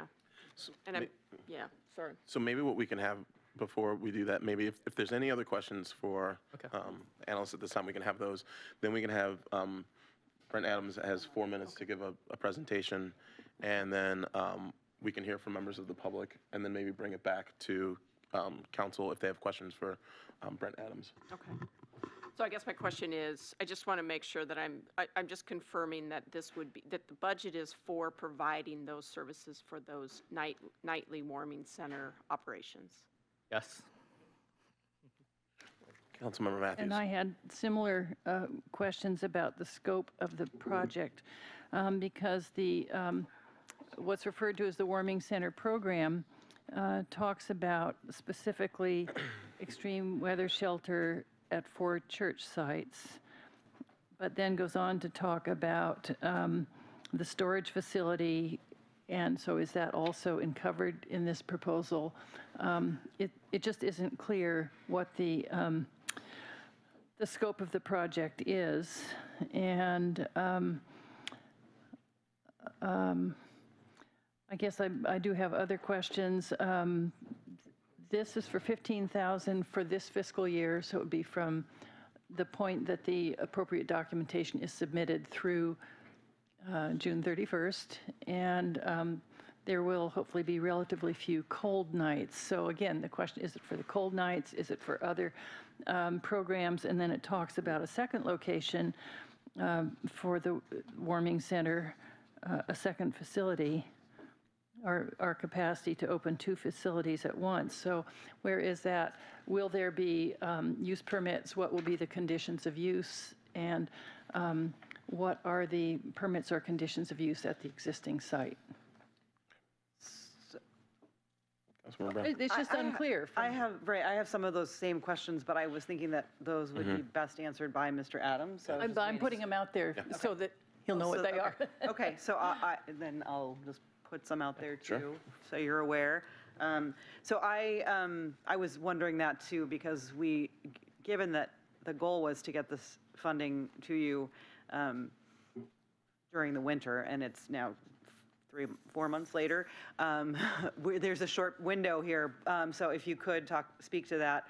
Um, And then I also have questions about, like, if you could help us understand, I see storage program in the budget, and I assume that means like a contribution to rent, where, it's easy for me to think about it because I've been there to the facility, and I've, I understand how the operation works, but trying to lay that out a little bit would be helpful.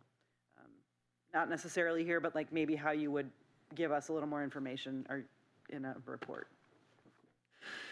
So maybe I think what would be best is um, maybe if we can invite up Brent Adams. Um, We, he reached out to us beforehand, and so we've allocated four minutes. And then I Yeah. think that what would be appropriate is that if council members have questions, Brent, then they can ask those questions to you at this point in time. So I'll give Thank you, four mi- council. Four minutes for your initial presentation, and then council members can ask questions. I did have a handout for you. I hope you can uh, view that. Um, Don't have a copy of that in front of me, but, uh, and it's a little uh, difficult to look at.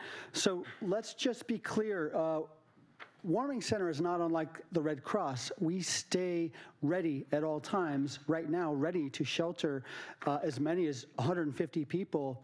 To, uh, uh, uh, and, and so that takes a lot of uh, funding, and I have to hire a person. So also, let's be clear, our 20-year traditional winter shelter has collapsed. You don't have one. So we are a backup program to no winter shelter system. So I have to be ready to, so for the hundreds of people outside, and this, this program came into being 2013, 2014, when we had a 10-day cold snap of below freezing.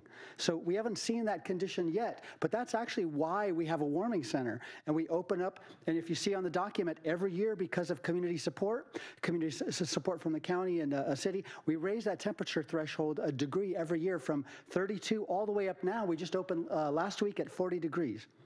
So uh, what we're and that's that and that's part of what we're doing because there's no winter shelter. There is no shelter for hundreds of people. We're ready to shelter 100, 200 people on a given night. Uh, uh, uh, in two locations. We have four locations, MOUs with our locations. So what we would do is, and so, and also to be clear, uh, I've already spent a bit of this money uh, with the first vote, unanimous vote, before you uh, went on break.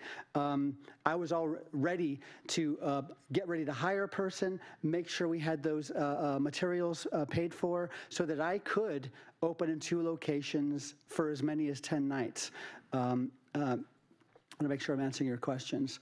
So we have the MOU doc, uh, uh, doc and, and oh, two years uh, past, two years in a row, the city had elected to um, uh, allow us to use a Harvey West clubhouse. We're not in a conversation uh, like that uh, this time around. We're no longer in conversations with, with the city, county, or uh, Salvation Army about a network uh, uh, to, to protect people like we did last year and the year, year, year past. So we have a red flag condition here that only the warming center has stepped up to meet. Um, I feel like I'm being redundant now. So purchasing of materials, uh, more than we've had ever in the past. I hired staff person to duplicate me so that I can, we can open in two different locations. We have MOUs with churches already in place so that I can open. If I hit the wall, I don't know we're going to have more than 100 people, uh, say until about 11 p.m. And in that case, I can open up our, our, our secondary location. That person can go there and is fully trained uh, and can uh, manage volunteers clean the place up, uh, uh, meet our requirements with the site locations. They're all extremely happy with us. Never had a problem with our site locations. Um, and so when we're dormant like tonight, we're actually busy right now doing the work. Uh, so the storage is really storage of materials, not our storage program. Let's be clear. You're not helping to pay any of our other programs. Um, but this person, you know, at the Red Cross, when they're not opening, what or, or doing some emergency work, what are they do? They're, they're not at home. They're not taking. They're not on call. They're at, at their desk doing other stuff. So that's kind of what we're doing. Right tonight, we'll be handing out dozens of hand warmers. Every single person in the last year who've requested a blanket has given a, been given a blanket by us. That's a huge undertaking that, that's not budgeted. Our donation programs, we have donation barrels at Staff of Life Market, West Side. People are constantly every day flooding things in. That's coats, blankets, uh, underwear, clothing. Uh, uh, so ev- that, that's actually happening, and so that's kind of also what we're doing. Some of this funding helps that manager, uh, that uh, uh, administrative capacity to be able to manage something like that. We've never put that in our funding. So I don't know if that answers all your questions, but locations, the ability to protect more people, um, and again, we're waiting for that 10-day cold snap, and we're ready, City of Santa Cruz, to to, to care for hundreds of people if we get 10 days. So that's really what this is helping us uh, affirm. Thank you. Thank you. Um, I'll go ahead and open it up to public comment on this item. And so if there's any member of the public who would like to address us for two minutes, please line up to the left. And then when public comment ends, we'll open it back up for questions for um, Brent Adams. Hi, I'm sorry, I have a very little voice, but I still want to speak. And I'm Nancy Crusoe. Um, I've been, I love the warming center. I've been there every night since we opened five years ago, five and a half years ago.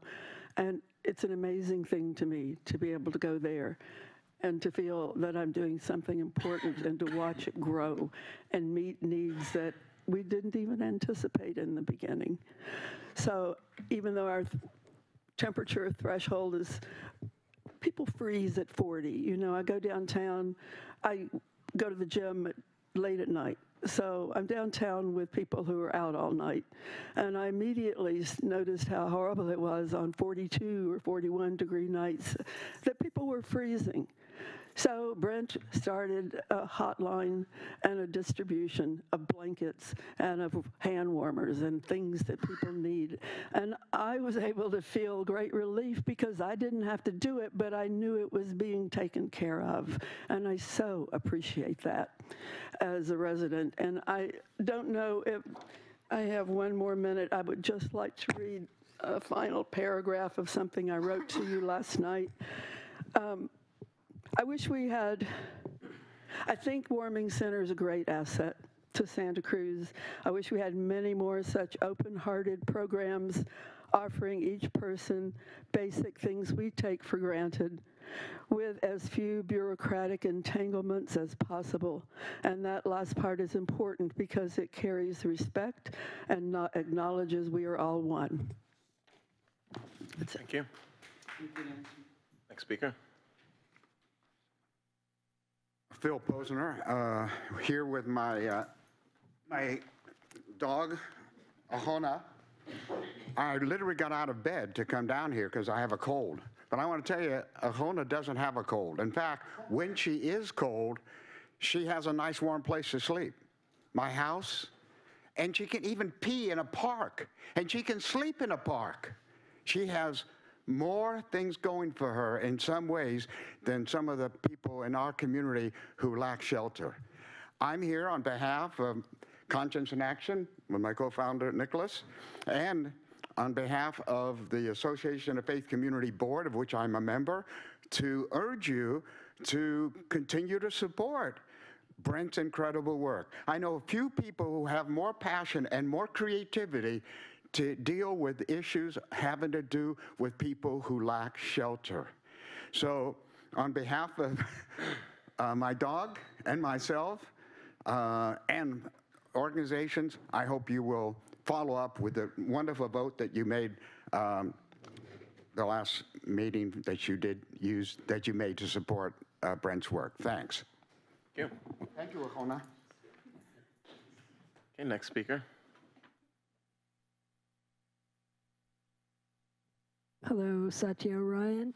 Um, yeah, thank you so much for funding the warming center. I hope that this goes through. Um, I've been I've been just really impressed with I've, I mostly just see what Brent does on Facebook, but I've just been so impressed by the initiative he's taken to start this on his own. I mean, he's done so much. I keep seeing the additional things he adds to the program. And I walk around downtown on cold nights, and sometimes just at night I step out for a minute and I think about our homeless community friends who are I wonder where they are, what they're doing, and knowing that I, I, I like hearing the the 40 degree threshold because that's really cold at 40, you know, and sometimes even at 45 it's cold. So I, I thank you, and um, and I and I do appreciate the work that you're doing, Brent, and um, and I'm not clear on if this is including all of all of your programs or um, just the the um, the warming center sleeping program. But I think that they're all worthy of funding, and I can, can't imagine how this how he puts all this together by himself and and volunteers. So thank you for your help for this wonderful program. Thank you. Next speaker. Hi, Suzanne McLean. I'm the uh, Vice Chair of the Association of Faith Communities. And uh, for those of you I haven't met, most of you I've met before, um, I'm also speaking on behalf of the Warming Center. We've, we've had a lot of different um, working relationships with uh, Brent, and um, I think our last speaker said it well. He, he has the heart for people who are less well off. He's also passionate, which means he's not always polite. He steps on toes. Sometimes he, well, I wouldn't say bites the hand that feeds him, but maybe nibbles on it. But the thing about Brent is he's doing what we talk about doing. He's doing what people in the community think about. They think, oh, what can we do for these people? He's not waiting around for that. He's doing it. And for that, he has my utmost respect, uh, in spite of a few rough edges. So I certainly hope you won't let those rough edges get in the way of a program that is doing so much good for people who have so little. Thanks. Is there any other member of the public who'd like to speak to us on this item? Step forward.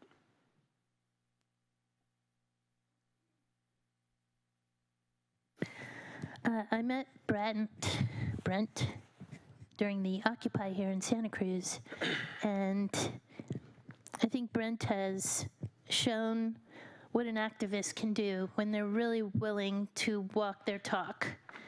And if anybody in this community has walked their talk about providing assistance, especially on cold nights, to keep people alive and warm, it's Brent. Um, I, I just also want to say that I have heard over the years from many volunteers, I would say for sure two, but I, I can remember too, but my memory's starting to fail a little bit. As I get older, I, I notice that I don't remember things as well, but I, I've heard many people tell me who have been involved that it's really well run. Uh, one woman went in the middle of the night. Her name's Jane. She lives here up in like the Walnut area right above uh, downtown there.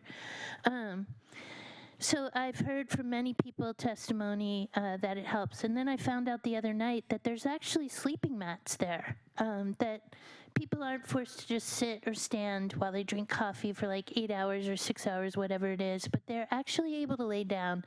And so I just wanted to add that. Um, my favorite sociologist is Pierre, Pierre Bourdieu. He recommends a kind of guerrilla sociology where you really go out there and find out what's going on.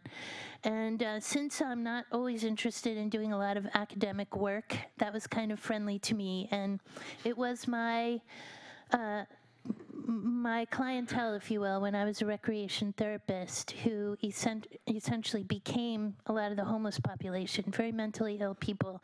And I know a lot of these people who are still really needing just a warm place to survive. And what seems like a small amount of money can make a huge difference if you'll approve it. Thank you. Thank you. Next speaker.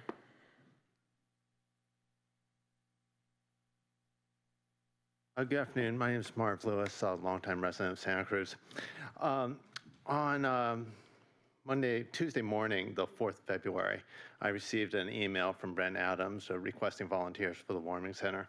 And I'd never been to the warming center before, but I decided to volunteer. And uh, I took a shift from 12 to 3 a.m. on Wednesday morning, the 4th of February. Um, By 3 a.m., it was 31 degrees in Santa Cruz. There were 50 people inside the red church approximately. There was soup, there was coffee, there was tea, there was mats for everyone that wanted to sleep. There were restroom facilities. The room was divided for women and for men. It was well organized. The staff tended to any issues with the people that were living there for that one evening. And most notably, it's important to say that when it's 31 degrees outside, that's the kind of cold that if you don't have any kind of warm garments on or shelter, it's the kind of cold that you very well may not wake up from if you go to sleep in the night in Santa Cruz. And I can say with certainty that Brent Adams, because of his effort, he saved 50 people in the city of Santa Cruz on the evening of February 3rd going into February 4th. And that's just for one night. From a cost metric point of view, let's take a look at that. That's $15,000 divided by 50. That's $300 per person.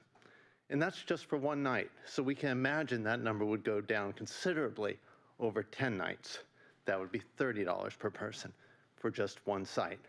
That is a pittance to save the lives of the people who need shelter desperately in the city of Santa Cruz.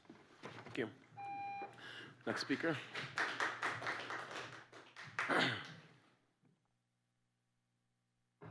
I got to first thank Brent Adams just for being here. And uh, what I got to say about the warming program, this saves lives. You know, and the only problem I have is I've had people come up to me, ask to use the cell phone so we could call 211 and figure out where a warming center was that night. And uh, the it, it has to get really, really cold before it opens up. And the my only criticism of the warming center is that they don't open it when it's just a little bit warmer, like five degrees more than than what it is right now. But uh, this program is, the city needs to give it every dollar they can because it's all money well spent and it saves lives. Thank you. Thank you. Any other member of the public? Is there any other member of the public who'd like to speak to us on this item aside from the gentleman who is approaching the podium? Okay, you'll be our last speaker. Good afternoon, Scott Graham. Um, Yeah, I would encourage you to uh, give this money to the warming center. It's an absolute necessity that, you know, they're meeting a need that is not being met through the uh, $1.2 million program that exists. And I'm sure if they showed up and wanted a 10% adjustment to their uh, budget, you guys would rubber stamp that with no, hardly a question. You're going to give this guy $15,000 and it's like, oh, we're going to have to rake him over the coals before we give him the money. Um, Yeah, I, I just think that, you know, it's beyond belief that we can't do more for the people that are out there suffering in the cold. And this uh, organization run by Brent is a way to actually do something instead of just talking about it. Thank you. Thank you. Okay, I'll bring it back to council um, for, I know that many council members expressed having questions for Brent, so I think this would be a good time, if you have questions for him, to ask them. And then in addition to that, we will um, move forward with action and deliberation. Um, So are there any council members who have questions for Mr. Adams at this time? Do you have any? Council, Vice Mayor Meyers? So I, I'm, I'm just making sure that I, just for Brent's sake, um, and Brent, thank you. I went and visited yesterday with, with uh, Brent yesterday at the warming center.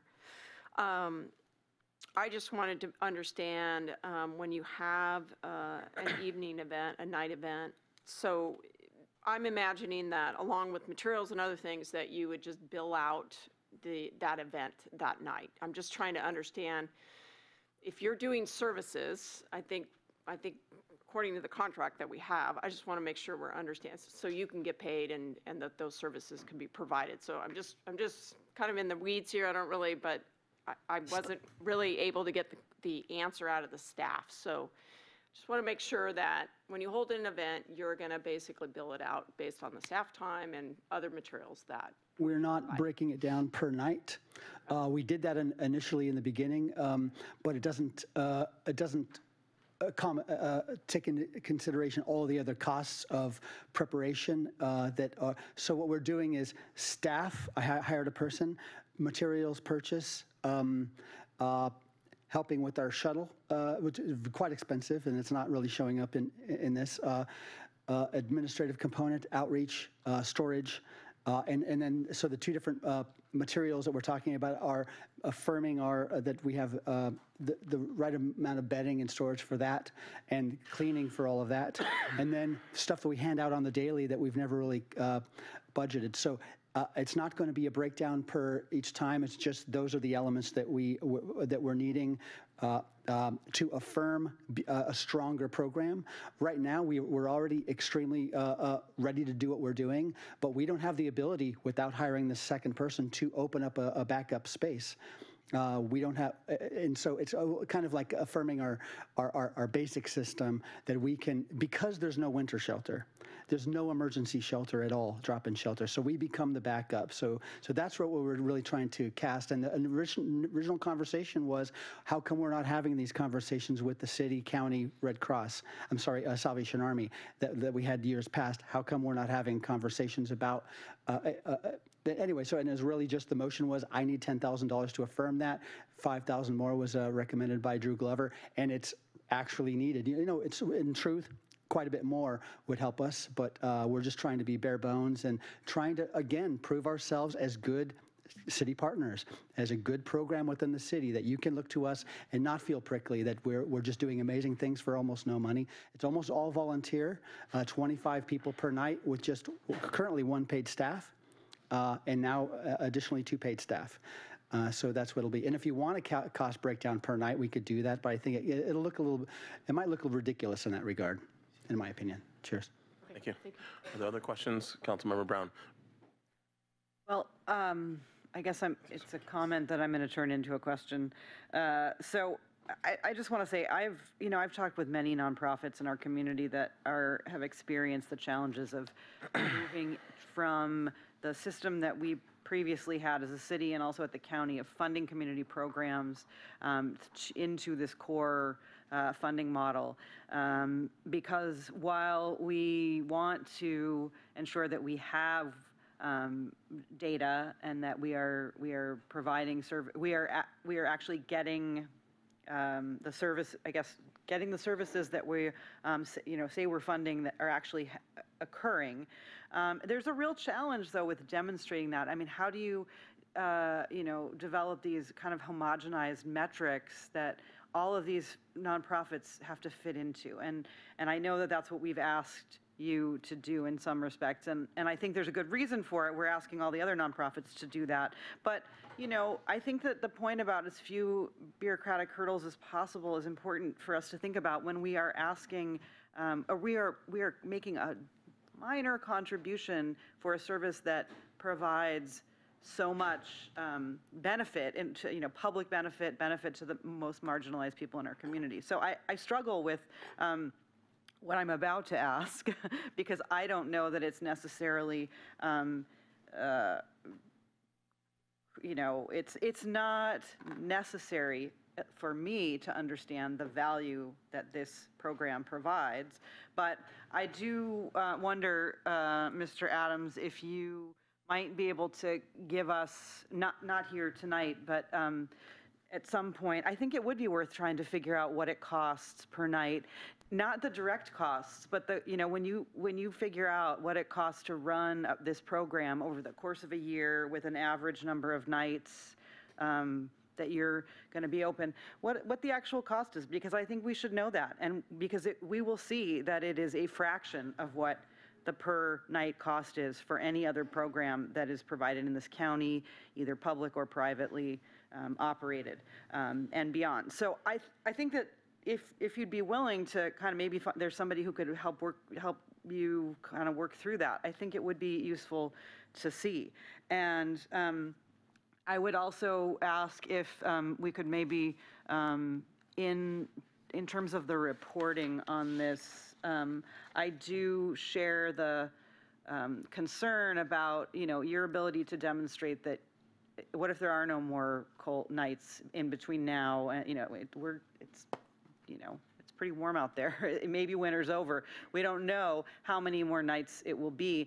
And so I worry that if we suggest, if we leave it that we're going to fund you, like, each night is an event, um, that you will not, like, you- will not meet the $15,000 threshold.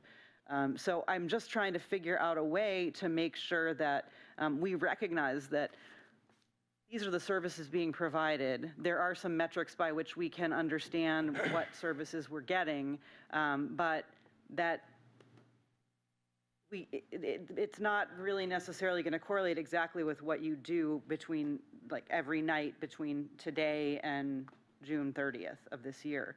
So I'm just trying to figure out, like, amongst us, if, what level we're comfortable with, um, because I'm comfortable with um, proceeding with the contract and then just requesting that your, the documentation um, provide, you know, dra- documentation of service provide some additional detail for us.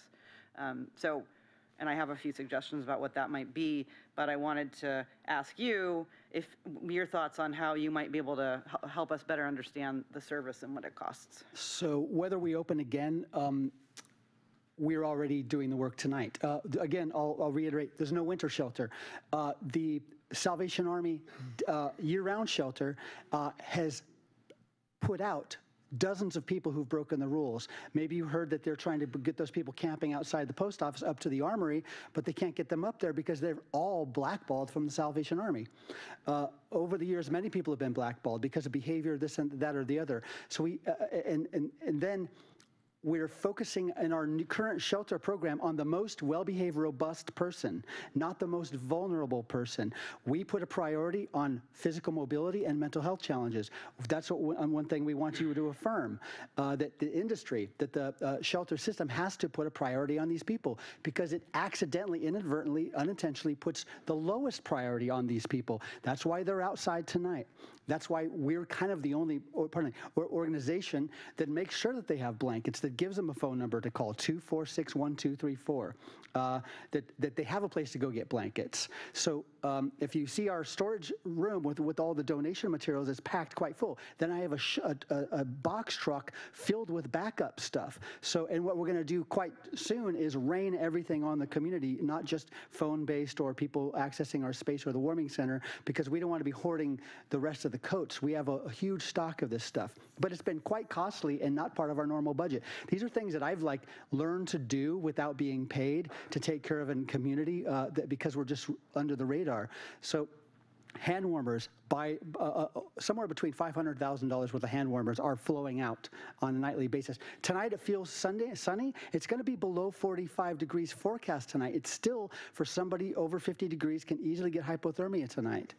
Um, so it, we're still in winter conditions without a winter emergency shelter. So it's the warming center that's kind of undergirding this community, making sure people have a phone call, they know where to get a blanket.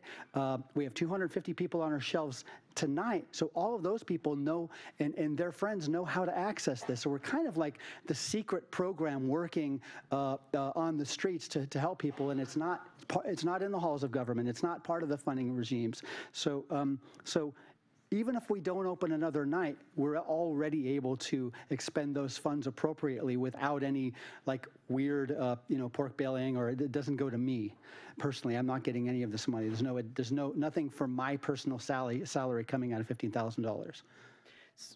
If I could just follow up. So I, and, and I, I totally get that. I, my intention was not to suggest that um, there's any, you know, uh, anything uh, that the funds would be misused. I think, you know, you've demonstrated that the way the funds are used is the way fund, for the greatest need.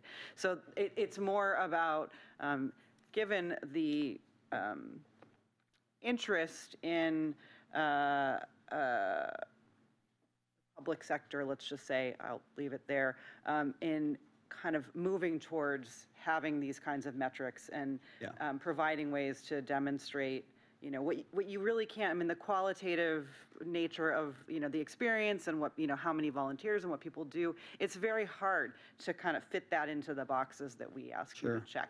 But I'm, I'm just, because I know that that's a concern, I'm just trying to figure out if there's some ways we can, um, reflect that in the, at least in the reporting for this year, especially if we want to kind of move towards funding, additional funding for next year. We would like to do that before, you know, the If- winter's if I- If. I may, so having relationships like this only benefits nonprofits like this.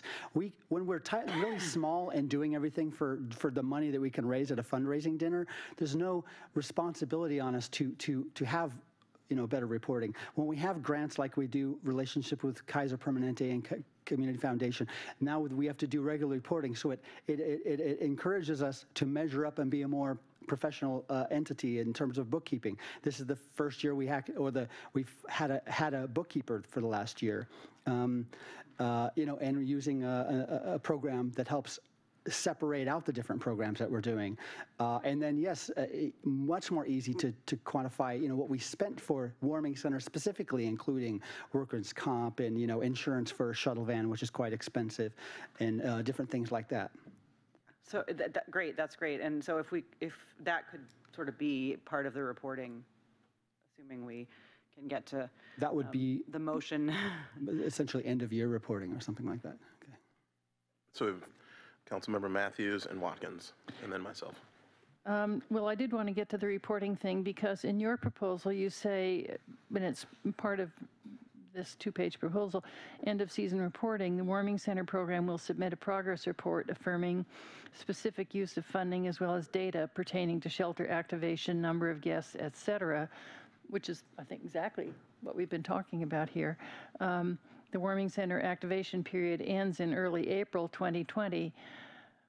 This report will be submitted within 30 days after the conclusion of our activation period. Now, I'm gathering that you don't really intend to end your program, where'd he go? There, in April 2020. That's just a couple months away. Well, it's the warming center program activation phase that is based on temperature forecasts. Uh, we will still have we have blankets year round for every single person. We have all the coats. Um, we'll be storing materials through the spring and summer. Um, if it's if you're asking that this funding, for instance, the staff that I'm hiring this season that I've hired is already em- employed now and has helped us with uh, two activation phases considering this funding um, won't go into next year, uh, the uh, tw- 2021 funding, uh, warming center cycle. I believe our fiscal year ends in June, it's June 31st, so it's a short fiscal Maybe year. I'm not understanding. The grant would be, um, within our given fiscal year, which Okay. ends in, in June 31st. And it's also my understanding that this can't be retroactive for expenses already incurred. Okay, So, um, but I, I think it's important because this was originally brought to us as strictly the Warming Center program, and I understand there are many other aspects to that program.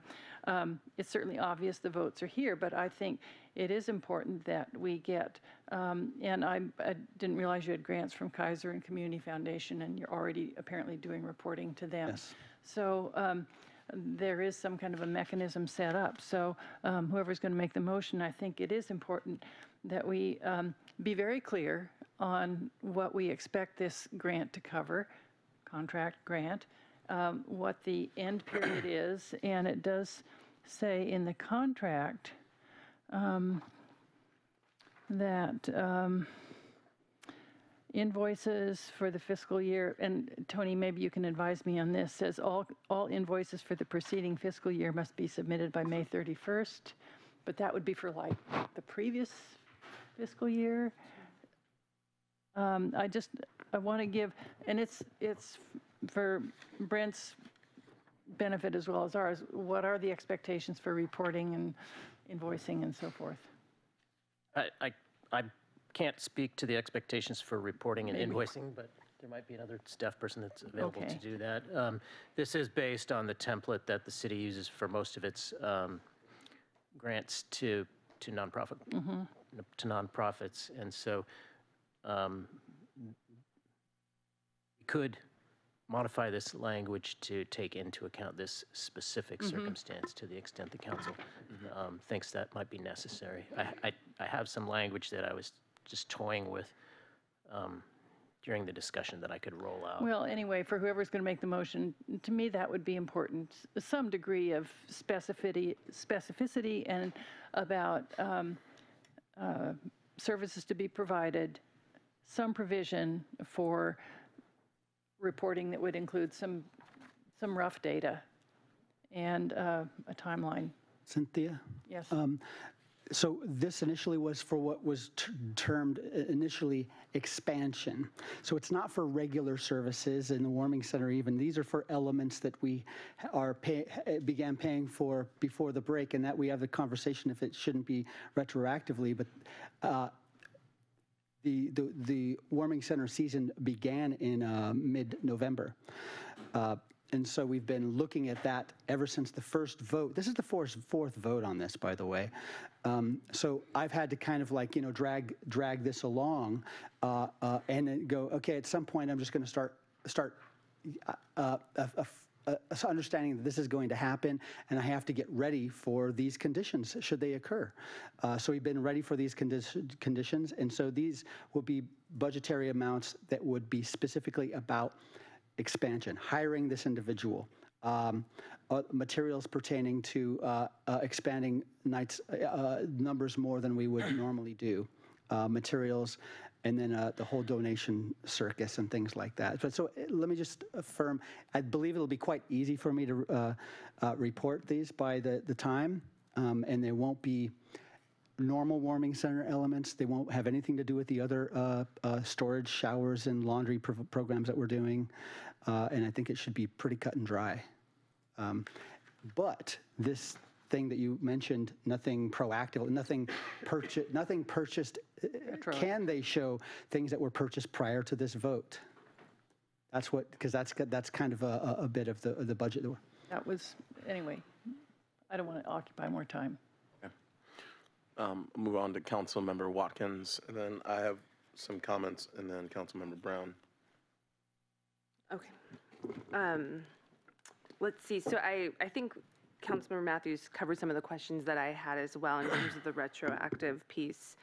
Um, I guess my, maybe it's just more of a comment in terms of the process here. I think that's where we're kind of mm. getting stuck a little bit and knowing that there was this immediate need to try to have something in place and to use the services, but it's really outside of the scope of our general funding processes. And so I think that's where I, I sort of struggle to reconcile this because then now we have this limited time frame. And and so I think moving forward even if we do do an interim funding that we want to keep it in mind of our holistic kind of approach to how we're addressing uh, services and the continuum of services for um, those experiencing homelessness in our community, and whether that be a conversation with the two by two and whatever that um, partnership with the county or the the um, the COC or, or whoever is is monitoring that, that we're kind of keeping that bigger perspective in mind moving forward, but also acknowledging that we have this immediate need right now, which I, if without saying what I think Councilmember Brown at the time was bringing up, was we want to help this immediate need right now. Um, so I think that's where we're a little bit, that's where I'm feeling that we're a little bit stuck in terms of how that works for just the sort of outside of the scope of our processes. You know what I mean? So those would just be my brief comments on it. I had some comments I wanted to make too, and one, I wanted to start by Brent appreciating the service that you provide to the community um, and what you're able to do on such a small budget. Um, One of the things that's really difficult is given the fact that the city doesn't have any kind of warming center option and that- that this is our only option in terms of a warming center, it makes it really difficult um, because we don't have any other, we don't have any other options in, in town currently. Um, It seems like the other services that we do offer are full, and this is something that really is beneficial, especially on these really cold nights um, when temperatures drop to points where people can die of hypothermia. Um, One thing, and I don't know, I'll, I'll just say this, and I don't know if this is for, um, you know, city staff consideration or whether, um, and then just Brent, you know, um, for you to maybe take into account. One of the things that uh, I think is really important um, when we consider getting contracts from um, nonprofits within the community, especially when they lay out a budget, is to have some kind of narrative that follows along with it. So we can kind of understand clearly when you say um, materials that there's a breakdown maybe of a paragraph of, you know, in order to run these services, we need to purchase um, bedding, um, we need to purchase blankets, you know, and those things are all laid out at, that cost X amount per blanket, or we get them in bulk 500 for X amount of price. I think it would have been really helpful um, understanding that within the context of how this has been laid out. Um, so like, for example, with, you know, shuttle van expenses, it's an administrative, it's like fifteen hundred dollars, you know, does that cover gas, insurance, repairs, um, people who are driving? I think those kinds of things are really beneficial for us when we're trying to understand, okay, here's how this is all breaking down and here's where all these costs are.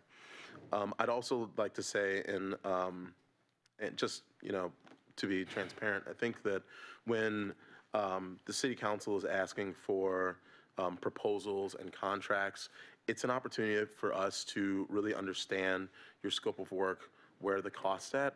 I don't think that it should be interpreted that if the council is asking for a contract, that that's a guarantee that we're going to allocate funding towards that effort. I think it's an opportunity for us to better understand what is the work that you're doing, what are your needs, seeing those needs laid out in the form of a table with a budget so that we can understand if we're going to decide to donate funds, what those funds are going towards. So I just say that because um, it sounds like there, that, you know, there's, there may have been an assumption that because we were entertaining this, that there's a definite end to us donating that, and as a result, some spending occurred um, before we've even, you know, considered this.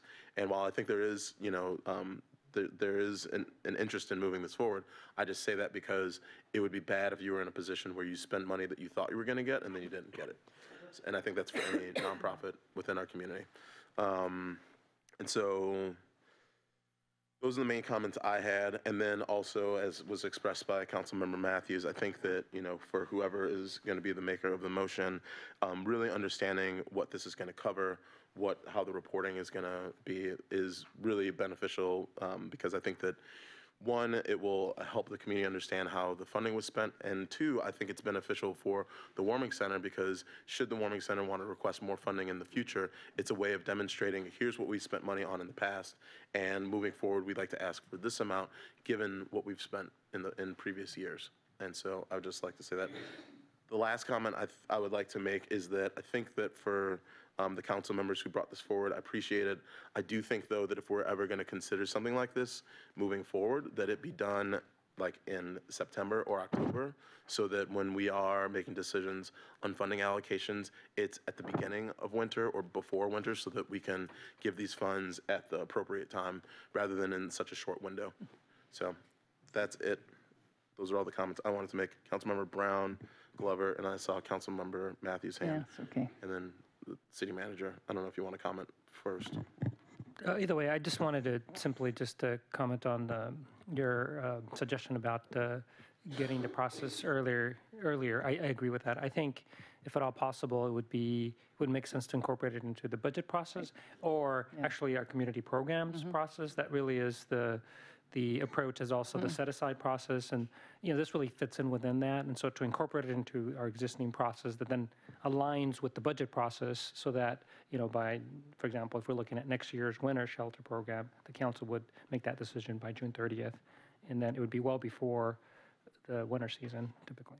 That would be my suggestion. So I think that whoever the maker of the motion ends up being, that if that can be incorporated, that we, if we're going to consider any additional funding for um, warming center or homeless programs, that it come with our budget cycle, I think that would be appropriate. So, um, Councilmember Brown. Um, Yeah, so I, I guess I have, I do have a couple of comments. I mean, I want to remind my colleagues that the original motion for this was, was made November 26th. So um, to suggest that this, I mean, it- that was late, but if we're talking about, I mean, and I agree that maybe that, that the funding cycle should really coincide with our annual, you know, our budget cycle, but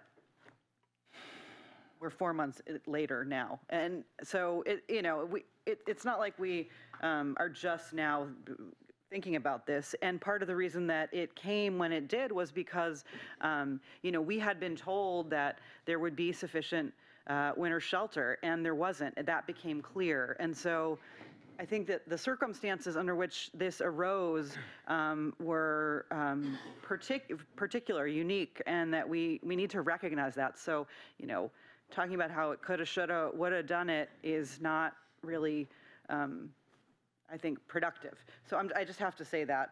Um, secondly, I do have a question related to the, um, the end of the term of the contract, because that is a challenge if we cannot fund something that, a retroactive expense, um, and we're specifically intending to um, fund particular functions at the warming center, um, ca- how, how does that work? If, can we fund retroactively? If we cannot, can we extend the contract period? I don't, I- I'm not aware that it would have to end on June 30th.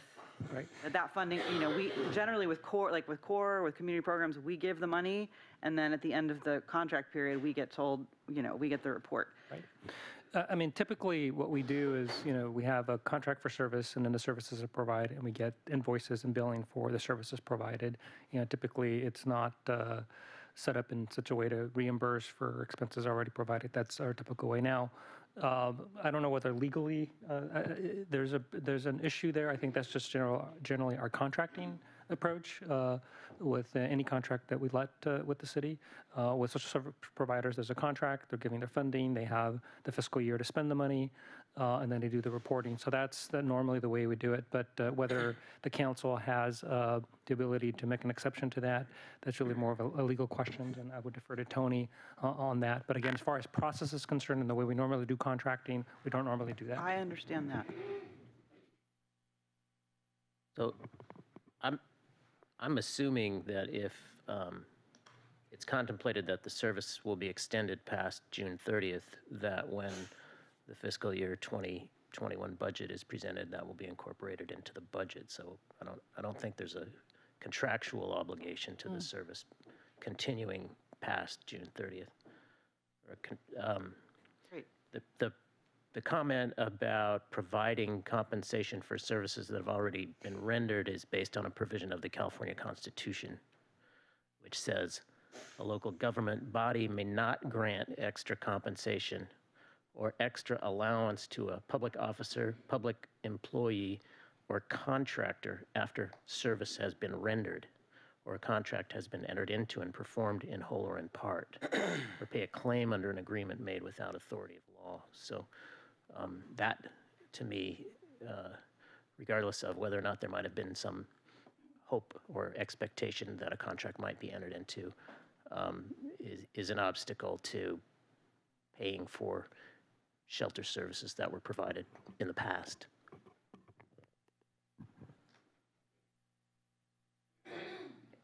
I'd like to make a motion then. Um, So I would move that we authorize the city manager to enter into a contract in a form approved by the city attorney with the warming center with the uh, period, the contract period um, amended from, it's, this is, uh, I don't know what page number it isn't for you guys, but it's the end of the contract. Um, two, three, no, this is, anyway, it's the last page, uh, um, number four. This contract shall be effective the 11th day of February 2020 and shall terminate on, um, June 30th isn't, we're not gonna have time to, you won't be able to spend the money. Is, it Ju- is that, if we're asking, if we're saying it's only for the coldest nights of the, What what you can do then is consider funding for next fiscal year as part of the budget process. So by June 30th, you would make a decision about the next winter, sh- n- winter Okay. season. So I'll leave the contract then, um, and, um, so uh, enter Can I- into the contract, yep, go ahead. I ahead. do have, um, Just trying to I do have a fit the terms of the suggestion contract. to, That's to what I'm address trying to the figure retroactive compensation issue. We which- cannot do that, is what. Right, and I have some language s- to s- suggest how we might address that in the contract itself, which would be Great. an amendment to paragraph C. Uh, If you bear with me for a second. I was just gonna change the term, but Um, this Roman numeral is- 1C, submit an invoice request. Okay, And it would read, submit an invoice request on a city-approved form for payment for the, insert, expenditures made on or after the effective date of this agreement, comma, with appropriate supporting documentation, period. And then it would go on uh, to delete year's grant award and then uh, continue with funds must be expended. And I would insert exclusively for those expense categories listed in Exhibit A. And then um, exclusively for the categories? those expense categories listed in Exhibit A, which were um, uh, salaries and, or, or, yeah, there, there is a box with a listing of Yeah, expenditure. yeah, yeah, I know. Budget box. funds for which invoices are not submitted um, prior to this date.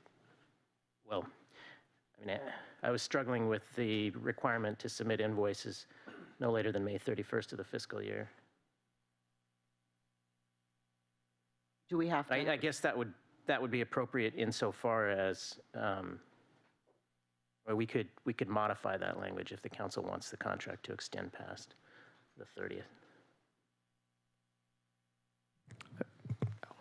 So submit an invoice request on a city-approved form for payments, for, for, um, for Expenditures payment made for on, expenditures made, on or after the effective date of this agreement with supporting, with appropriate supporting documentation. okay. It looks like a management analyst has, Yeah, I was just um, ahead, briefly discussing the situation with our finance director, and should there be um, funds um, in this uh, program account when this contract ends, it is possible to roll them over to the next year. So that might solve a lot of this discussion. Okay. so I'd like to ask the maker of the motion if you can please restate your motion. Sure. All right. So um, the motion would be to authorize the city manager to enter into a contract in the form approved by the city attorney with the warming center. With the amending the contract language in section one, paragraph C. as follows. Submit an invoice request on a city-approved form for payment for expenditures made on or after the effective date of this agreement. Funds must be exclusively expended, no, exclusively used for the expense categories listed in Exhibit A, scope of work.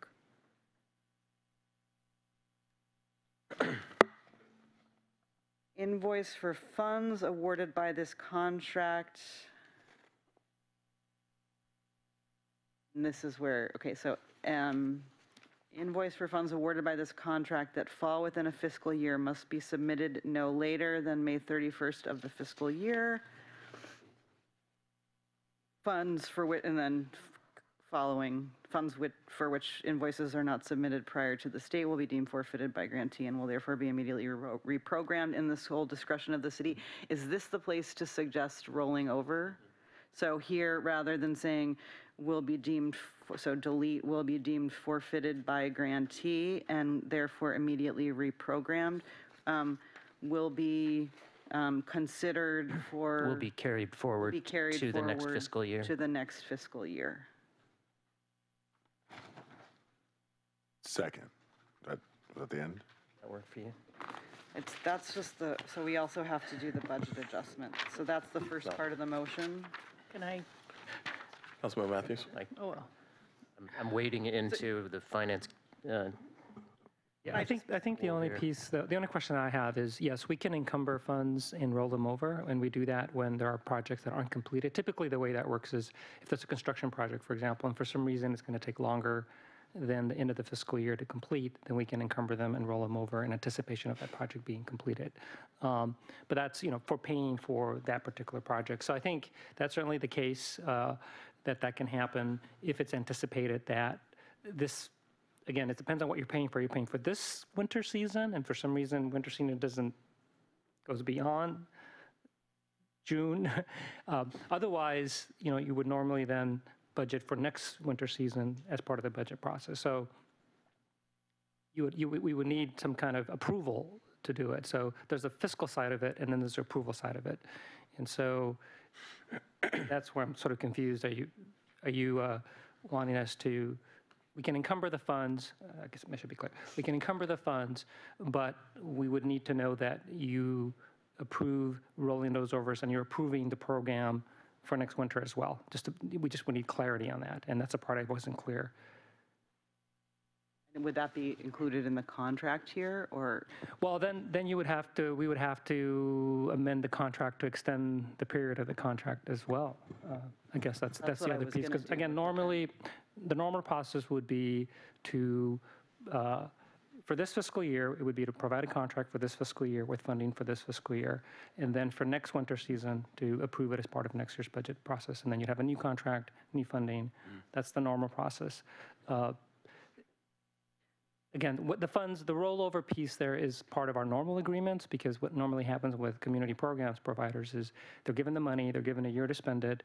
Uh, If they don't spend it, then it goes back into the pot uh, for then reallocation for next year, and they could then get it again. That's the normal process, so this would be an exception to that process. Again, we don't generally do that. I don't know of a case where we've done that, um, so it's just a bit unusual. We do have this encumbrance encumbrance process again, but it's generally for, usually it's for contracts or construction projects or things like that. So, I'm not, I'm not, I'll wait for my turn.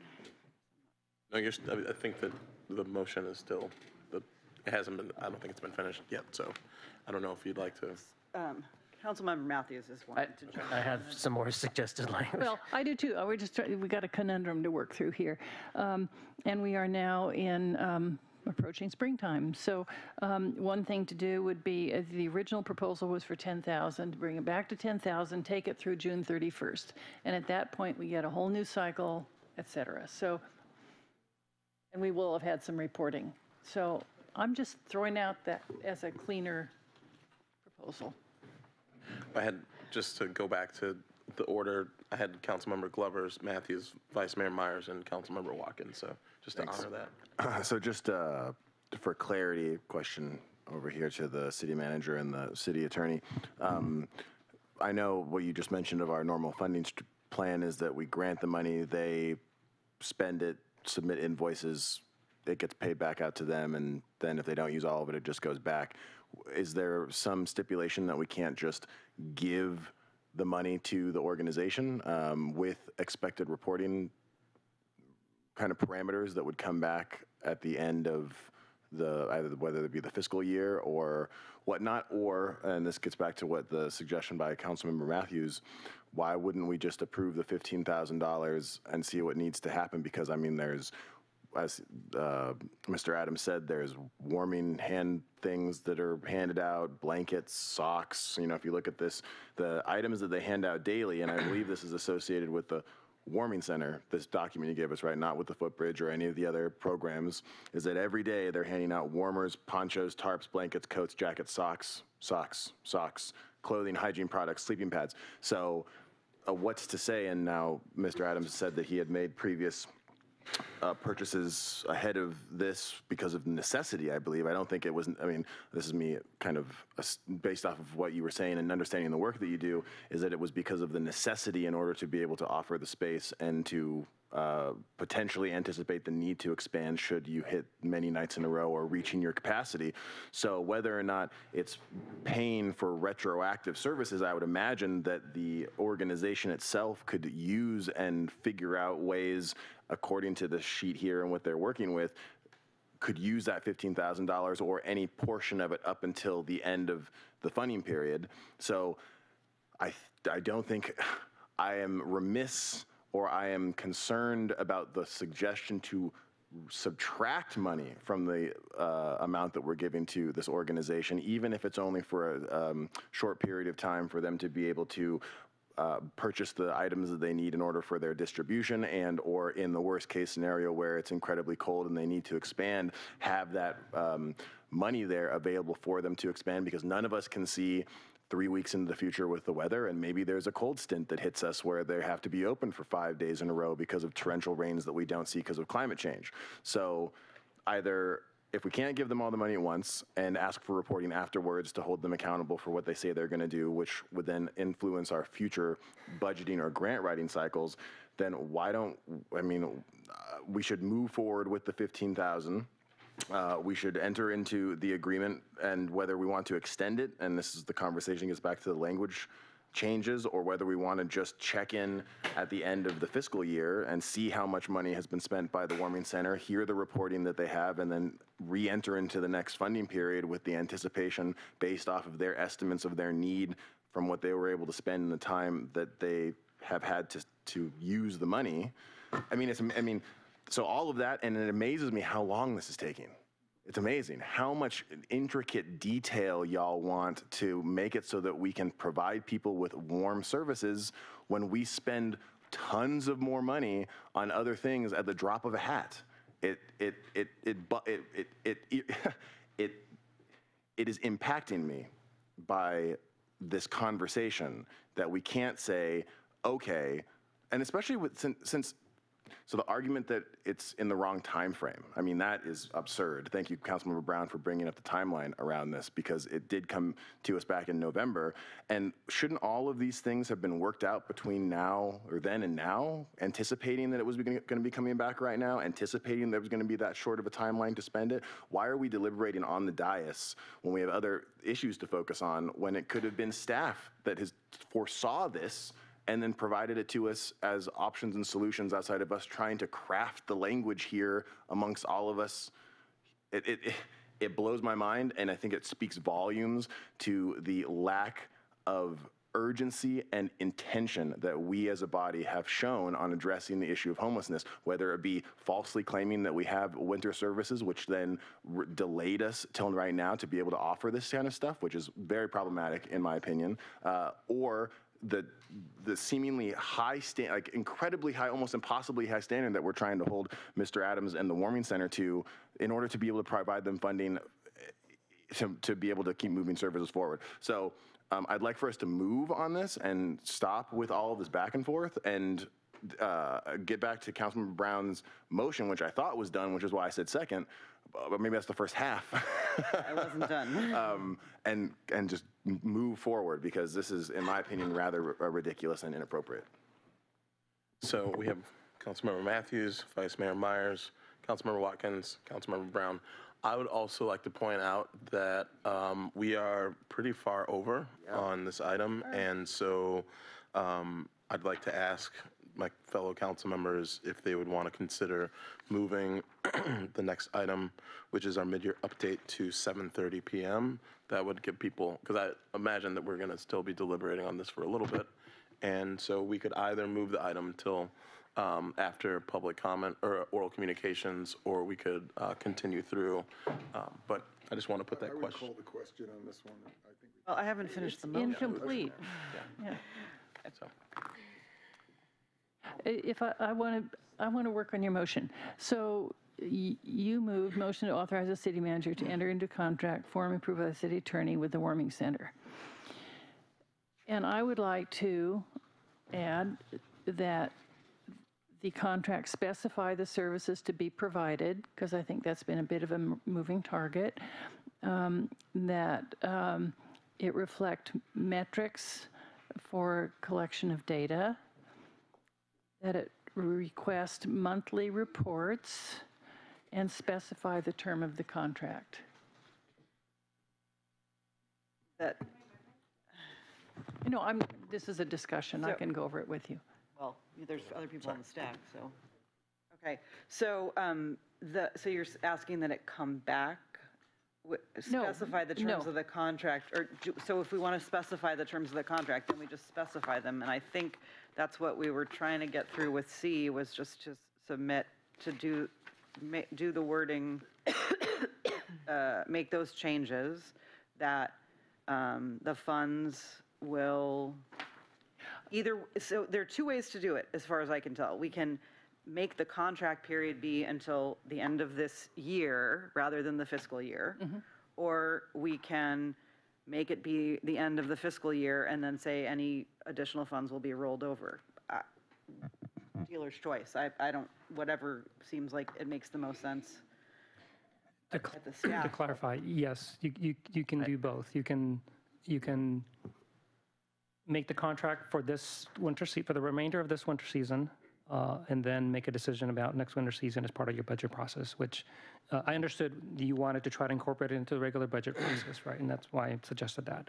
Uh, However, you also have the ability to, if you like, to uh, provide a contract term that covers next fiscal year, and then the, the funds can be encumbered uh, moving forward. So that is, uh, council has discretion to do that, as far as I understand. I- I have some language for your consideration. So we- we're squared away on the first part of the paragraph. So the last part would, um, the last sentence would, would read, "Funds for which invoices are not submitted prior to this date," and then insert, "may be carried forward to the 2020 fiscal year, subject to council appropriation as part of its FY 2021 budget process."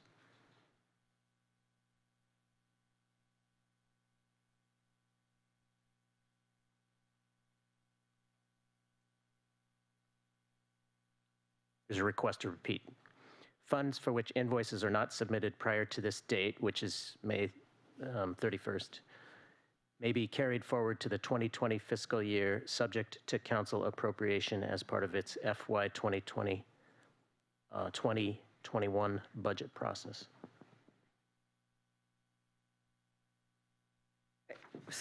So that would work. I- You know, again, I, I don't really have uh, real strong feelings about it. I mean, the other, we could also make those other changes, delete funds for which invoices are not submitted, um, delete that sentence entirely, and make the contract period 11th day of, on last page, number four, um, the 11th day of February 2020 and shall terminate on December 31st, 2020. And so that's, takes, that would take care of the contract, and then the, so B would be a resolution to amend the fiscal year 2020 budget. That, it keeps it cleaner if we just extend the contract period because it's in our budget for this fiscal year delivered, and we don't have to change the resolution. And C, request monthly reporting with information regarding um, uh, services provided. And I think, did you have a list that you wanted? Well, in, in this, I'm just saying what the proposal says it will do is um, um, affirming specific use of funding as well as data pertaining to shelter activation, number of guests, et cetera. And the et cetera is other stuff that's included. And then, um, so that would include uh, the reporting and the metrics for data collection. And then specifying the end of the contract, I think we've done that. Proposal, carrying over at a minimum. So, has that friendly amendment been accepted or in those Yes. changes? Seconded? Did the motion get finished after I said second? Because there was a whole bunch The- more. Yeah, the motion was the authorize the amended contract hmm? with the, with the language that we've come up with. With the assistance of our staff, um, a resolution to amend the fiscal year 2020 budget and appropriate general fund budget of $15,000. And C, request that the warming center provide monthly reporting of regarding services provided. Can I just say as per the scope of work? Or do we want to lay that? That's fine. As per the scope of work, Exhibit A. Yes, second and accepted. So, the motion was made by Councilmember Brown, seconded by Councilmember Glover. There was a friendly amendment made by Councilmember Mathews that was accepted by both the seconder of the motion and the maker of the motion. We still have um, Vice Mayor Meyers. I just say one thing really quickly. For the minutes, the friendly amendment was related to the reporting, I think. Well, it should be included in the language of the motion, yeah. Have the motion by chance? Okay. The motion is to authorize the city manager to enter into a contract in a form approved, as amended, with the, um, uh, including uh, amended language. Can you just, you want us to read it again to have it now, or can Tony send it to I you? can, I can read it Okay, fairly quickly. okay, so, Yeah, she's Tag got to go, team. gotta type it. mo, I'll- so the, Then I'll, then I'll email it. okay.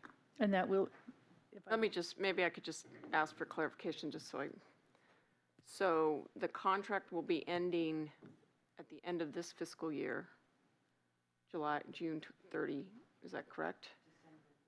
So we're, okay, we're extending the contract, this Fine. calendar year.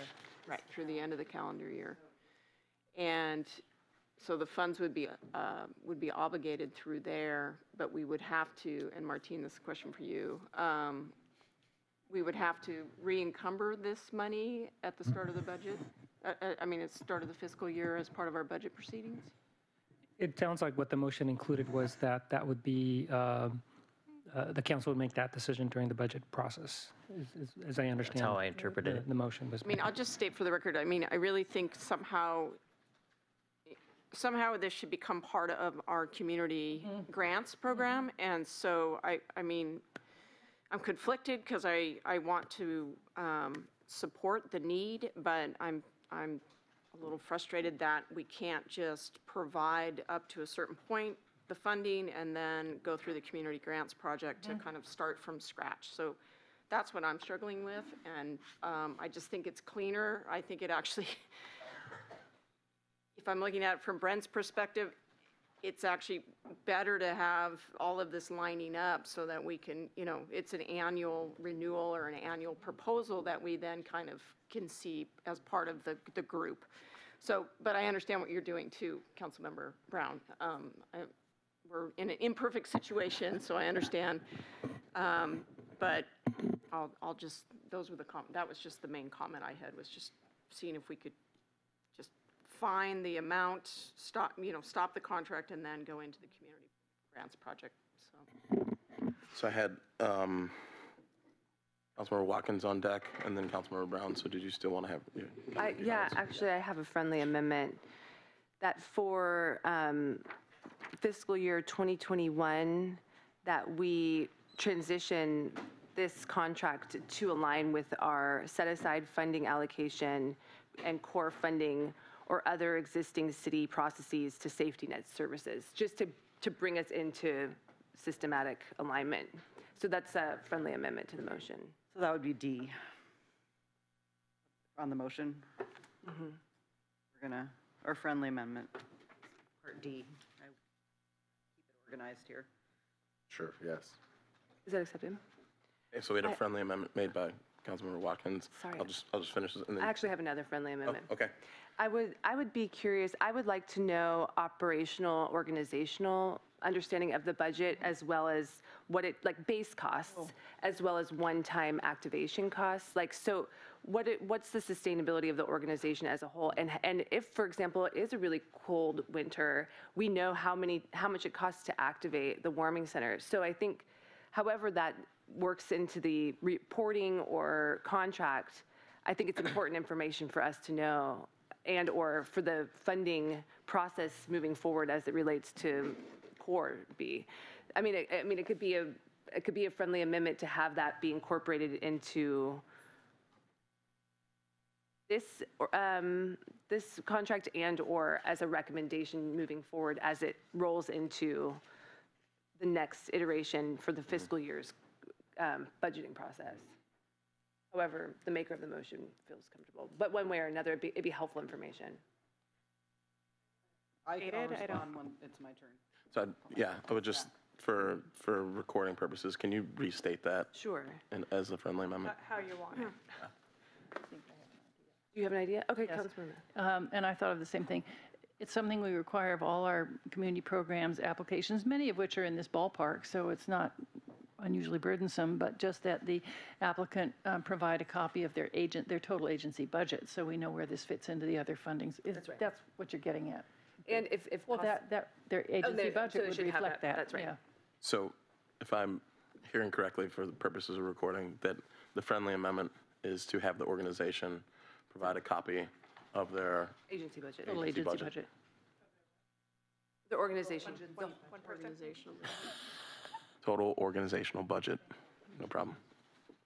Yeah, that's right. That'd be helpful. Was that friendly amendment accepted? Yeah, that's what I was gonna suggest. Yes. Friendly amendment made by Councilmember Watkins, accepted by Councilmember Glover and Councilmember Brown. Okay. Um, We still had um, Councilmember Brown and Councilmember Mathews on stack for comments. So would you, do you still have any further comments? My comment, at least on this round, was to suggest that, um, like other community programs, that the Warming Center provide a copy of its agency, agency budget. Mathews, do you have any further comments? Okay, does anybody have any further comments? Seeing none, we'll take the vote. All those in favor, please say aye. Aye. Any opposed? Passes unanimously. Okay, so at this point, I'm going to ask um, my fellow council members whether they would like to move forward with our next item or if we should take a break and then hear the um, mid-year update after oral communications. I personally would just say, go, go for it. Me too. All right, seems like there's consensus to move forward with our mid-year update. I just also want to let um, council members know that um, oral communicate, since oral communication stop is at seven, that if we haven't made it all the way through, then we'll need to stop at that time. Okay? Let's make it all the way through. Great.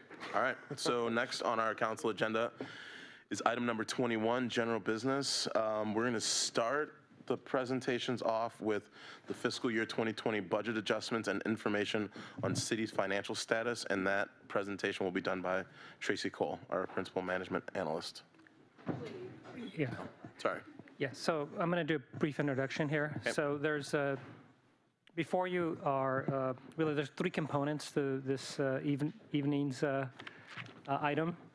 And the first is a, just a general update on a mid-year budget picture uh, as far as uh, how we ended the year, what our projections are for the next fiscal year, uh, and then some of the factors and variables that we have to take into consideration with respect to our budget projections. So Cheryl will, be- will do that. She'll do an update, uh, and then council can have an opportunity to ask questions.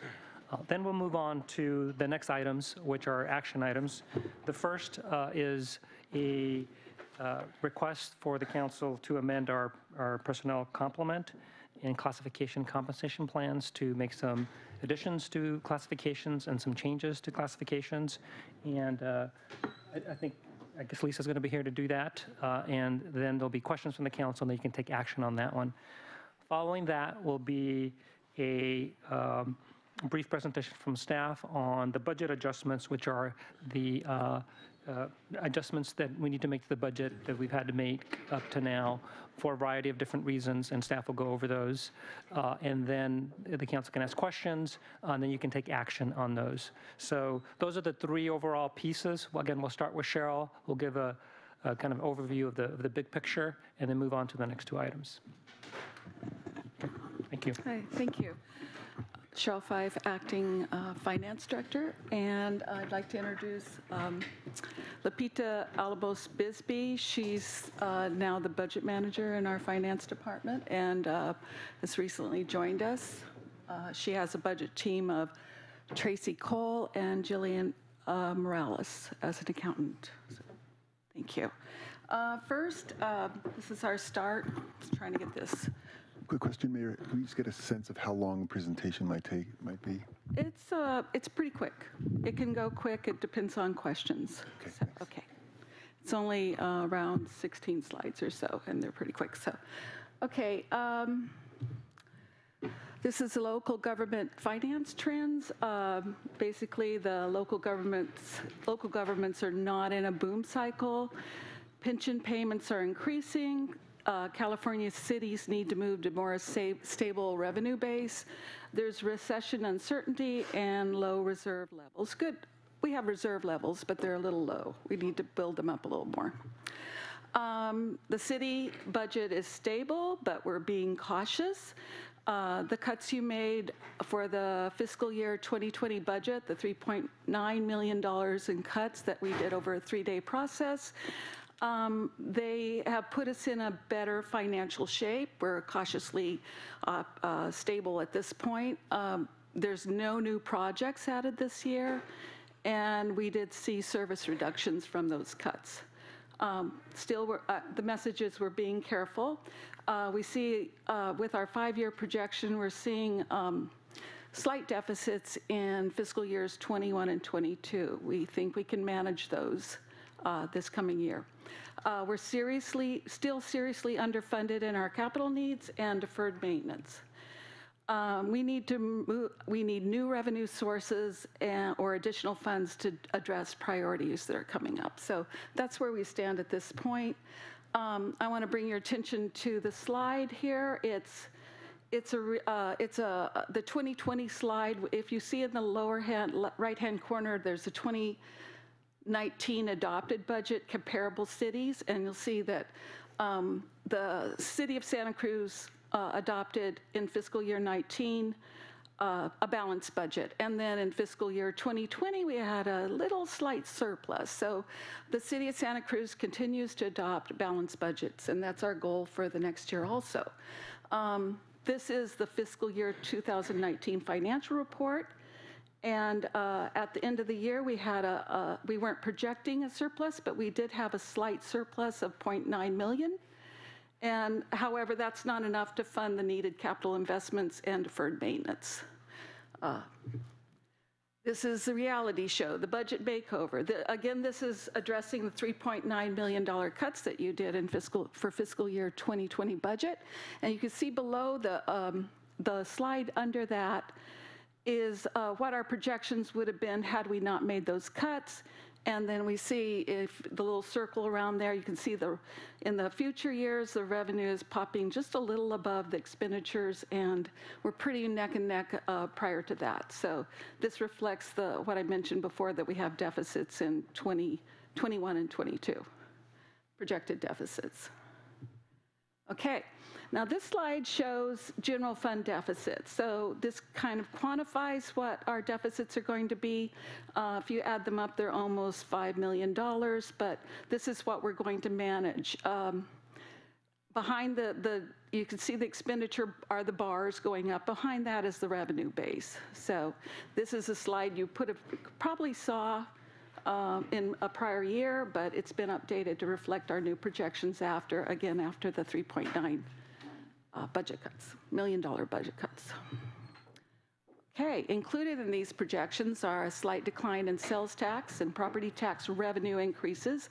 A better way to say that is we're um, uh, we're not in, we're not increasing we're not increasing our revenues uh, as fast as they were. So we've uh, we've considered that they won't continue to increase at the same rate. They're going to they're, they're going to cool down a little bit. And uh, it includes all council approved COLAs for all the bargaining agreements. We just did a, a number of uh, renegotiations with the bargaining units. And it includes future increases in uh, our CalPERS rates. And if you've been told that our CalPERS rates continue to climb, we've incorporated that into this projection.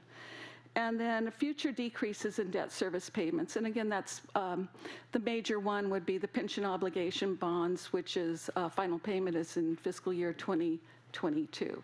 And that runs around $3 million or so a year. What we still need, uh, we need support for aging, the aging infrastructure. Uh, you can see we need the roof for the civic auditorium. Uh, we need, uh, you know, repairs, revetment repairs to West Cliff, and we need um, storm drain replacements. These are some of the things that are on our unfunded CI, uh, capital investment program list uh, that we don't have the funding for. So we still need that funding. This is a CalPERS pension update, and basically on the right, you'll see some of the um, things that CalPERS is doing that's causing a problem and why we're having increasing rates. And um, um, their total assets, uh, although they're in the billions of dollars, only represent 71% of what they calculate their future uh, benefits will uh, to public workers are. And um, they're projecting uh, an investment rate of 7% per year, but they're only, they're coming short of, by about 6.7. I mean, they're coming short and only meeting about 6.7. And then, um, again, it's their, their, their fiscal projections are falling short. So on the left-hand side, though, you'll see some of the things that the city has done to mitigate these problems with CalPERS, and one of them is establishing the IRS Section 115 trust, and currently we have over $10 million in that trust. Uh, we've done agreements with the uh, employee bargaining units for them to pick up the share of the employer cost, and uh, and we've also uh, uh, paid at $8 million toward our unfunded liability, saving, um, uh, lowering that unfunded liability. And uh, we also, which isn't on there on this chart, on this uh, slide, but we also, um, uh, we prepay our unfunded liability each year, and that saves us several hundred thousand dollars of interest. And um, we're able to do that, and it helps with our with uh, the, our actuarial reports where we show our unfunded liability. Okay, has the recession been canceled?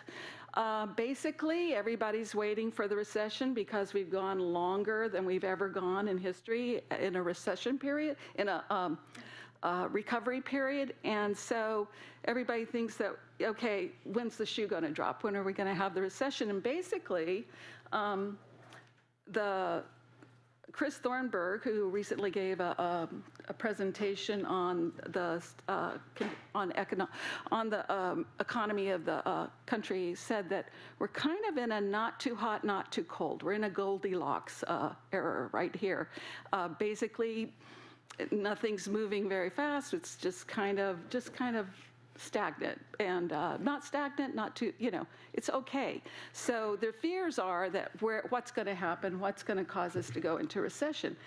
Basically, right now, we're at low interest rates, low unemployment, and low inflation, and we've got a stable expansion. What may cause us to go in is not the when, it's the why. And it could be reactive global impacts, and there's a quote from the Wall Street Journal concerning the the, um, the, the virus in China, and then climate change might do that. But every, every agency is saying it's the next unforeseen event. And of course, unforeseen means we don't know what it is, but it'll put a shock to the system.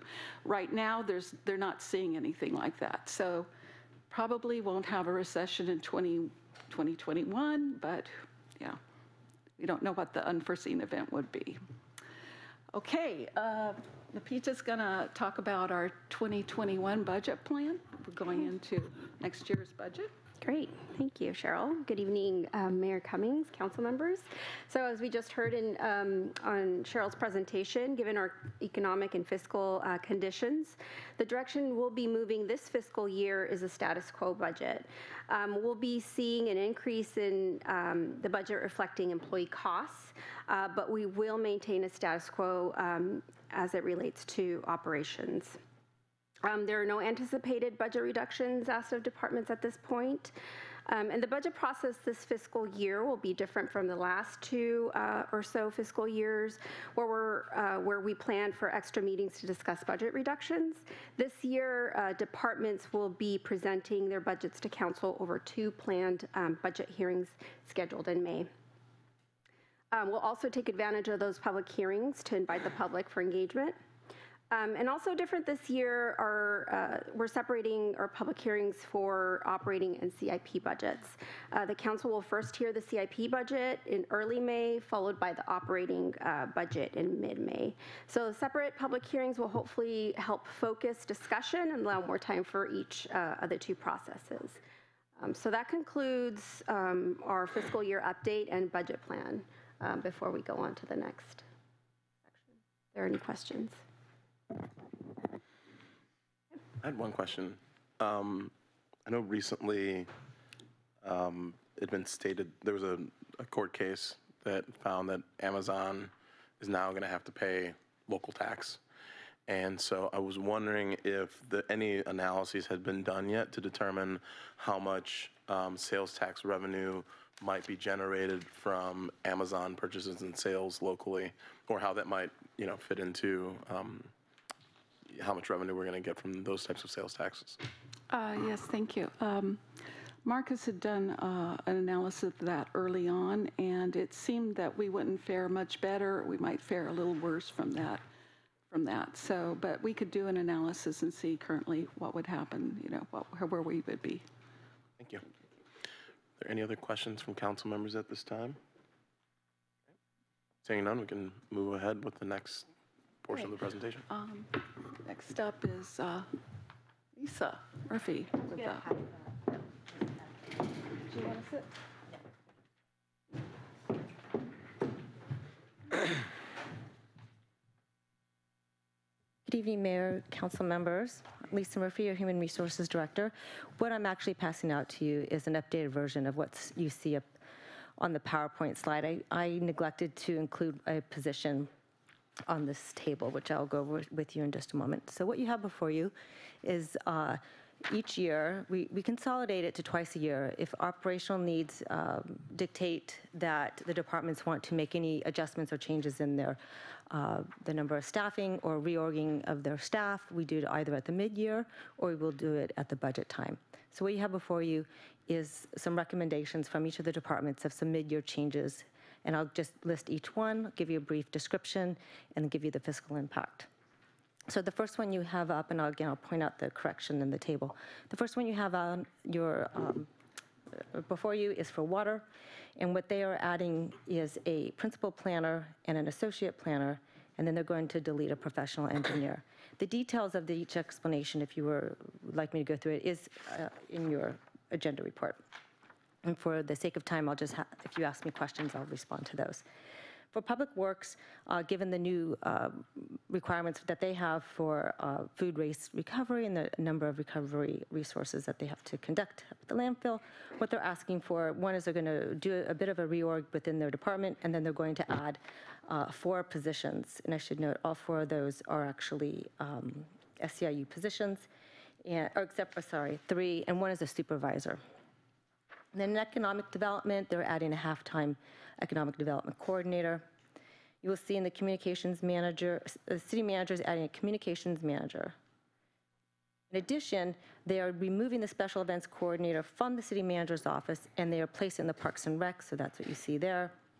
And again, uh, the last one is uh, in the police department, what we're going to do is create a, a career ladder for the uh, police property and evidence specialist. So now we'll have a senior, and once we fill that from in internal ranks, then we'll come to you at the budget and we'll remove the uh, the position. So it'll be net neutral uh, for the PD.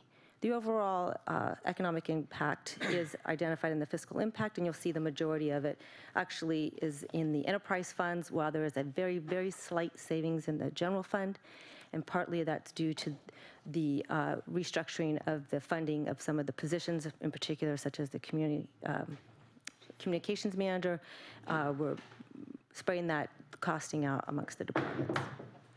So as I said, there's a slight negli- negligible uh, in- savings in the uh, general fund, but uh, majority of the cost is by the enterprise funds. So having said that, I recommend approval, and uh, if you have any questions, please ask. Councilmember Mathews. I do, and this is so embarrassing. So on the water, on the chart that you gave us, you add two and you take away one. So that to me would be a net one. I'm sorry. I'm adding two, but I'm, I, so you are right. I'm embarrassed. My math is, this late in the evening was a little bit off. So we are adding the two positions, taking away one, so it is one. I I did. was, I was worried I couldn't Thank do you. that. The, the only other one that I left off of your chart because there's no change, it's just a title change for one of the positions, but there's no economic impact for that. Resource recovery. Why am I? Are they on? I have, I have to tell you, I rushed to put this together, and I'm failing to see. Will you show, will you just point that out because I see one, one, one, one? Yeah, there are two, um, the su- there are two supervisors in resource recovery, um, supervisor and supervisor, and the others, there's no added positions, but I identified it as SEIU, is that correct, is that what you're saying? that's incorrect, yeah. Okay, Yeah, there's two. The numbers are correct, that's the supervisory position, I apologize. Vice Mayor Meyers had a question. Yeah, I just wanted to just clarify when you say um, enterprise funds, so just so everyone's clear that may be watching. So water and public works, those are all enterprise, those would be the enterprise fund That's correct. positions?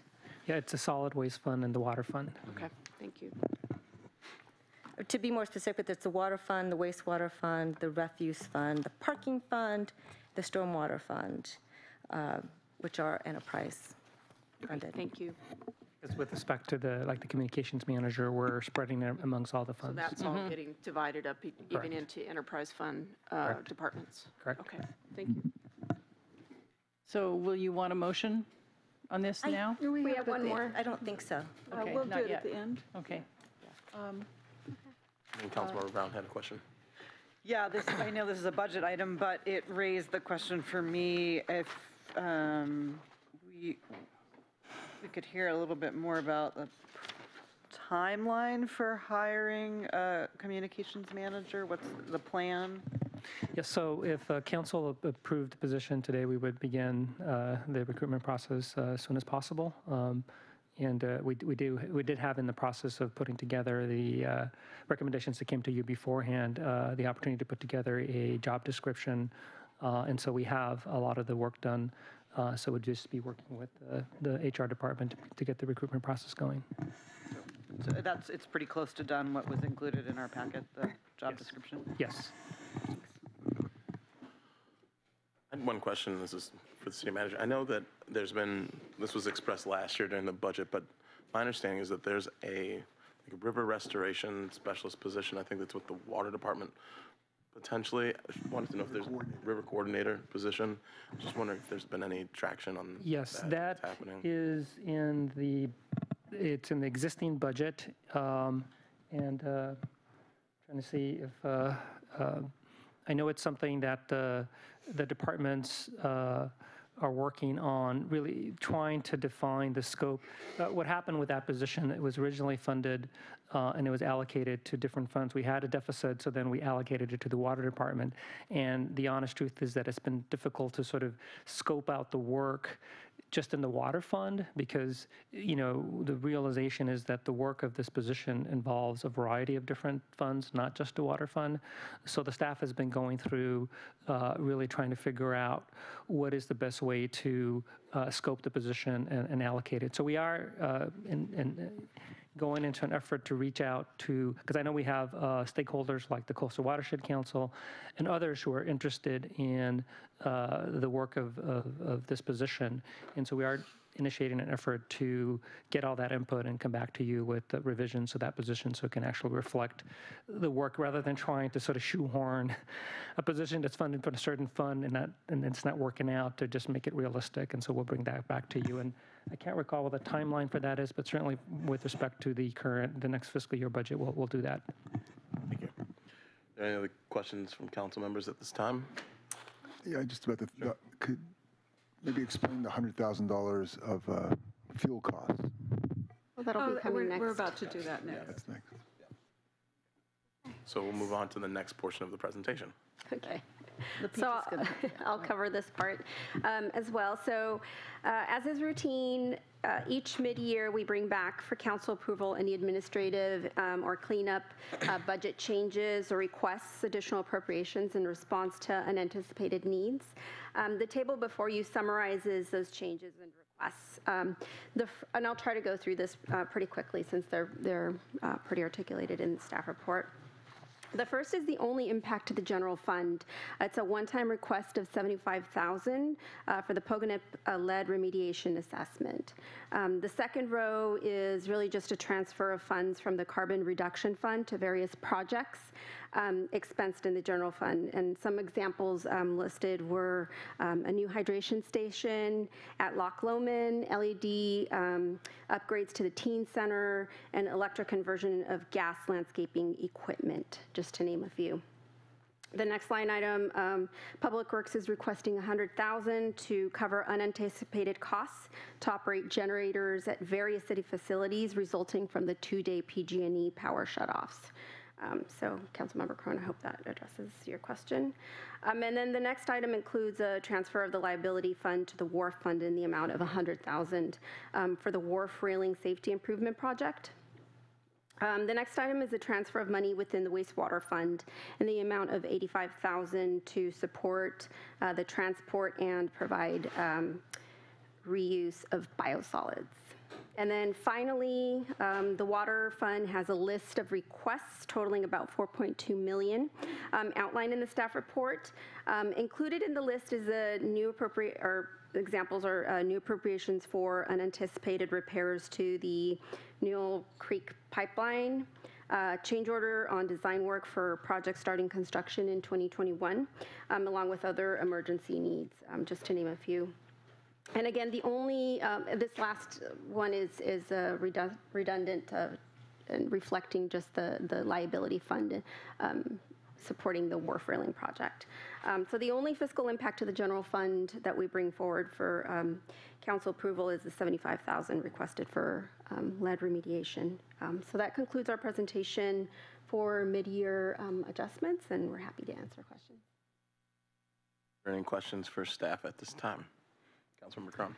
Yeah, about the, uh, the 100,000. Um, So just running generators for, is there anything about, how do, can we get that money back from PG&E? Um, Have, I've seen other people, you know, other communities sue PG&E for losses during the shut-offs.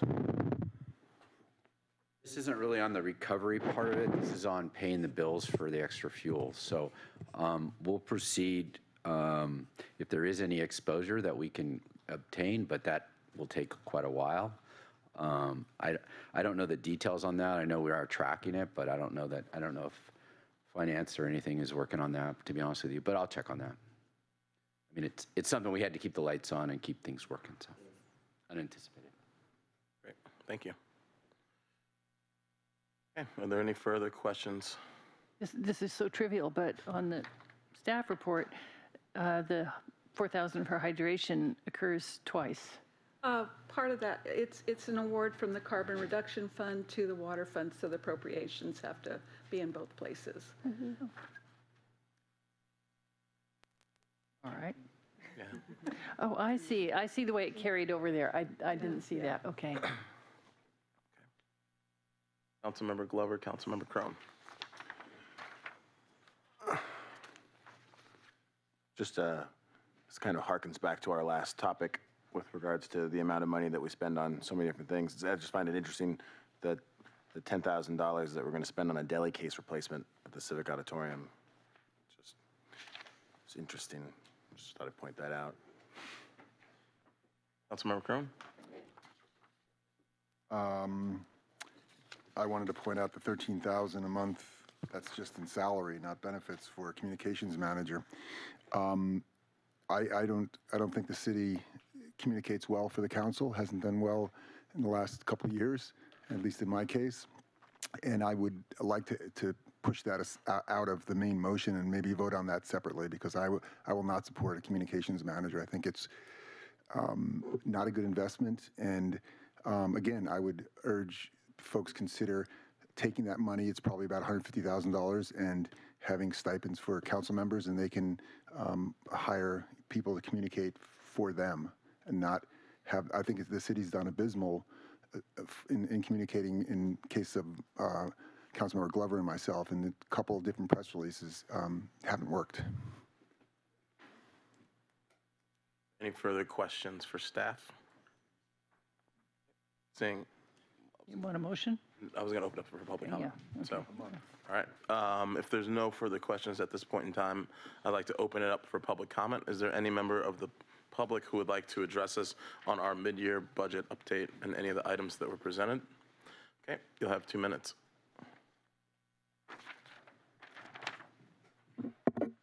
Uh, Hello, council. Uh, Just an overview. First, I want to say, Cynthia, that just because it's a conspiracy theory doesn't mean it's not true. We all know that as grown-ups in the political world, that's a standard political, powerful technique. So I would really appreciate if you would stop countering everything I say when I get up. If you have to really disagree, that's fine, but just don't on principle counter everything I say. I think that would be respectful. The second thing I want to say is uh, I did not see the presentation. I'm sorry, I don't know your name. That what was that? Cheryl Fyfe. Cheryl presented in the binder. I would like to see everything that's presented up there duplicated in the binder, so the 16 slides weren't there. And the reason I'm questioning that is uh, many experts on the economy actually think we're in a horrible recession already, and it is not being uh, really fairly presented by our mainstream media, nor most of the power brokers who are in power in the Democratic and Republican parties in the mainstream. So I think we're having a horrible recession, and many people are not making livable incomes in the country. So I think that needs to be investigated. The other thing I want to say is that the City of Santa Cruz Housing Program Specialist, um, that's, I think it's a for hire uh, role in government is is one that I'm really questioning because we're still not defining what is affordable housing. My understanding of affordable housing is that you have to have a really excellent income, as in six-figure income, over $100,000. Uh, so you have to be working in a really high-level paid position to be able to afford affordable housing in Santa Cruz. And most of the units that are going in that are so-called market rate are actually luxury. We are now living in a luxurious, elite, wealthy enclave that has been highly gentrified by moving many middle in, many middle and low income people out of the community and or onto the street. So I'm very concerned about the, this position, but I'm running out of time, so I can't say more. But I think we need to examine these positions, and this one reports, reports to the principal planner. That's a problem when the planning commission is all developer-friendly, wealthy people. I want to recommend The Solar Economy, which is a book that was written in 2002 by Hermann Scheer, and I'm out of time, so I'll stop there. I would like the Downtown Forward program investigated because I think they're using city funds and they're supposed to have an alternate Thank argument presented if they're you. presented to the public in the library and they're not. So please investigate that. I want to know if they're using Elise, you've gone over your time. Thank you. Okay, next. Hi, I'm Nate Alex. Kennedy at Gmail, 346-9888. I would like to talk to all the council members here in private at some point, so please get back to me and let me know if you need that email again. Um, With the budget here, uh, something that came to mind, I'm not sure how 100% appropriate this is, but we should sh- switch as many of the county cars as possible over to electric or even lacking that hybrid at least. Um, it would bring fuel costs down a lot. Yes, I would love to see a, uh, a cop cr- cruiser car that was all electric, stuff like that. An ambulance that's all electric, city vehicles, we need to try and get them all converted to something that is zero emission, no tailpipe. Thank you. Thank you.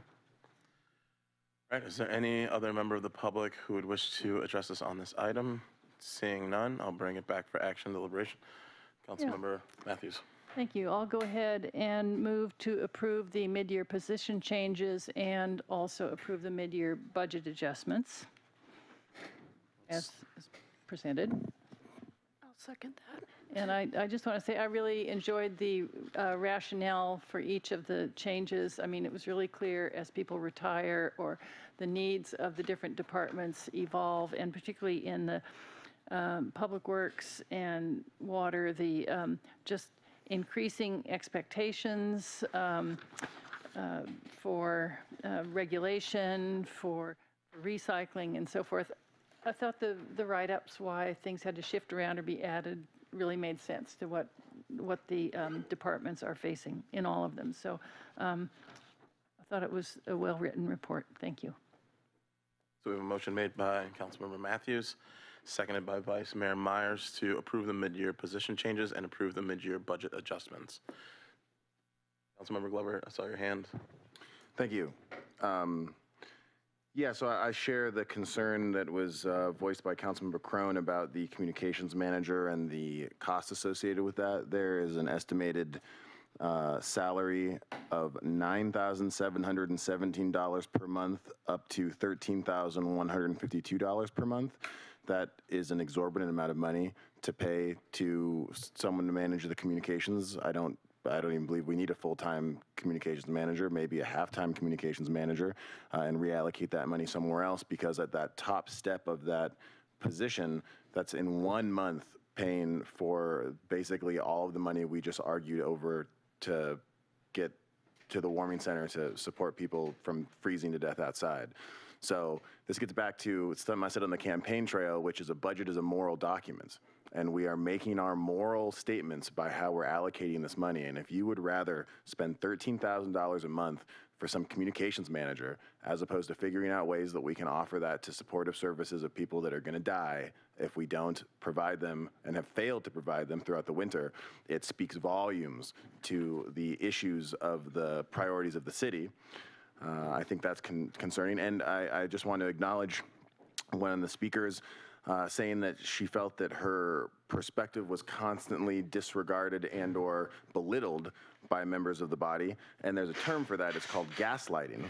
And gaslighting is a form of psychological manipulation in which a person or a group covertly sows seeds of doubt in a target individual, making them question their own memory, perception, or judgment, often invoking in them cognitive dissonance or other changes such as low self esteem, using denial, misdi- misdirection, contradiction, and misinformation.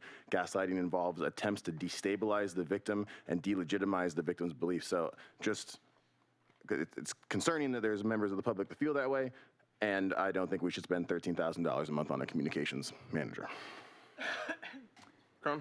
Just so we can make this, given, given the time, um, could we just separate that, uh, the maker of the motion? Could we Sure. separate out the communications Sure. manager? Yep. And then I'm, I'm fine with everything else. So there's a friendly amendment made by Councilmember Krohn. We'll just divide the question. Yeah, so we- we're going to divide the question as it pertains to the position changes by pulling out the um, communications manager. Can I just get further clarification? For the mid-year budget adjustment, there was not a resolution brought forward for that. The only resolution brought forward were for the mid-year position changes. Right? Uh, There there was a, It would be a resolution to approve the mid-year position changes, motion to approve the mid-year budget adjustment. Just to yeah. Thank you. Clarify. It's Okay. as, as I understood it, as is listed here. So, um, I guess we can take the first section of this, which is all the other positions, like, with the exception of the um, communications manager, and to approve the mid-year budget adjustments. Is there any further discussion on those items? Seeing none, all those in favor, please say aye. Aye. Any opposed? So that passes unanimously, and then I will return to vote on the position of the communications manager. So. Call for the vote. Yeah, so I'll call for the vote on that. Um, So the motion currently is or to approve the communications manager position. All those in favor, please say aye. Aye. Any opposed? Nay. Okay, so that passes with council members Watkins, Mathews, Vice Mayor Meyers, and myself voting in favor. Uh, Councilmember Glover, Krohn, and Brown voting against. Okay. And so that completes and concludes this item on our agenda. And so we will recess until oral communications, which shall begin on around 7 PM. Thank you.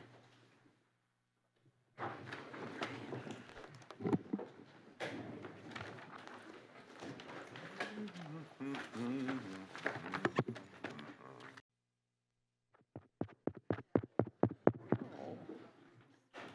very nice. All right, good evening, everyone, and welcome to our 7:05 session of the Santa Cruz City Council. Uh, At this time, we will have um, oral communications. Oral communications is an opportunity for members of the public to address us on items that were not on our city council agenda today. Um, Oral communications will be for a half an hour, and given that we're starting a little bit late, um, we'll extend oral communications to 7:35. And before we begin, I'd just like to welcome uh, the students from Cypress Charter Middle School for being here with us today. Okay, so if, um, Can I take roll really quick? oh, yeah, and I'd like to ask the clerk to please call the roll. Councilmembers Watkins? Here. Mathews? Here. Brown? Is here. Glover? Here. Krohn? Here. Vice Mayor Meyers? Here. And Mayor Cummings? Here. Okay, Uh, we'll begin uh, oral communication, so if any member of the public would like to step forward, um, you'll have two minutes. Nope, just in order of where you are in line. And if any member of the public would like to speak to us, I'd like to ask you that you please line up to my left. So, my name is Freya Sands. Thank you for your service. Um, And thank you for your attention to this letter, which will be coming around. It's about 111 Errett Circle, which you've heard about before. Thank you for your attention. My only further comment beyond the letter is that if it is unfair to the owners to designate 111 Errett Circle historic two-plus years after the sale, then it is truly unfair to the neighbors and the citizens of the city to not have examined the wealth of this 130-year-old property long before the sale. Thank you for your service. Thank you. Good evening. Good evening. Next speaker.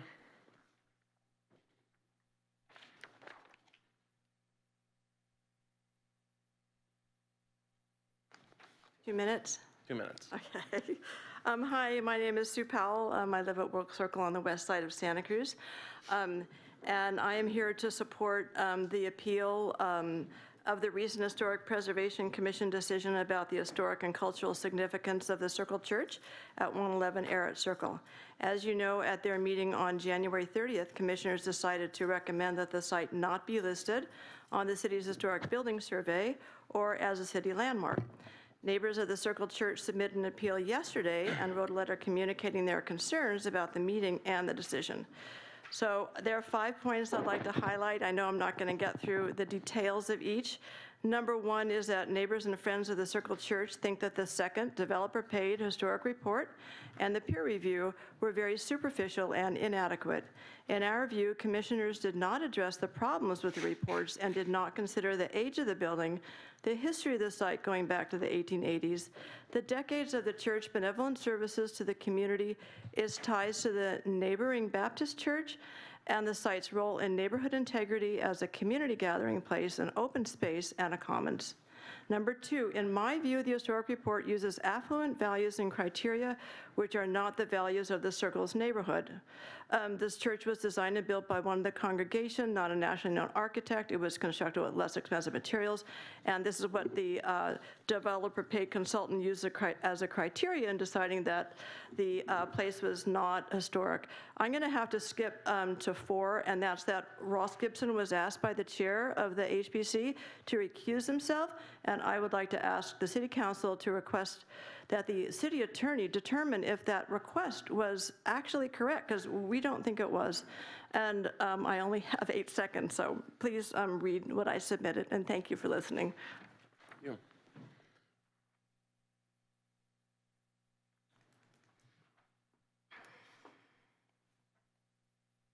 Good evening, Mayor and council members. I'm Deborah Elston, and I'm coming to you in hopes that you will address another investigation that finished in December regarding council member Drew Glover, once again violating the respectful workplace policy. This report was brought to my attention a couple weeks ago, and I had heard nothing about it in the media or otherwise. I felt the public should know, so I posted it on Nextdoor and closed the discussion. People I have spoken to were completely unaware of this report and wanted to know more. I'm asking you, our council, how come this has not been agendized for discussion or consideration? How is the city council once again going to handle this severe and egregious behavior? Those are the lawyer's words, not mine. Sadly, the public is getting very tired of hearing about these episodes, so please hold your council member accountable for his actions and words. Thank you very much. Thank you. Next speaker. Good evening, Mayor and City Council. My name is Heather Waltz. I work in public education. I am a parent and I am a concerned community member.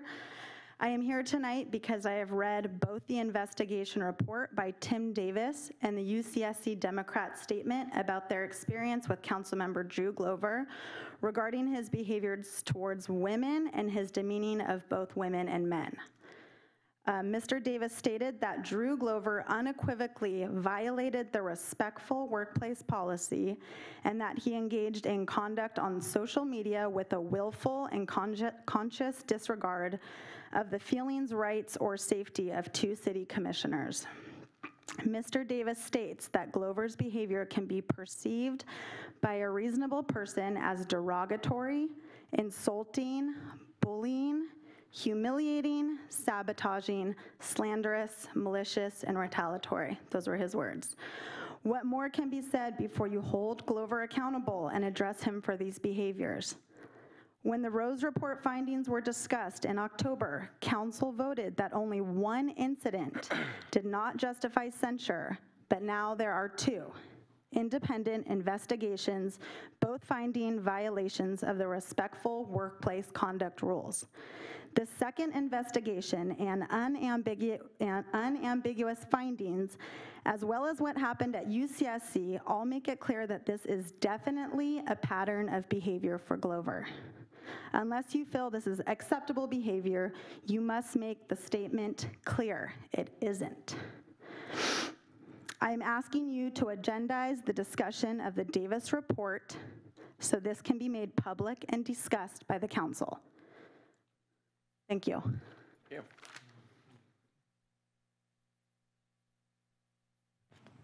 Hi, my name is Nancy Stewart. Uh, Mr. Mayor, members of the council, I'm here this evening because I've read the findings from a recent respectful workplace violation investigation completed by attorney Tim Davis. In his letters, Mr. Davis stated that Mr. Glover's behavior can be perceived by a reasonable person to be derogatory, insulting, bullying, humiliating, sabotaging, slanderous, malicious, and retaliatory. At the October 8th, 2019 council meeting, a motion was made by Councilmember Brown and seconded by then Vice Mayor Cummings that stated the council finds that censuring of two of its members is inadequate based on the findings of the Rose Report as it relates to the appropriate policy. A single act shall not constitute disrespectful conduct, especially severe and egregious, unless, excuse me, unless especially severe and egregious. In October, Mr. Glover's behavior towards a city staff member was so egregious that the city manager directed all staff, other than the city manager and department directors, to no longer communicate directly with the councilman. In November, formal complaints were filed against Mr. Glover by former members of the Commission for Prevention of Violence Against Women, which resulted in Mr. Davis's investigation. And most recently, the UCSC Dem- Democratic Club chose to endorse the recall of Councilmember Glover based on his rude and disrespectful behavior towards their members and others in the community. These are all examples of behavior of, or a pattern of behavior that should not be tolerated by you as leaders of this community or by the citizens of the city of Santa Cruz. Mr. Davis's response to the complaints was submitted to the city two months ago, and yet there has been no action taken by the city council. I'm here tonight to ask you to agendize this most recent report and the violations by Councilmember Glover and to hold him accountable for his behavior. Thank you. All right, Next speaker.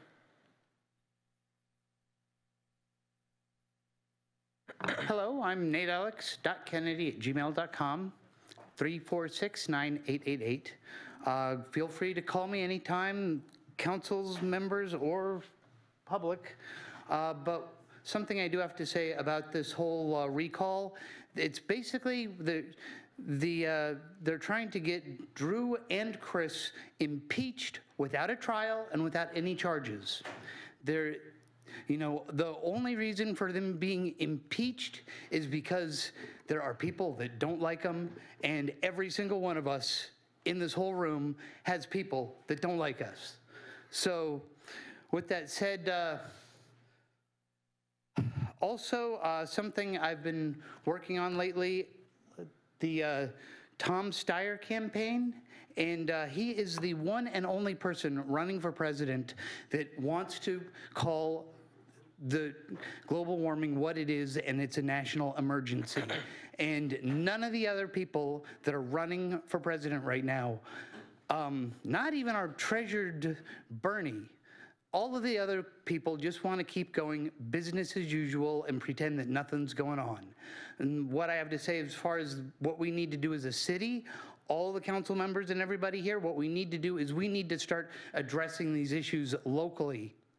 And, uh, you know, it, we, we finally got uh, cannabis legalized in this state, but what I think we need to do is we need to get a bunch of industrial grade hemp main, meant for making paper, clothes, and all the other stuff that hemp can be made out of. That is what we need to do. And what I would love to see is have the city itself growing many, many thousands of plants and allowing people not to be limited to an amount like six plants like the initial law has been, but to a, any open, any dirt that you have, you should be able to plant a seed in it up to a certain point and then tax it appropriately. Thank you. Next speaker.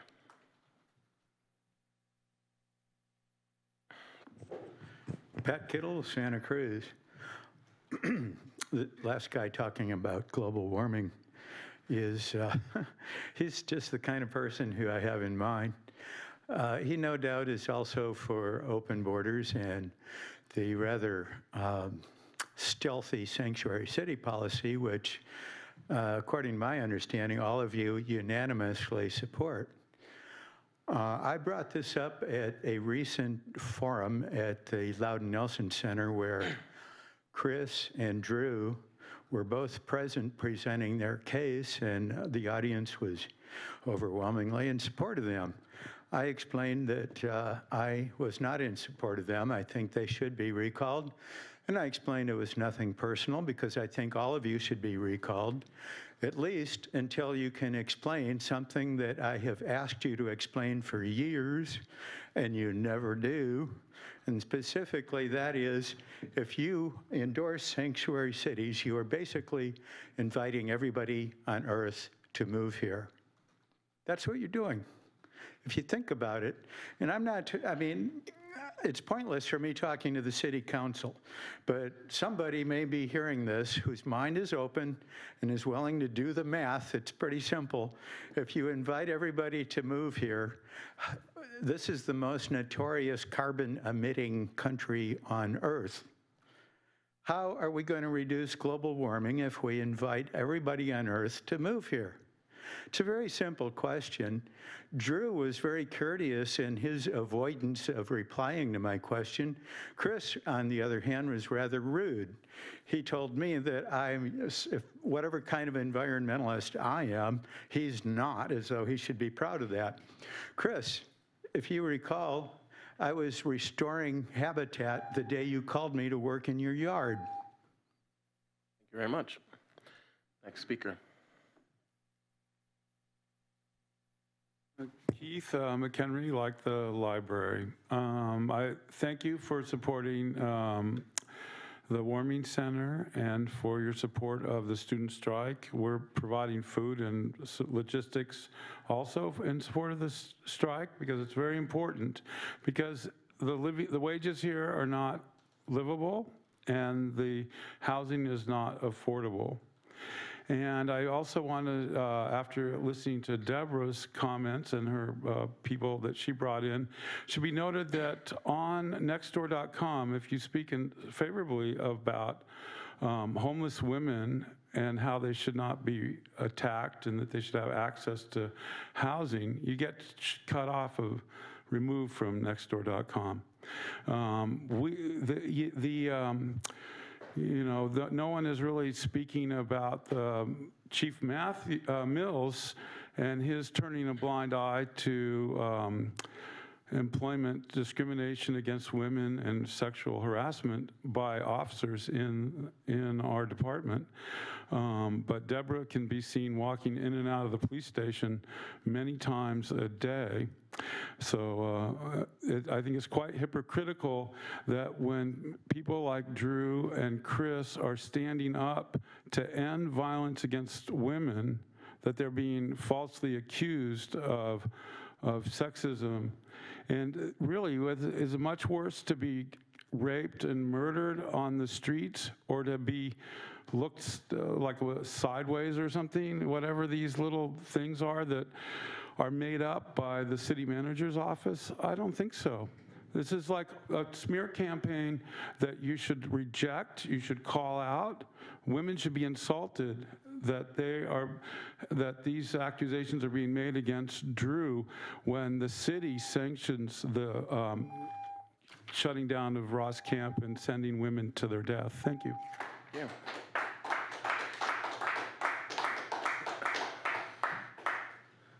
Good evening, I'm Scott Graham. Um, there's a real injustice happening here in town, and it's gonna, it's on the ballot, and it's the recall. Chris and Drew are being accused of things by the re, the pro recall group that are patently false. They've made up a bunch of stuff. They've gone marched around town telling people lies to get them to sign the, the recall petitions. They paid out of town uh, signature gatherers to gather signatures because the group that gathers signatures here in this county refused to, to do it for them because they didn't ag- agree with the recall. So they had to hire a group from San Jose to do it. And it's just uh, amazing that instead of being forthright with what they were ca- recalling these guys on, which is that there's developers, real estate agents, and uh, landlords that didn't like their policy. And that's the whole reason these guys are being recalled. This whole smokescreen about sexual harassment and stuff like that, it didn't happen. It's been made up. But then we have, as just mentioned, the sexual harassment at the police department, which we're only finding out about now. There was a policewoman that wasn't getting backup because she filed a complaint against a superior officer that was eventually fired. She filed a complaint against the guy, and nobody would help her. If she was on a call, no one would come and back her up. Back, uh, you know, it- that's outrageous that this is happening. Yep. And I know that Mr. Norse had contacted me before on behalf of Huff and requested four minutes, and so I'll honor that request. Thanks. So silence means more suffering. The Cummings majority at City Council has spent a year of dither and delay on the most basic homeless issues. We saw this kind of pettifogging, pencil neck plotting this afternoon, and the delay around the pitiful pittance that, uh, given Brent Adams for services the city and its poverty pimp service providers are unwilling to provide. In a city flushed with funding, city employees like Susie O'Hara and her boss, Martine Bernal, are still telling the same tales after a year with the highest homeless death rate yet, you know, that where there's adequate shelter and all that sort of thing. They need to be fired and replaced. Council members who want to get past the stacked agendas of the last years, the phony censure motions, the corrupt recall movement, might have moved to, to call for this kind of a vote against the city manager and city attorney, the real powers in the government. Hopefully, in or out of office, they will struggle to do this because unless you make these kinds of fundamental reforms, you will get nowhere. We can learn from the example of Oakland's Moms for Housing and the Where Do We Go Berkeley encampment in standing fast against pseudo progressive hypocrisy with another liberal mayor, Arreguín, up there, who isn't liberal at all, but has this pseudo progressive coloring. Last year, as was mentioned a moment ago, the most basic rent control and just eviction protections were shelved. A direct slap in the face, unfortunately, by Mayor Cummings to those who elected him. And we still have no study of rents, wages, and profits in Santa Cruz, promised last summer. I've written and spoken about Mayor Cummings' cave in to the Mathews Meyers minority. In a meeting with him Monday before last, I presented a variety of questions to him, which he has yet to answer clearly, or perhaps he has answered, almost all in the negative, as I remember. Uh, some of these questions are on the back of this flyer, which I won't have time to read, but I'll make available to the community and on social media and on Santa Cruz Indymedia. My advice to people in the general public is you need to phrase these questions in public places where you don't have a limitation of two minutes and the uh, pseudo civility rules that are used here. There's nothing wrong with being civil if you're in a position of equal power. But when people are not in a position of equal power, civility means subservience. If you are outraged, ask loudly and, if necessary, uncivilly at public meetings important questions that are not being answered. What is really uncivil is the way basic human rights and services, basic human dignity, is denied to hundreds of poor people outside and thousands of renters struggling to live in Santa Cruz. And the political games played at this council ignoring these basic decencies. On campus, a loud, angry, persistent, and hopefully successful Cola for All movement stood up today and yesterday to police bullying, administration stonewalling, and city police collusion. They're a tonic, a lesson, an inspiration, and a hope for us all.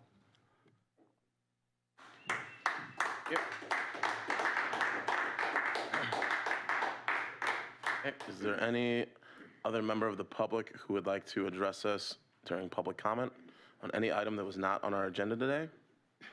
Okay, seeing- Student- Students are welcome. Students are welcome to, to speak if they'd like. Okay. Seeing none? Yeah, I'd like to follow up on uh, the comments we received this evening, and I'd like to make a motion to agendize the um, discussion of the Davis report. I'd like to add to that, uh, receiving an update on the work progress timeline of the Council Ethics Committee, and then also receive a report from the Human Resources Department and City Manager's Office on current anticipated steps for training on res- respectful workplace policies, as well as conflict resolution and mediation efforts. I'll second the motion. So we have a motion made by Councilmember Meyers, seconded by Councilmember Watkins. I have a question if I could. Sure. Did you have a date associated with the motion? I'd like to have it on the February 28th meeting. Um, I'm Would you, sorry, 25th, it's the 25th. would you read back the motion? A motion to uh, direct the Human Resources Director to bring a report on the Davis uh, investigation, receive an update on the work proc- process and timeline of the Council Ethics Committee, receive reports from the Human Resources Department and City Manager's Office on current and anticipated steps for training on respectful workplace policies, as well as conflict resolution and mediation efforts.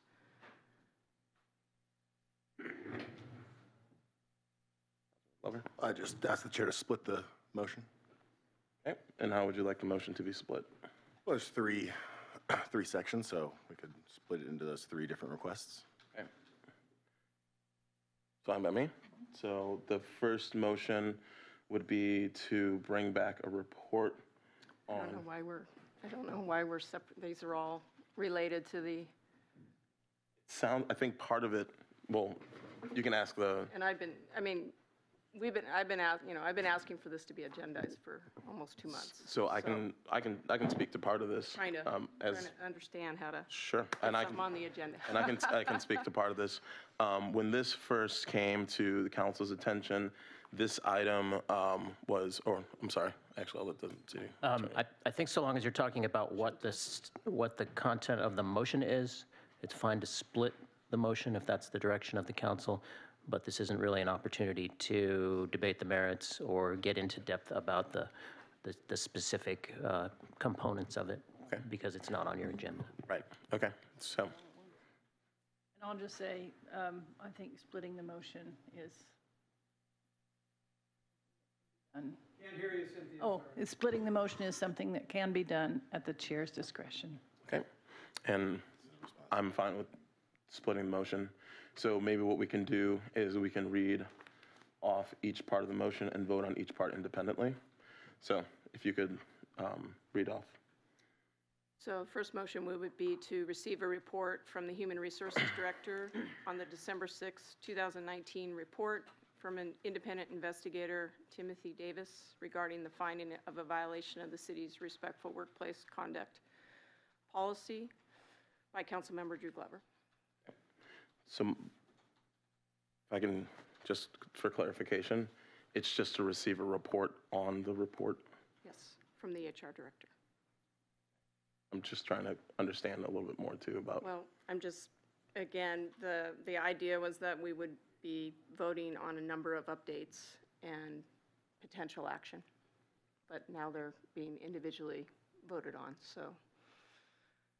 The intent behind the motion is to have the city council understand the investigation and have a public discussion about it, and to understand where the Ethics Committee is in its work, uh, to understand from our city manager and human resources departments what kinds of further training is going on, as well as um, our conflict resolution and mediation that we agree to as a council, and to take any action that the council sees fit to, um, to discuss with Councilmember Glover any further actions. So I don't, if we want to break that apart, we can do that. But they sort of all roll together, that's what I'm trying to say. um, I guess one clarification I'd like to know is, is that report, is that an agenda item or is that a report to city council in the form of a memo? Or, I'm Agenda. just trying to understand, We've received, we've received, we've received the investigation on December 10th. It was released publicly on January 17th. We would like, I would like to have a, a discussion about the findings of the report. It is a public report. It is now obviously available. People are reading it. I'd like to have the HR director available to go through the findings of the report and be able to have council discussion. That, I'll just saying for me that that's, that's clear. Okay. Okay. Uh, Councilmember Krohn, and then I also have a comment to make, which I was going to send an email out later, but since this is a- before us, then I- I'm more than happy to speak about it this evening. Councilmember Krohn. This really smacks of a political ploy, and I, I'm, I'm happy to support this at the first meeting in March, sure. Um, I'll just say, There's a motion on the floor. I, I'm sorry, I, if I may, this feels like we're getting into conversation. The motion is to agendize it for a conversation at the next meeting in February. And just to sort of echo uh, Count- Vice Mayor Meyers' comments, this is something we've requested to be on the agenda, um, just for discussion of updates, et cetera. And we're, at this time now, requesting it, given that the community had came out and spoke to it. thank you. And in response to that, go ahead, City Attorney, if you'd like to say. Go ahead, I, I don't disagree with what um, Councilmember Watkins just said. Okay. I'll just say, with- with regards to the vote, that um, I'm already, I've already scheduled, as I mentioned, um, and I can't say what I mentioned because it was in closed session, but I've scheduled a meeting with Councilmember Glover and with the HR Director, with the City Attorney, and the City Manager to address these issues. We're actually meeting on Thursday to discuss this. So um, there is action occurring. Um, I do understand that there's been requests made. I also am um, much more comfortable with bringing this forward at the first meeting in March so that we're able to have a full discussion of, um, with Councilmember Glover and then bring forward any issues that might come out of that meeting and any um, resolution that might come out of that meeting. So I'm more than happy with agendizing this for the first meeting in March, but I'm not comfortable with agendizing it for the next meeting, especially because um, it'd be more appropriate to see what's coming forward in agenda review and ensure that there's appropriate timing, so. I'd like to call a question. I, I- I would like to make a substitute motion. Um, I call would the like to question. make I'll a second the substitute motion Call the that question. would, yeah, but I'm, I'm- I I have the floor. Uh, No, You the gotta vote on question has been called by Vice Mayor but Meyers, She needs a sec, she needs, she needs a second, though. second by Councilmember Watkins. So there's no more discussion on this item. Can I just get clarification? So was there a friendly amendment to make it the first meeting of March? No. There it was not, wasn't however, accepted. the motion has been broken into pieces, so, Yeah, so you're, so the, so the first, yeah, the, the motion to call the question, and then after that, we'll continue to take these in pieces. Motion to call the question, all those in favor, please say aye. Aye. Opposed? No. So the motion to call the question fails. Uh, With Coun- Vice Mayor Meyers, Councilmember Watkins, Councilmember Mathews voting in favor, Councilmembers Brown, Glover, Krohn, myself voting against calling the question. So, Councilmember Glover. I'd like to make a substitute motion, which would, uh, to agendize the discussion of the Davis report in the first meeting in March. I'll second that. So there's a motion made by Councilmember Glover, seconded by the mayor, to agendize the discussion of the Rose Report for the first meeting in March. Davis Report, my my apologies. Okay. Seeing no further discussion, all those in favor, please say aye. Aye. Any opposed? No. Okay, so that moves with So you don't Councilmember. really want to agendize it. You just want it to be No, I before the election, so you can have a political thing. yeah. So I'm going to halt further discussion on this. Um, So that passes with Councilmember Glover, Councilmember Krohn, Councilmember Brown, and the mayor voting in favor. Um, Councilmembers Watkins, Mathews, and Meyers voting against. Uh, There are two other motions currently on the floor, and so if we would want to hear those motions be repeated, um, now is the time. so there's actually one motion, right? It's just split three ways. But there's two other components of the Two other original components. motion. What does that substitute motion cover? The agendizing of The the report. item? Yeah. So now there's two other motions on the floor, unless the makers of the motion would like to, um, we already, we voted on, Oh, We voted on it. It's your. we voted on the, we voted on the first motion, which was to agendize the report. We voted There's on two- accepting the substitute, I'm sorry. for Exa- oh, I'm sorry. We I voted on accepted- the, Okay. Apologies. Okay. Okay, so now we'll vote on the motion that's on the floor, which is to agendize this for the first meeting in March. All those in favor, please say aye. Aye. Any opposed? No, I'm, Ask for a I'm lost. friendly amendment to that. Sure. If we're gonna, I mean, I think it, it, it is worth hearing more about what's hap, I mean, the, the one thing that is public here is the Davis report. What is not public, and we ought to be having a public discussion about, I think, is our efforts to um, move forward with conflict resolution, training, et cetera, um, as we directed back last year. So I think it would be nice if we're going to have an agenda item to include all of those. So I would ask the maker of the motion. uh, Updates, uh, updates on uh, progress made. I Point of think you need to vote on the motion that's before you, Exactly. because this really isn't an opportunity. I, I, Make a friendly amendment to the motion. Motion, yeah. That's, I'm confused, if I may, in terms of just the amount of conversation around a cal, This has around, gone that has gone from fairly a far public afield comment of to have it public comment. agendized at the next meeting. So I'm not sure, it seems like a real slippery slope here for me, Tony, in I terms of how we're this is heading going. in that direction. So the discussion should be limited to the language of the motion. Which is, And I'm not allowed to make a friendly amendment. I would recommend that you vote it up or down and then make a follow-up motion if necessary. okay. So if I can, if I can please, like, bring us back. There was a motion to call the question, which was voted upon. There was a substitute motion made by Councilmember Glover that passed with Councilmember Glover, Krohn, Brown, myself voting in favor, Vice Mayor Meyers, Watkins, and Mathews voting against. And so now that motion still needs to be voted on, which is on the floor, which is to agendize um, a discussion about the Davis report for the first meeting in March. And then there was a friendly amendment by Councilmember Brown. Point, point of order. I thought we, we, you have a motion. You vote, we voted, I thought we voted it, uh, Yeah. we didn't vote on it. Then we have another motion. That's not a substitute motion, that's a motion, I thought. Is that, is that wrong, or? I thought it was a substitute it motion. was a substitute motion. Yeah. But you called the question. What was that question called about? They called the question. Yeah, on We what? voted on that to, to vote. We Oh, voted I'm to not sorry. call the question. Then a substitute motion was made. That substitute motion was voted on. So now that motion's on the floor. And then there was a friendly amendment made by Councilmember Brown.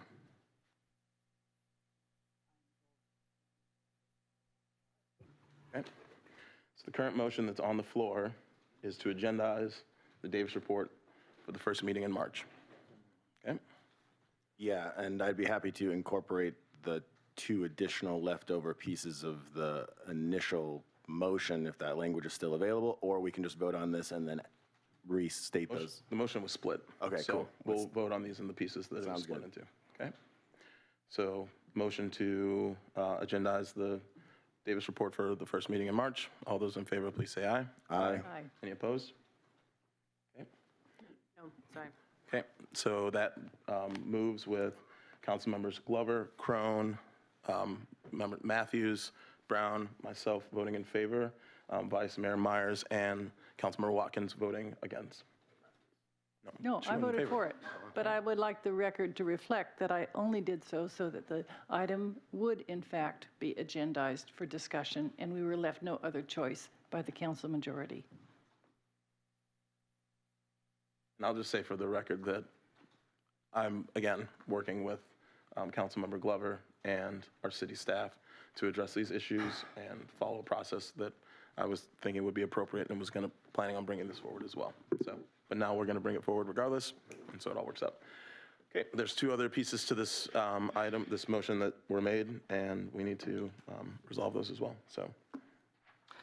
The other piece to the motion was to get an update from the Human Resources Director on the progress of the Ethics Subcommittee. On February. Apparently, it's going to be in, And training as well, right? Yeah, All that's, yeah. yes. And the motion was to do that on the 25th of February. Mm-hmm. I won't be supporting that. I'd like to have all of it happen at one time. Agreed with Vice Mayor Meyers, but I'll be voting no on this. Okay. So there's a I motion. would like, to- I- I'll make the, uh, so for the record, I've been asking since December 10th upon receiving the report to agendize this discussion. I would, rec- I would recommend that you vote on the motion that's in front of you. So I will, we will get an up, so I make a motion to get an update on the work progress and timeline of the Council Ethics Committee, including the development of a code of conduct for council members and a structured process to address workplace misconduct complaints that are not directly accountable to the Human Resources Department but may require council action, including consequences for for substantiated complaints, and to receive reports from the Human Resources Department and City Manager's Office on current and anticipated steps for training on respectful workplace policies, as well as conflict resolution and media- mediation efforts for March, for the first meeting in March. I'll second that. Okay, so we have a motion made by Vice Mayor Meyers, seconded by Mayor Cummings. All those in favor, please say aye. Aye. Aye. Any opposed? That passes unanimously. And then there was one more piece to this motion. or this item. was Was that everything? That's everything? Yeah, Okay. she included it altogether. Okay, great. Um, Well, I guess that concludes our meeting for this evening, and so um, thank you all for joining us. Meeting adjourned.